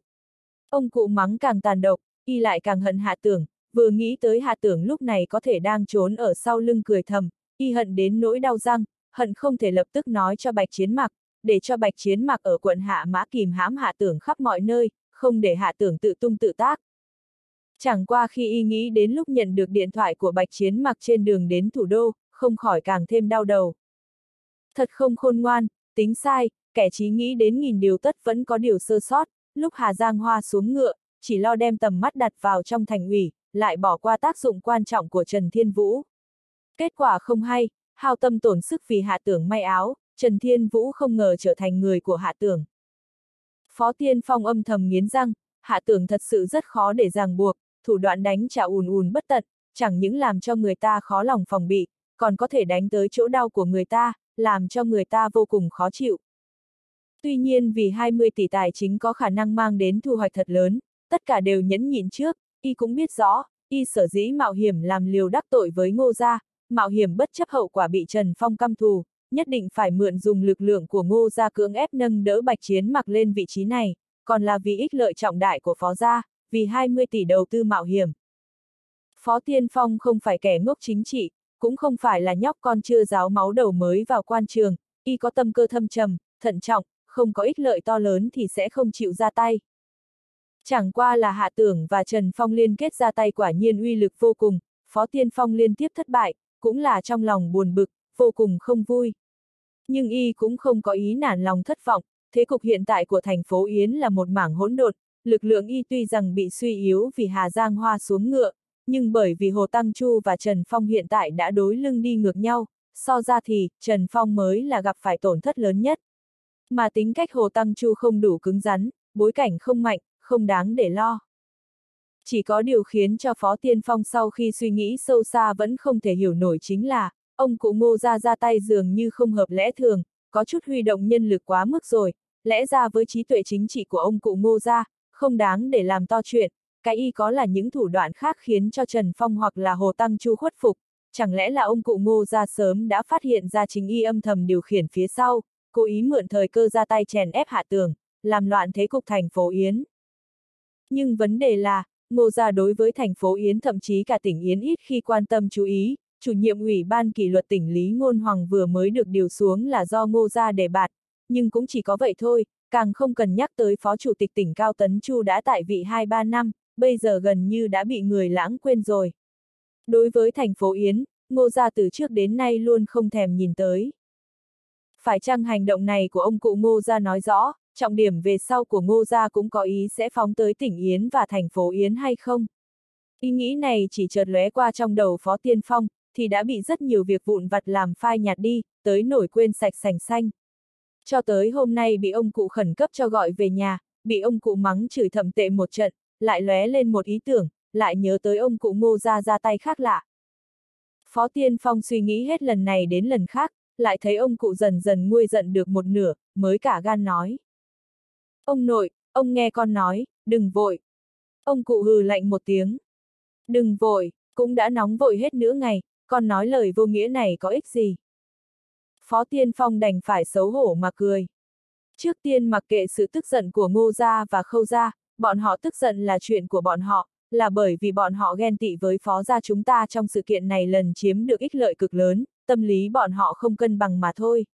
Con muốn thỉnh giáo xin ông chỉ bảo, ông nói ông cụ ngô gia vì sao phải gióng chống khua chiêng làm cho hơn nửa ủy viên thường vụ thành phố Yến cùng nhau phản đối đối với sự đề cử của hạ tưởng. Nếu như chỉ là cắt bỏ tiền đồ của hạ tưởng, ông ta hoàn toàn có thể thi triển thủ đoạn khác, làm như vậy, có phải có thâm ý khác hay không? Ông cụ phó ra lập tức bị phó tiên phong chuyển sự chú ý, ồ, một tiếng, như thoáng chút suy nghĩ. Nếu để ông đoán, nhà lão ngô muốn đảo loạn thế cục thành phố Yến, khẳng định là muốn xếp người nhà vào thành phố Yến. Trần Phong quá mạnh mẽ, đầu tiên cần phải làm suy yếu lực ảnh hưởng của Trần Phong, phá vỡ hợp tác giữa Hồ Tăng Chu và Trần Phong, mượn cơ hội chèn ép hạ tưởng, sau khi khiến cho thế lực thành phố Yến phân tán, rồi chỉnh hợp lại lần nữa. Ông già ngô vẫn đa mưu túc trí như trước đây. Phó Tiên Phong mừng thầm, đã thành công chuyển rời sự chú ý của ông cụ, áp lực trên người y đột nhiên giảm bớt. Không ngờ ông cụ nói xong, vẻ mặt lại tức giận chất vấn Phó Tiên Phong. Ngô gia thế nào là chuyện của ngô gia, ông chỉ hỏi con, con nâng đỡ bạch chiến mặc lên trước, rốt cuộc là có toan tính gì. Nói cho ông nghe, nếu hài lòng, ông sẽ không mắng nữa. Nếu không hài lòng, còn ở nhà suy nghĩ một tuần, bên thành ủy thành phố Yến, ông tìm người xin phép thay con. 20 tỷ tài chính Văn Châu, là bút tích của chính Phó Tiên Phong, cũng không hề nói qua cho bất cứ người nào của Phó gia. Ý tưởng của Phó Tiên Phong là, y hiện tại là Phó Bí Thư thành phố Yến, chức vụ thật sự là giám đốc sở, không được bao lâu nữa có lẽ có thể đảm nhiệm nhân vật số 1, nên có khái niệm chấp chính và phương châm chính sách của riêng mình, không thể lại chịu sự hạn chế của gia tộc, mọi chuyện không thể đi nghe theo trong nhà đề nghị. 20 tỷ tài chính hoàn toàn là do chính y điều hành hoạt động, không hề sử dụng đến bất kỳ lực lượng nào của gia tộc. Hơn nữa tính toán của y là, đợi sau khi sự thành thì mới để gia tộc biết. Khẳng định sẽ càng củng cố thêm địa vị y trong gia tộc, và khiến tất cả mọi người đều xem trọng y hơn. Y không thể giống như khâu tự phong, lăn lộn tại huyện An Lâu như vậy cũng không ra trò chống gì, thật quá mất mặt. Tuy nhiên tình thế không đuổi kịp sự thay đổi, hiện tại cần phải nói rõ ngọn ngành với ông cụ, nếu không cửa ải này của ông cụ không qua được, thật sự có thể nhốt y ở nhà mấy ngày, thì hỏng chuyện mất. Bạch Chiến mặc lên vị trí đó chỉ là một ngụy trang, kỳ thật là con nhìn chúng thị trường bất động sản quận Hạ Mã, đã chuẩn bị 20 tỷ tài chính, có hy vọng dưới phối hợp của Bạch Chiến mặc, dùng 20 tỷ tài chính quét ngang bất động sản của quận Hạ Mã, theo ước tính cụ thể, ít nhất cũng có thể kiếm lời trên 5 tỷ. Phó Tiên Phong vẻ mặt kiên định mà nhìn ông cụ. Ông cụ phó ra sừng sốt, hơi hơi biến đổi sắc mặt nói. 20 tỷ tài chính kiếm 5 tỷ lợi nhuận, Tiên Phong, con đang gạt ông hay tự gạt chính mình?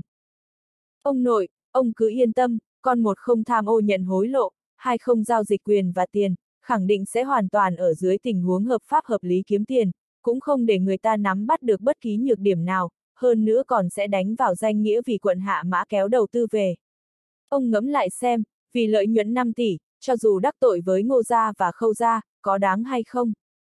Ông cụ động lòng rồi, phó gia là gia tộc lớn có sản nghiệp lớn, 5 tỷ tuyệt đối cũng không phải là con số nhỏ, có thể dễ dàng có 5 tỷ trong tay, cơn tức giận của ngô gia và khâu gia có lớn hơn nữa cũng không sao cả, so ra thì, thể diện sao có thể quan trọng hơn ích lợi kinh tế thật sự. Hơn nữa lại là số tiền 5 tỷ khổng lồ. 5 tỷ tới tay, sức mạnh tổng thể của phó gia có thể tiến thêm một bước nhỏ, thậm chí có thể mơ hồ bức ép thế lực của ngô gia, lại khiến khâu gia có theo cũng không kịp, không trách được hai ông cụ đem bộ mặt già nua đến tìm ông hỏi tội, hóa ra bọn họ đều phát giác được chỗ không ổn. Náo loạn nửa ngày, ngô gia và khâu gia thì xem náo nhiệt, mà phó gia lại có được lợi ích thực tế cực lớn, mới khiến tâm lý của hai ông cụ mất thăng bằng. Ông cụ phó gia suy ngẫm, vẫn là không tin tưởng lắm hỏi một câu. Con có 10 phần chắc chắn chứ? Đương nhiên, lai lịch tài chính rất rõ ràng chính đáng, hơn nữa các phương pháp hoạt động cũng tuyệt đối khiến cho người ta không bới móc được sai sót gì, cuối cùng tài chính đúng lúc rút lui cũng là hành vi kinh doanh bình thường, chuyện này con đã lên kế hoạch một thời gian dài, không thể có sai sót, chẳng lẽ ông nội đối với con còn chưa đủ yên tâm. Trong lòng Phó Tiên Phong vẫn có chút đắc ý, bởi vì y quả thật từ khi hạng mục quận Hạ Mã bắt đầu được duyệt, thì đã nhạy bén phát hiện cơ hội kinh doanh trong đó, thì đã bắt đầu bắt tay vào làm công việc chuẩn bị đầu tư. Phó Tiên Phong quả thật cũng rất thông minh, y gần một năm nay chú ý đến thị trường bất động sản của thành phố Yến, từ sự bùng nổ của sản lượng tiêu thụ cùng với giá cả trong đó liên tục tăng vọt, phát hiện ra cơ hội kinh doanh cực lớn, cơ hội kinh doanh để đầu cơ. Nếu có đủ tài chính, luân phiên từng đợt mua hết toàn bộ những căn hộ loại hình tốt vị trí tốt của tòa nhà mới khai phá, không cần làm gì cả, nửa năm sau giá cả tự nhiên tăng lên, thì cũng đủ kiếm một vố lớn. Kế hoạch lớn kiếm tiền dễ dàng như thế, cớ sao mà không làm. Đương nhiên điều kiện tiên quyết là, phải có nguồn tài chính hùng hậu và ánh mắt nhạy bén, có thể phát hiện ra bất động sản nào có tiềm năng tăng giá trị lớn nhất. Hiện tại thị trường bất động sản đang đứng trước thời kỳ phát triển mạnh, chỉ có tăng giá trị, không có khả năng bị giảm giá trị, hơn nữa quận Hạ Mã là thành phố mới nổi, đẩy mạnh nhân văn và cuộc sống, hơn nữa là vì nguyên nhân sông Hạ Mã, bất động sản của quận Hạ Mã tương đương trong một thời gian dài, là một hộp châu báu to lớn của thành phố Yến.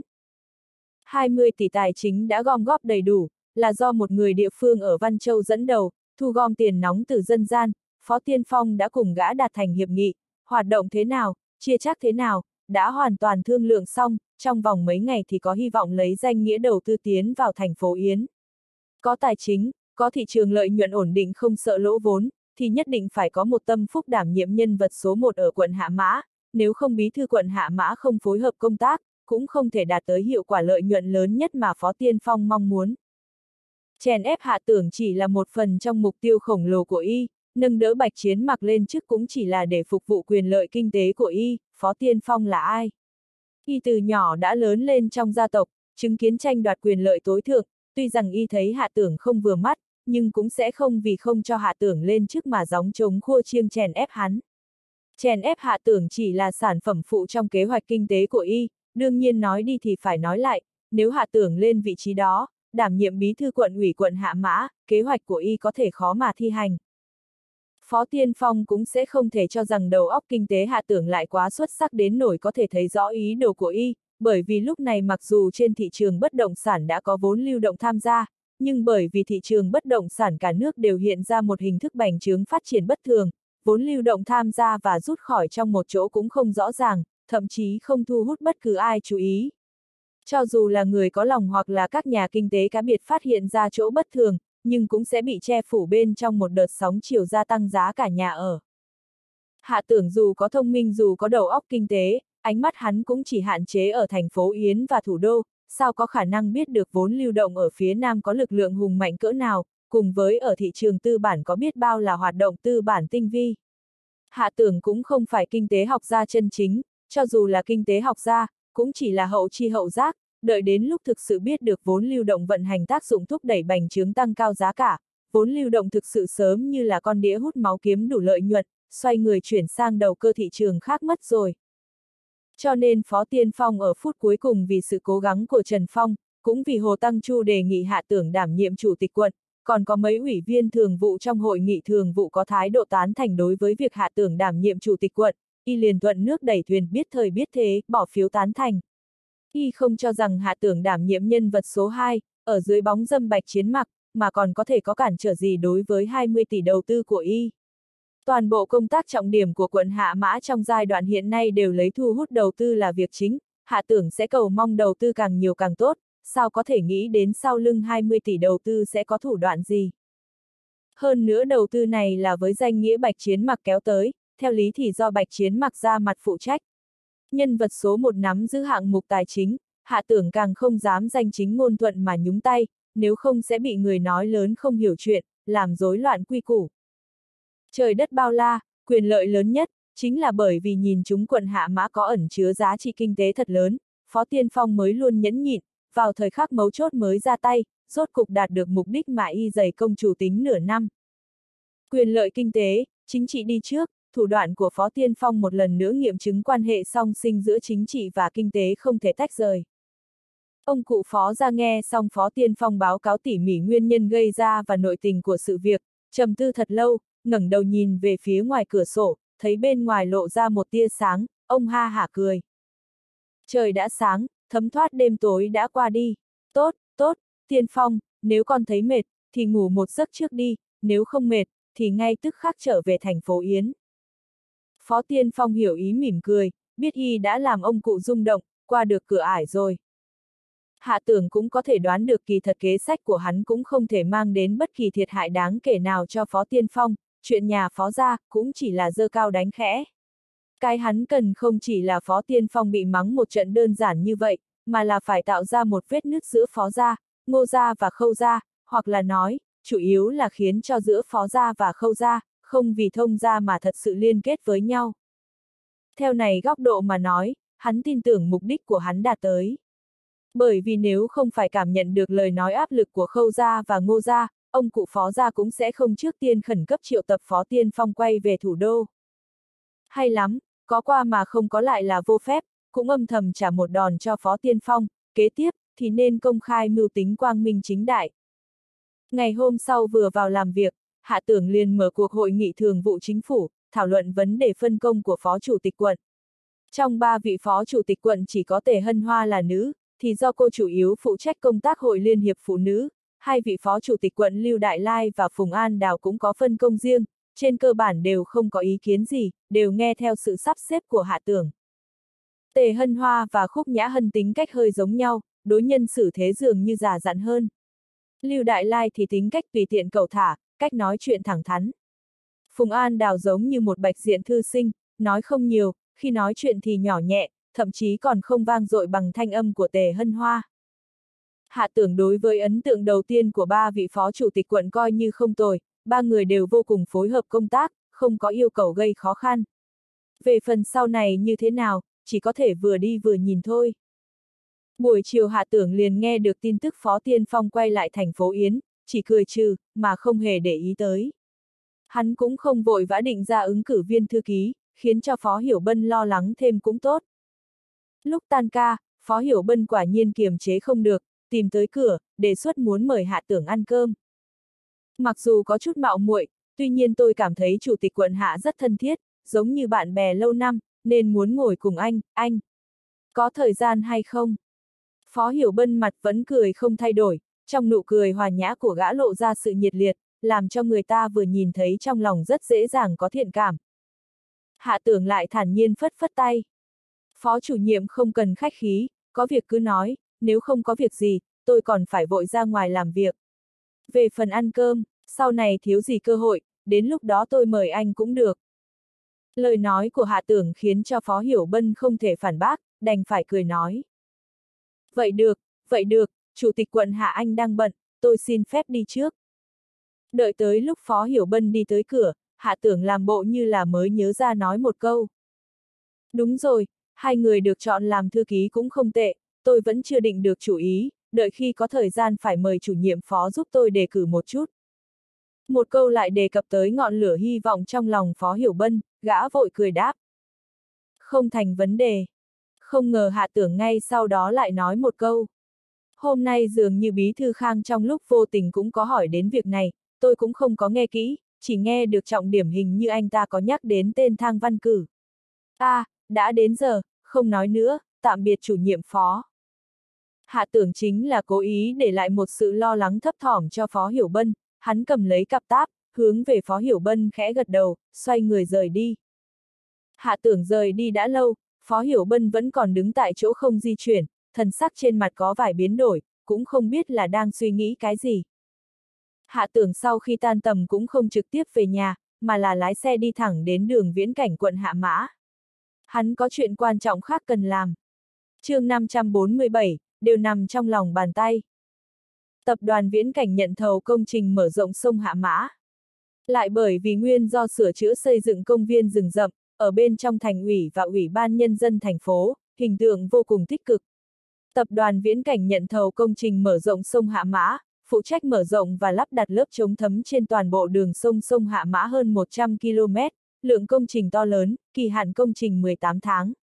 Công trình kỳ 1 đương nhiên là mở rộng đường sông 8 km nằm trong quận Hạ Mã trước, hiện tại trên cơ bản đã làm xong toàn bộ, đang tiến tới hoàn thành công tác cuối cùng, dự tính trong nửa tháng có thể thông nước.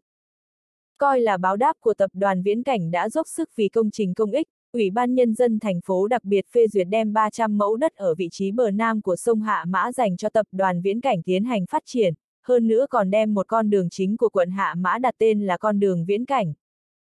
Tập đoàn Viễn Cảnh quy hoạch bước đầu là đem 300 mẫu đất một chia thành hai, một nửa dùng để thi công công viên nước, một nửa dùng để xây dựng khu biệt thự tư nhân, cao lão trưng cầu ý kiến của hạ tưởng, hạ tưởng cũng không dị nghị, cũng thấy an bài như vậy cũng không đến nổi.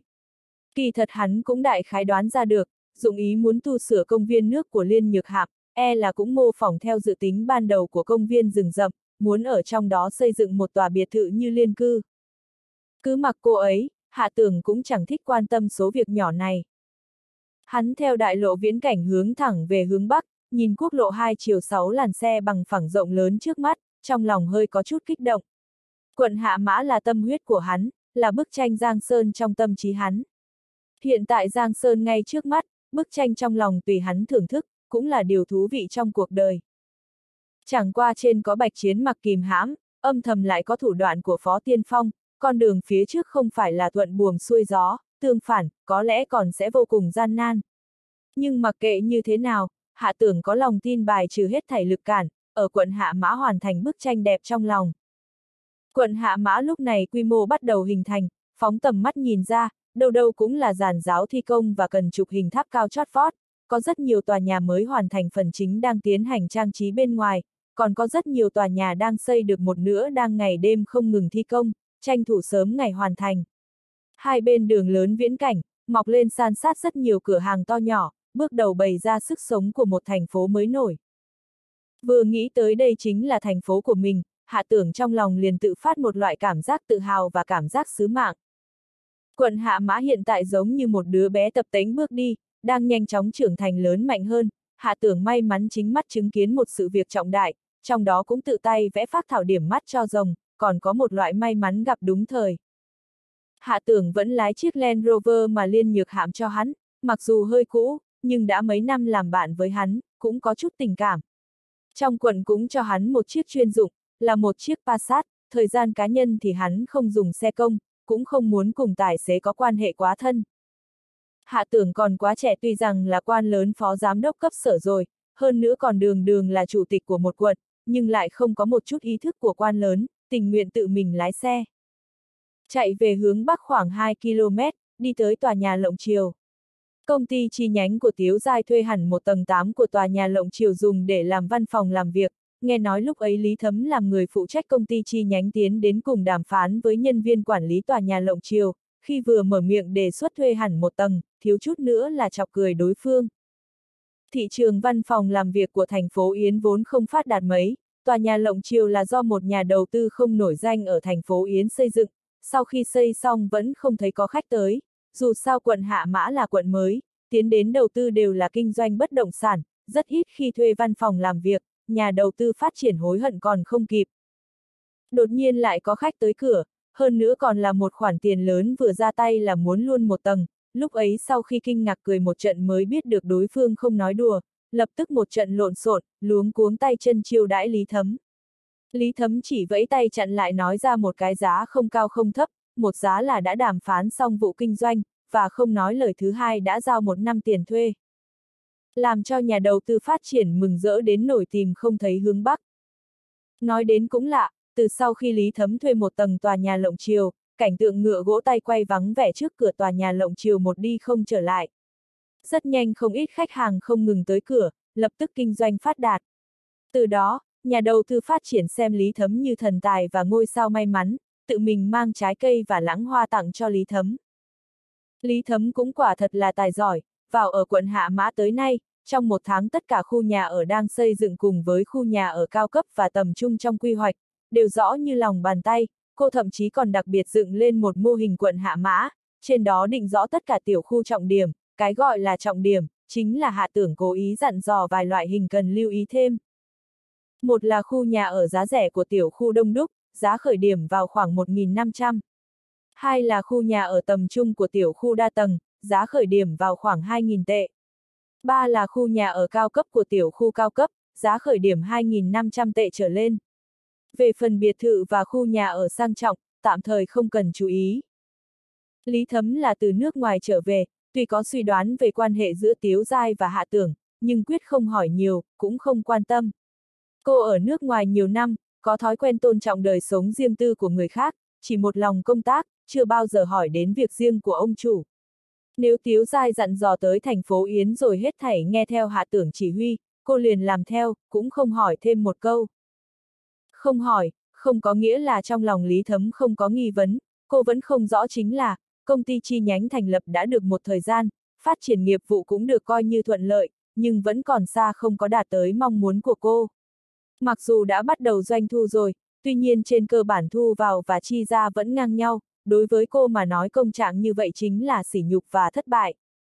Tuy nhiên hạ tưởng lại không cho cô tiếp tục mở rộng nghiệp vụ đến toàn bộ thành phố Yến. Chỉ để cô tập trung lực lượng ở quận Hạ Mã, khiến cho cô có chút khó hiểu rốt cuộc sự sắp xếp của hạ tưởng xuất phát từ suy xét gì. Quận Hạ Mã tuy rằng là quận mới, triển vọng thị trường bất động sản rộng lớn, nhưng công ty chi nhánh có đủ nhân lực vật tư lập ra kế hoạch nhằm vào toàn bộ thành phố Yến, một quận Hạ Mã, không đủ để chứng minh năng lực của cô. Hiện tại gần như hầu hết nhân viên đều đặt ở quận Hạ Mã, tương đương là đại tài tiểu dụng không biết trọng nhân tài. Lý Thấm hôm nay nhận được điện thoại của Hạ Tưởng, hắn sau khi tan tầm muốn tới tìm cô thảo luận sự tình, cô liền cố ý ở lại chờ, một bên thì tỉ mỉ nghiên cứu một chút thị trường bất động sản quận Hạ Mã, rốt cuộc có bí ẩn gì đáng cho Hạ Tưởng toàn lực ứng phó. Lý Thấm càng nghiên cứu càng cảm thấy tìm không thấy phương hướng, thị trường bất động sản quận Hạ Mã tuy rằng một vẻ phồn vinh, nhưng bởi vì đều ở giai đoạn mới bắt đầu, nên hết thảy đều như là trong suốt, không có nhiều chỗ có thể thao tác. Lý Thấm lắc đầu, ném tài liệu đang cầm trong tay qua một bên, không tốn sức đoán mò nữa, chờ hạ tưởng đến đây trực tiếp hỏi hắn. Hạ tưởng ở dưới lầu đậu xe xong, trực tiếp lên lầu. Vừa tới cửa lầu 8, lại ngoài ý muốn gặp được một người quen. Lúc ấy hạ tưởng đang đi đến cửa treo biển công ty chi nhánh Giai Thành thành phố Yến thì có một người đẩy cửa đi ra, cùng hạ tưởng mặt đối mặt gặp nhau. Hạ tưởng vừa thấy cô, cũng ngây người sửng sốt, lập tức đứng lại. Cô cũng vẻ mặt kinh hoàng nhìn hạ tưởng, há miệng thở dốc, một câu cũng nói không nên lời. Cô không phải ai khác, không ngờ là Tùng Phong Nhi. Sau khi Chu Kỳ Nguyên bị phán xử tử hình, toàn bộ tài sản tham ô bị tịch thu. Tùng Diệp Nhi cũng bị xử lý riêng, cụ thể phán kết quả gì, hạ tưởng cũng không quan tâm. Tuy nhiên hắn cũng có nghe nói Tùng Phong Nhi miễn khởi tố hình sự, không truy cứu cô bất cứ trách nhiệm gì. Hạ tưởng liền cho rằng Tùng Phong Nhi đã cao bay xa chạy, không ở thành phố Yến, không nghĩ tới hôm nay không ngờ gặp nhau ở công ty chi nhánh Giai Thành của Tiếu Giai, tầng 8 chỉ có một công ty Giai Thành, thấy Tùng Phong Nhi trong tay ôm một đống tài liệu. Hiển nhiên, cô là nhân viên của công ty chi nhánh. Tùng Phong Nhi đầu tiên là kích động một lát, sau đó chậm rãi chấn tĩnh lại, vẻ mặt ngang ngược nhìn Hạ Tưởng, nói. Tôi thừa nhận là tôi có lỗi với anh, hãm hại anh. Hiện tại bị anh bắt được, anh muốn sao thì tùy anh, tôi tự làm tự chịu, nhận hết. Hạ tưởng từ sớm đã đem việc Tùng Phong Nhi hãm hại hắn ném lên 9 tầng mây, hắn không phải người thù dai, cho dù có trả thù, cũng không trả ở trên người cô, liền mỉm cười né người qua một bên, nói. ưu tiên phụ nữ, mời. Tùng Phong Nhi ngây ngẩn cả người. Anh, anh không muốn trả thù tôi. Trả thù cô cái gì? Hạ tưởng biết rõ còn cố hỏi, lại xua tay nói. Sự tình đều đã qua lâu rồi, hơn nữa tôi cũng không có tổn thất gì, sẽ không truy cứu trách nhiệm của cô. Sao, cô còn chưa đi? Tùng Phong Nhi vẻ bướng bỉnh trên mặt lại biến mất, biến thành vẻ mặt nghi hoặc, bán tín bán nghi mà nhìn hạ tưởng vài lần, sau đó nhẹ nhàng đi về phía trước một bước, cẩn thận hỏi. Anh đừng hối hận, tôi đi thật đó. Hạ tưởng cười mà không nói, chỉ gật gật đầu. Tùng Phong Nhi đột nhiên chạy như bay, chạy tới rất xa, lòng vẫn còn sợ hãi quay đầu lại thoáng nhìn hạ tưởng, dường như là sợ hắn đổi ý. Không ngờ khi quay đầu lại nhìn, hạ tưởng sớm đã đi vào trong phòng làm việc, cả một bóng dáng cũng không còn. Tùng Phong Nhi đứng lại bất động ngơ ngác xuất thần trong chốc lát, trong lòng buồn bã hối tiếc. Hạ tưởng ở thủ đô đã gặp qua Lý Thấm, hôm nay gặp lại cô, vẫn là vì vẻ đẹp đoan trang và cổ điển của cô mà tán thưởng. dáng vẻ Lý Thấm rất có hương vị vẻ đẹp cổ điển, chân mày lá liễu cong cong, cằm nhọn, còn có một khuôn mặt trái xoan đúng tiêu chuẩn, đôi môi của cô là đẹp nhất, nhất là khi cười rộ lên, lộ ra hai chiếc răng khỉnh, tự nhiên tăng thêm ý nghĩa dễ thương đáng yêu. Khiến cho hạ tưởng cảm thấy khó hiểu chính là, Lý Thấm ở nước ngoài nhiều năm mà khi nói tiếng phổ thông lại rất rõ ràng, phát âm rõ từng chữ giống như MC. Giọng nói của cô cũng vô cùng êm tai. Ban đêm mùa hè tháng 8, Lý Thấm mặc một bộ trang phục công sở, áo sơ mi ôm sát người, váy ngắn, vừa có sự nghiêm túc của người đẹp công sở, lại có sức hấp dẫn hoạt bát của bộ trang phục. Đèn đuốc sáng trưng trong văn phòng to đùng, Lý Thấm một mình ngồi ở trước máy tính, hơi nhíu mày, đang rơi vào trong trầm tư. Hạ tưởng đẩy cửa tiến vào, khẽ cười một tiếng nói. Vẫn chưa ăn cơm phải không? Đi xuống cùng nhau ăn cơm, vừa ăn vừa nói chuyện. Hạ tưởng và Lý Thấm xuống lầu, tùy tiện tìm một nhà hàng sạch sẽ ngăn nắp, gọi một số món ăn, thì bắt đầu trò chuyện. Hạ tưởng rất thích một điểm của Lý Thấm chính là, cô làm việc rõ ràng, cũng không dài dòng dây dưa, cũng không già mồm cãi láo, nói ăn cơm là ăn cơm, nói công tác là thảo luận công tác, không giả tạo khách sáo. Tôi nghĩ là cô nhất định rất tò mò, vì sao tôi muốn cô đem tất cả lực lượng đều đặt ở quận Hạ Mã, mà không phải đi phát triển toàn bộ thị trường thành phố Yến. Hạ tưởng đầu tiên hỏi một câu. Lý Thấm gật đầu, rõ ràng nói. Đúng là không rõ, vẫn là mời chủ tịch quận Hạ nói rõ. Bây giờ vẫn là không tiện nói cho rõ, tôi chỉ muốn nói cho cô một điều, nếu tương lai có 20 tỷ vốn lưu động tiến vào thị trường bất động sản quận Hạ Mã, cô sẽ làm thế nào nào lợi dụng tin tức nhà đất và vài tỷ tài chính trong tay, triển khai một trận chiến chặn đánh 20 tỷ vốn lưu động. Hạ tưởng trực tiếp đưa ra vấn đề khó giải. Lý thấm buông đũa, vẻ mặt khó tin nhìn về phía hạ tưởng. Hạ Tường đón nhận ánh mắt của cô, kiên định gật gật đầu. Lý thấm lại lần nữa cầm đũa lên, ăn mấy hạt đậu phỏng, bỗng nhiên nâng tay vuốt vuốt tóc, mỉm cười. Muốn ngăn chặn 20 tỷ vốn lưu động, cho dù với điều kiện chiếm cứ ưu thế bản địa và một tay nắm giữ tin tức nhà đất, ít nhất cũng phải có 10 tỷ vốn lưu động. Hơn nữa một mắc xích quan trọng nhất là, phải có các nhà kinh doanh bất động sản khác phối hợp hành động, nếu không sẽ khó mà thành. Hạ tưởng gật đầu khen ngợi. Không sai, lời của cô cũng nói lên điểm quan trọng. Ý nghĩ của cô rất rõ ràng, cũng rất có kiến giải. Tôi yên tâm rồi, đợi đến lúc thời cơ chín mùi, nói không chừng tôi sẽ cho cô tự tay điều hành cuộc đại chiến 10 tỷ tài chính. Lý Thấm vẫn rất bình tĩnh, cho đến khi Hạ Tưởng vừa nói ra câu cuối cùng, cô rốt cục ánh mắt sáng lên, không dám tin hỏi lại. Thật ư, Chủ tịch quận Hạ Anh thật sự tin tưởng tôi. Tôi tin tưởng cô. Hạ tưởng trực tiếp đưa ra đáp án mà Lý Thấm muốn. Nhưng có một điểm, cô bắt đầu từ bây giờ phải nghiên cứu bản chất và các phương pháp thông dụng của vốn lưu động Mỹ, xâm nhập nghiên cứu một số trường hợp thực tế, để được như trong lòng có dự kiến trước. Ừ, Lý Thấm tuy rằng là phụ nữ, nhưng bên trong cũng có tính cách thích mạo hiểm, nghe được có cuộc đại chiến trên 10 tỷ tài chính, tự nhiên vô cùng hưng phấn, lại bởi vì sự tín nhiệm của hạ tưởng đối với cô, lại càng tràn trề động lực và lòng tin, mới hiểu được hạ tưởng luôn ở quận hạ mã mưu kế một trận đại chiến công dã tràng. Tôi có quy tắc chức nghiệp, cũng có đạo đức nghề nghiệp, xin anh yên tâm. Hạ tưởng đối với Lý Thấm yên tâm nhất chính là phẩm đức nghề nghiệp và tinh thần chuyên nghiệp của cô, đương nhiên đối với năng lực của cô ấy cũng vô cùng tín nhiệm. Sau khi đàm đạo xong, hạ tưởng trước khi đi bỗng nhiên nhớ tới Tùng Phong Nhi, tiện thể hỏi một câu. Tùng Phong Nhi ở công ty đảm nhiệm chức vụ gì? Trợ lý hành chính. Lý Thấm đáp lại một câu, thì không nói thêm gì nữa, đổi người khác, khẳng định sẽ truy vấn quan hệ giữa Hạ Tưởng và Tùng Phong Nhi. Trợ lý hành chính tương đương với thư ký và nhân viên văn phòng, Hạ Tưởng nghe xong, cũng chỉ gật đầu cười, không nói thêm nữa, xoay người đi mất. Quả nhiên đảm nhiệm chủ tịch quận thì khác hẳn, công vụ quả thật bận rộn, mới đi làm hai ngày, thì cảm thấy có vô số sự tình phải làm. Hạ tưởng trong lòng vô cùng áy náy, không thể về nhà chăm sóc Tào Thù Lê. Buổi tối về đến nhà, người nhà đều đã đi ngủ, hắn liền nhẹ tay nhẹ chân đi tới phòng sách, vừa mới mở đèn bàn liền nhìn thấy trên bàn có một tờ giấy ghi chép. Bút tích rõ ràng, nét chữ thanh mãnh xinh đẹp đúng là bút tích của Tào Thù Lê. Người xấu, thức đêm không tốt, đi ngủ sớm một chút. Em gần đây tập trung tinh thần trên người đứa con, đã thờ ơ với anh, anh đừng giận. Nếu anh có giận, thì giận con trai của anh đi, chờ sau khi con ra đời em sẽ nói cho con biết, để con nhéo tai anh. Hạ tưởng hiểu ý mà mỉm cười, cô bé cho dù sinh con lên trước làm mẹ, thì cũng vẫn nghịch ngợm đáng yêu, lại có chút tính khí thiếu kiên nhẫn suy nghĩ nhỏ nhen của một cô bé, dường như mãi mãi cũng không trưởng thành. Con trai, hạ tưởng trên mặt hiện ra một nụ cười của tình thương người cha, dường như trong nháy mắt, hắn đã trở thành cha của ba đứa con, ngẫm lại cũng có chút khủng bố.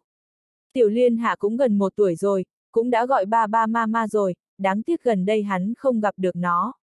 Mai Đình cũng 6 tháng tuổi rồi, nghe Mai Hiểu Lâm nói, cũng u a học nói, cô bé con xem ra biết nói sớm, nói không chừng 8-9 tháng sẽ có thể gọi mama, chỉ có điều không biết Mai Hiểu Lâm có dạy con bé gọi ba ba hay không. Đứa con chính thức, Hạ Đông cũng là sắp ra đời, Tào Thù Lê vẫn là nôn nóng không thể chờ đợi tìm người làm siêu âm, biết được giới tính của thai nhi, rất là cao hứng đặt tên cho con, đừng thấy nó nhỏ nhất, nhưng lại một đứa hạnh phúc nhất trong mấy đứa con, bởi vì nó có thể quang minh chính đại hưởng thụ tình thương của cha, có thể làm nũng hạ tưởng bất cứ lúc nào, có thể cưỡi ở trên cổ hạ tưởng đùa giỡn. Cho dù là liên hạ hay là mai đình, cũng không thể danh chính ngôn thuận cùng với nó chia sẻ tình thương của cha. Hạ tưởng một mình lại suy nghĩ rất nhiều, nhớ tới vụ đấu tranh lần trước của hội nghị thường vụ thành ủy sau khi lọt vào tai Tào Vĩnh Quốc, ông cố ý gọi điện thoại tới truy vấn tới cùng rốt cuộc xảy ra chuyện gì, hạ tưởng đành phải bịa một lý do đối phó. Không đối phó không được, có một số việc hắn biết Tào Thù Lê biết, e rằng Khâu Tự Phong cũng biết, chỉ là không thể cho Tào Vĩnh Quốc biết. Mặc dù hạ tưởng cũng biết trên thế giới không có bức tường nào không nứt, nhưng cứ chắp phá sửa chữa, cũng có thể tạo ra một bức tường đủ rắn chắc, có thể đạt được sự kín mít không kẽ hở trong một thời gian rất dài cũng không phải việc khó. Nghĩ ngợi lung tung một phen, nhớ tới thế cục về sau của quận Hạ Mã, ý nghĩ của Hạ Tưởng càng ngày càng rõ ràng lên. Ngày hôm sau vừa lên ca, Khang Thiếu Diệp liền đến phòng làm việc của Hạ Tưởng, vừa tiến đến liền thân thiết nói. Chủ tịch quận Hạ, không phải đã trang bị xe chuyên dụng và tài xế cho anh rồi sao, vừa rồi ở dưới lầu tôi nhìn thấy tài xế Trương Lương, còn phê bình anh ta sao không biết đi đón anh đúng giờ, còn khiến anh tự mình lái xe đi làm, thật hết nói. Hạ tưởng biết rõ Khang Thiếu Diệp chỉ là mượn danh tài xế, làm bộ quan tâm, từ đó mà nhắc tới vấn đề tuyển chọn người cho vị trí thư ký. Hắn liền cười vẫy vẫy tay, nói. Cảm ơn bí thư Khang quan tâm, cũng không có đáng ngại, tôi có thói quen tự lái xe, là tôi cho Trương Lương không cần đón tôi. Sau khi nói xong, cũng không hỏi lại Khang Thiếu Diệp còn có việc gì khác hay không. Khang Thiếu Diệp khá xấu hổ, nghĩ thầm rằng hạ tưởng quả nhiên lươn lẹo, nói chuyện để lại một nửa, rõ ràng là có thể thốt ra hỏi y có còn việc khác hay không, kết quả lại không nói, không phải là đang chờ y chủ động mở miệng cầu xin hắn sao. Tuy nhiên chuyện tới trước mắt, không mở miệng lại không được, nếu không chẳng may hạ tưởng định ra chiều vĩ cương thì chậm mất. Hiện tại là một cơ hội tốt khó mà có được, vừa đúng lúc có biên chế chính thức, thân là lãnh đạo phó giám đốc cấp sở, hạ tưởng có thể trang bị một thư ký. Mượn cơ hội này tiến vào Ủy ban Nhân dân quận, tương đương tiến một bước vào quan trường, về phần sau này có được ở bên cạnh hạ tưởng hay không sẽ nói sau, hiện tại vấn đề mấu chốt là chỉ có hạ tưởng gật đầu, mới có thể đưa người vào. Khang Thiếu Diệp liền đứng cũng không được, ngồi cũng không phải, ngẩn ra một hồi mới nói. Chính là việc thay chủ tịch quận hạ tìm thư ký. Không biết chủ tịch quận hạ có định chọn ra người nào hay chưa? Nếu hạ tưởng không biết thân phận của Thang Văn Cử và Triều Vĩ Cương, có lẽ chỉ bằng cảm giác tùy tiện chọn một người cũng xong việc, cũng không do dự bất định như bây giờ. Đương nhiên, hạ tưởng do dự chỉ là biểu hiện giả dối, hắn trong lòng sớm đã chọn được người, chỉ là cố ý không nói rõ từ sớm thôi. Cái muốn chính là hiệu quả tranh qua tranh lại giữa Khang Thiếu Diệp và Phó Hiểu Bân, bởi vì hạ tưởng nhớ tới một điển tích, nhị đào sát tam sĩ hai quả đào giết chết ba dũng sĩ. chương 548, lôi kéo và phân hóa. Hạ tưởng thấy sắc mặt Khang Thiếu Diệp đang cố gắng duy trì bình tĩnh, còn bày ra một thái độ rất là tự nhiên, giống như là thuận miệng mà hỏi, hắn cũng bừng tỉnh làm bộ hiểu ra như vừa nghĩ tới, nói. Ứng cử viên thư ký tôi vẫn chưa định được, chủ yếu là chủ nhiệm phó đưa cho tôi hai phần tài liệu còn chưa kịp xem kỹ, chỉ nhìn lướt qua, thì nhớ tên Triều Vĩ Cương. Sao, Bí Thư Khang có quen biết với Triều Vĩ Cương và... Hạ tưởng làm bộ nhớ không nổi tên Thang Văn Cử. Khang Thiếu Diệp trong lòng ghen ghét dữ dội, rõ ràng Phó Hiểu Bân khẳng định ở trên trình tự và trình độ tinh xảo của tài liệu động tay động chân, may mắn là hạ tưởng còn chưa nhìn kỹ, nếu không dưới ấn tượng đầu tiên, khẳng định là Triều Vĩ Cương chiếm ưu thế. Khang Thiếu Diệp trong lòng tức giận khó nguôi, trả trách ngày hôm qua Phó Hiểu Bân còn đặc biệt tìm y, đề xuất phải cùng nhau ngồi xuống. May thay y không đáp ứng, Phó Hiểu Bân khẳng định không có lòng tốt gì. Trong lòng tức giận, mặt ngoài thì vẫn giả dạng làm như không có việc gì, Khang Thiếu Diệp liền lắc đầu cười. Không biết, tôi cũng nghe chủ nhiệm phó nói qua, hai người dự tuyển một là Triều Vĩ Cương, một là Thang Văn Cử. Dường như nghe ai nói qua, Triều Vĩ Cương là thân thích của chủ nhiệm phó. Chưa được chứng thật, có lẽ chỉ là đồn đại, ha ha. Tuy nhiên dường như còn nghe Bộ trưởng Mộ nói qua, ông nói các phương diện điều kiện của Thang Văn Cử rất ưu tú, còn là top sinh viên các trường đại học uy tín hàng đầu, có vẻ phù hợp đảm nhiệm chức thư ký của Chủ tịch quận Hạ. Mượn thể diện của trưởng ban tổ chức cán bộ Mộ Duẫn Sơn ám chỉ với hắn, Hạ tưởng trong lòng cười thầm, lại trực tiếp nói một câu. Thư ký phải chọn lựa thận trọng, vừa phải phù hợp với yêu cầu dùng người của cán bộ quốc gia, cũng phải phù hợp yêu cầu cá nhân của tôi, cho nên không vội, tôi sẽ cân nhắc thêm chút. Ngoài ra, tôi còn phải tham khảo một chút ý kiến của đồng chí Kim Hồng Tâm. Kim Hồng Tâm là tránh văn phòng Ủy ban Nhân dân quận, là tổng quản của Ủy ban Nhân dân quận, theo lý mà nói việc chọn người cho vị trí thư ký chủ tịch quận nên do y đề cử mới đúng.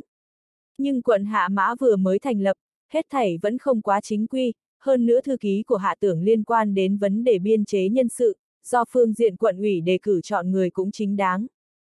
Nhưng mặc kệ cuối cùng định ra là ai, đều phải qua cửa Kim Hồng Tâm, cho dù là chạy theo hình thức. Khang Thiếu Diệp trong lòng tức giận, một việc nhỏ sao càng ngày càng kinh động đến nhiều người. Y thật không ngờ là hạ tưởng đã biết nguyên do nội tình trong đó, cố ý gây sức ép với y, liền đem hết thảy căn nguyên đổ hết tội lên trên người Phó Hiểu Bân, nghĩ thầm rằng hay cho một Phó Hiểu Bân, tương lai còn dài, một việc nhỏ ông đã đối nghịch với tôi, về sau cứ chờ xem, sẽ có ngày khiến ông lọt vào trong tay tôi.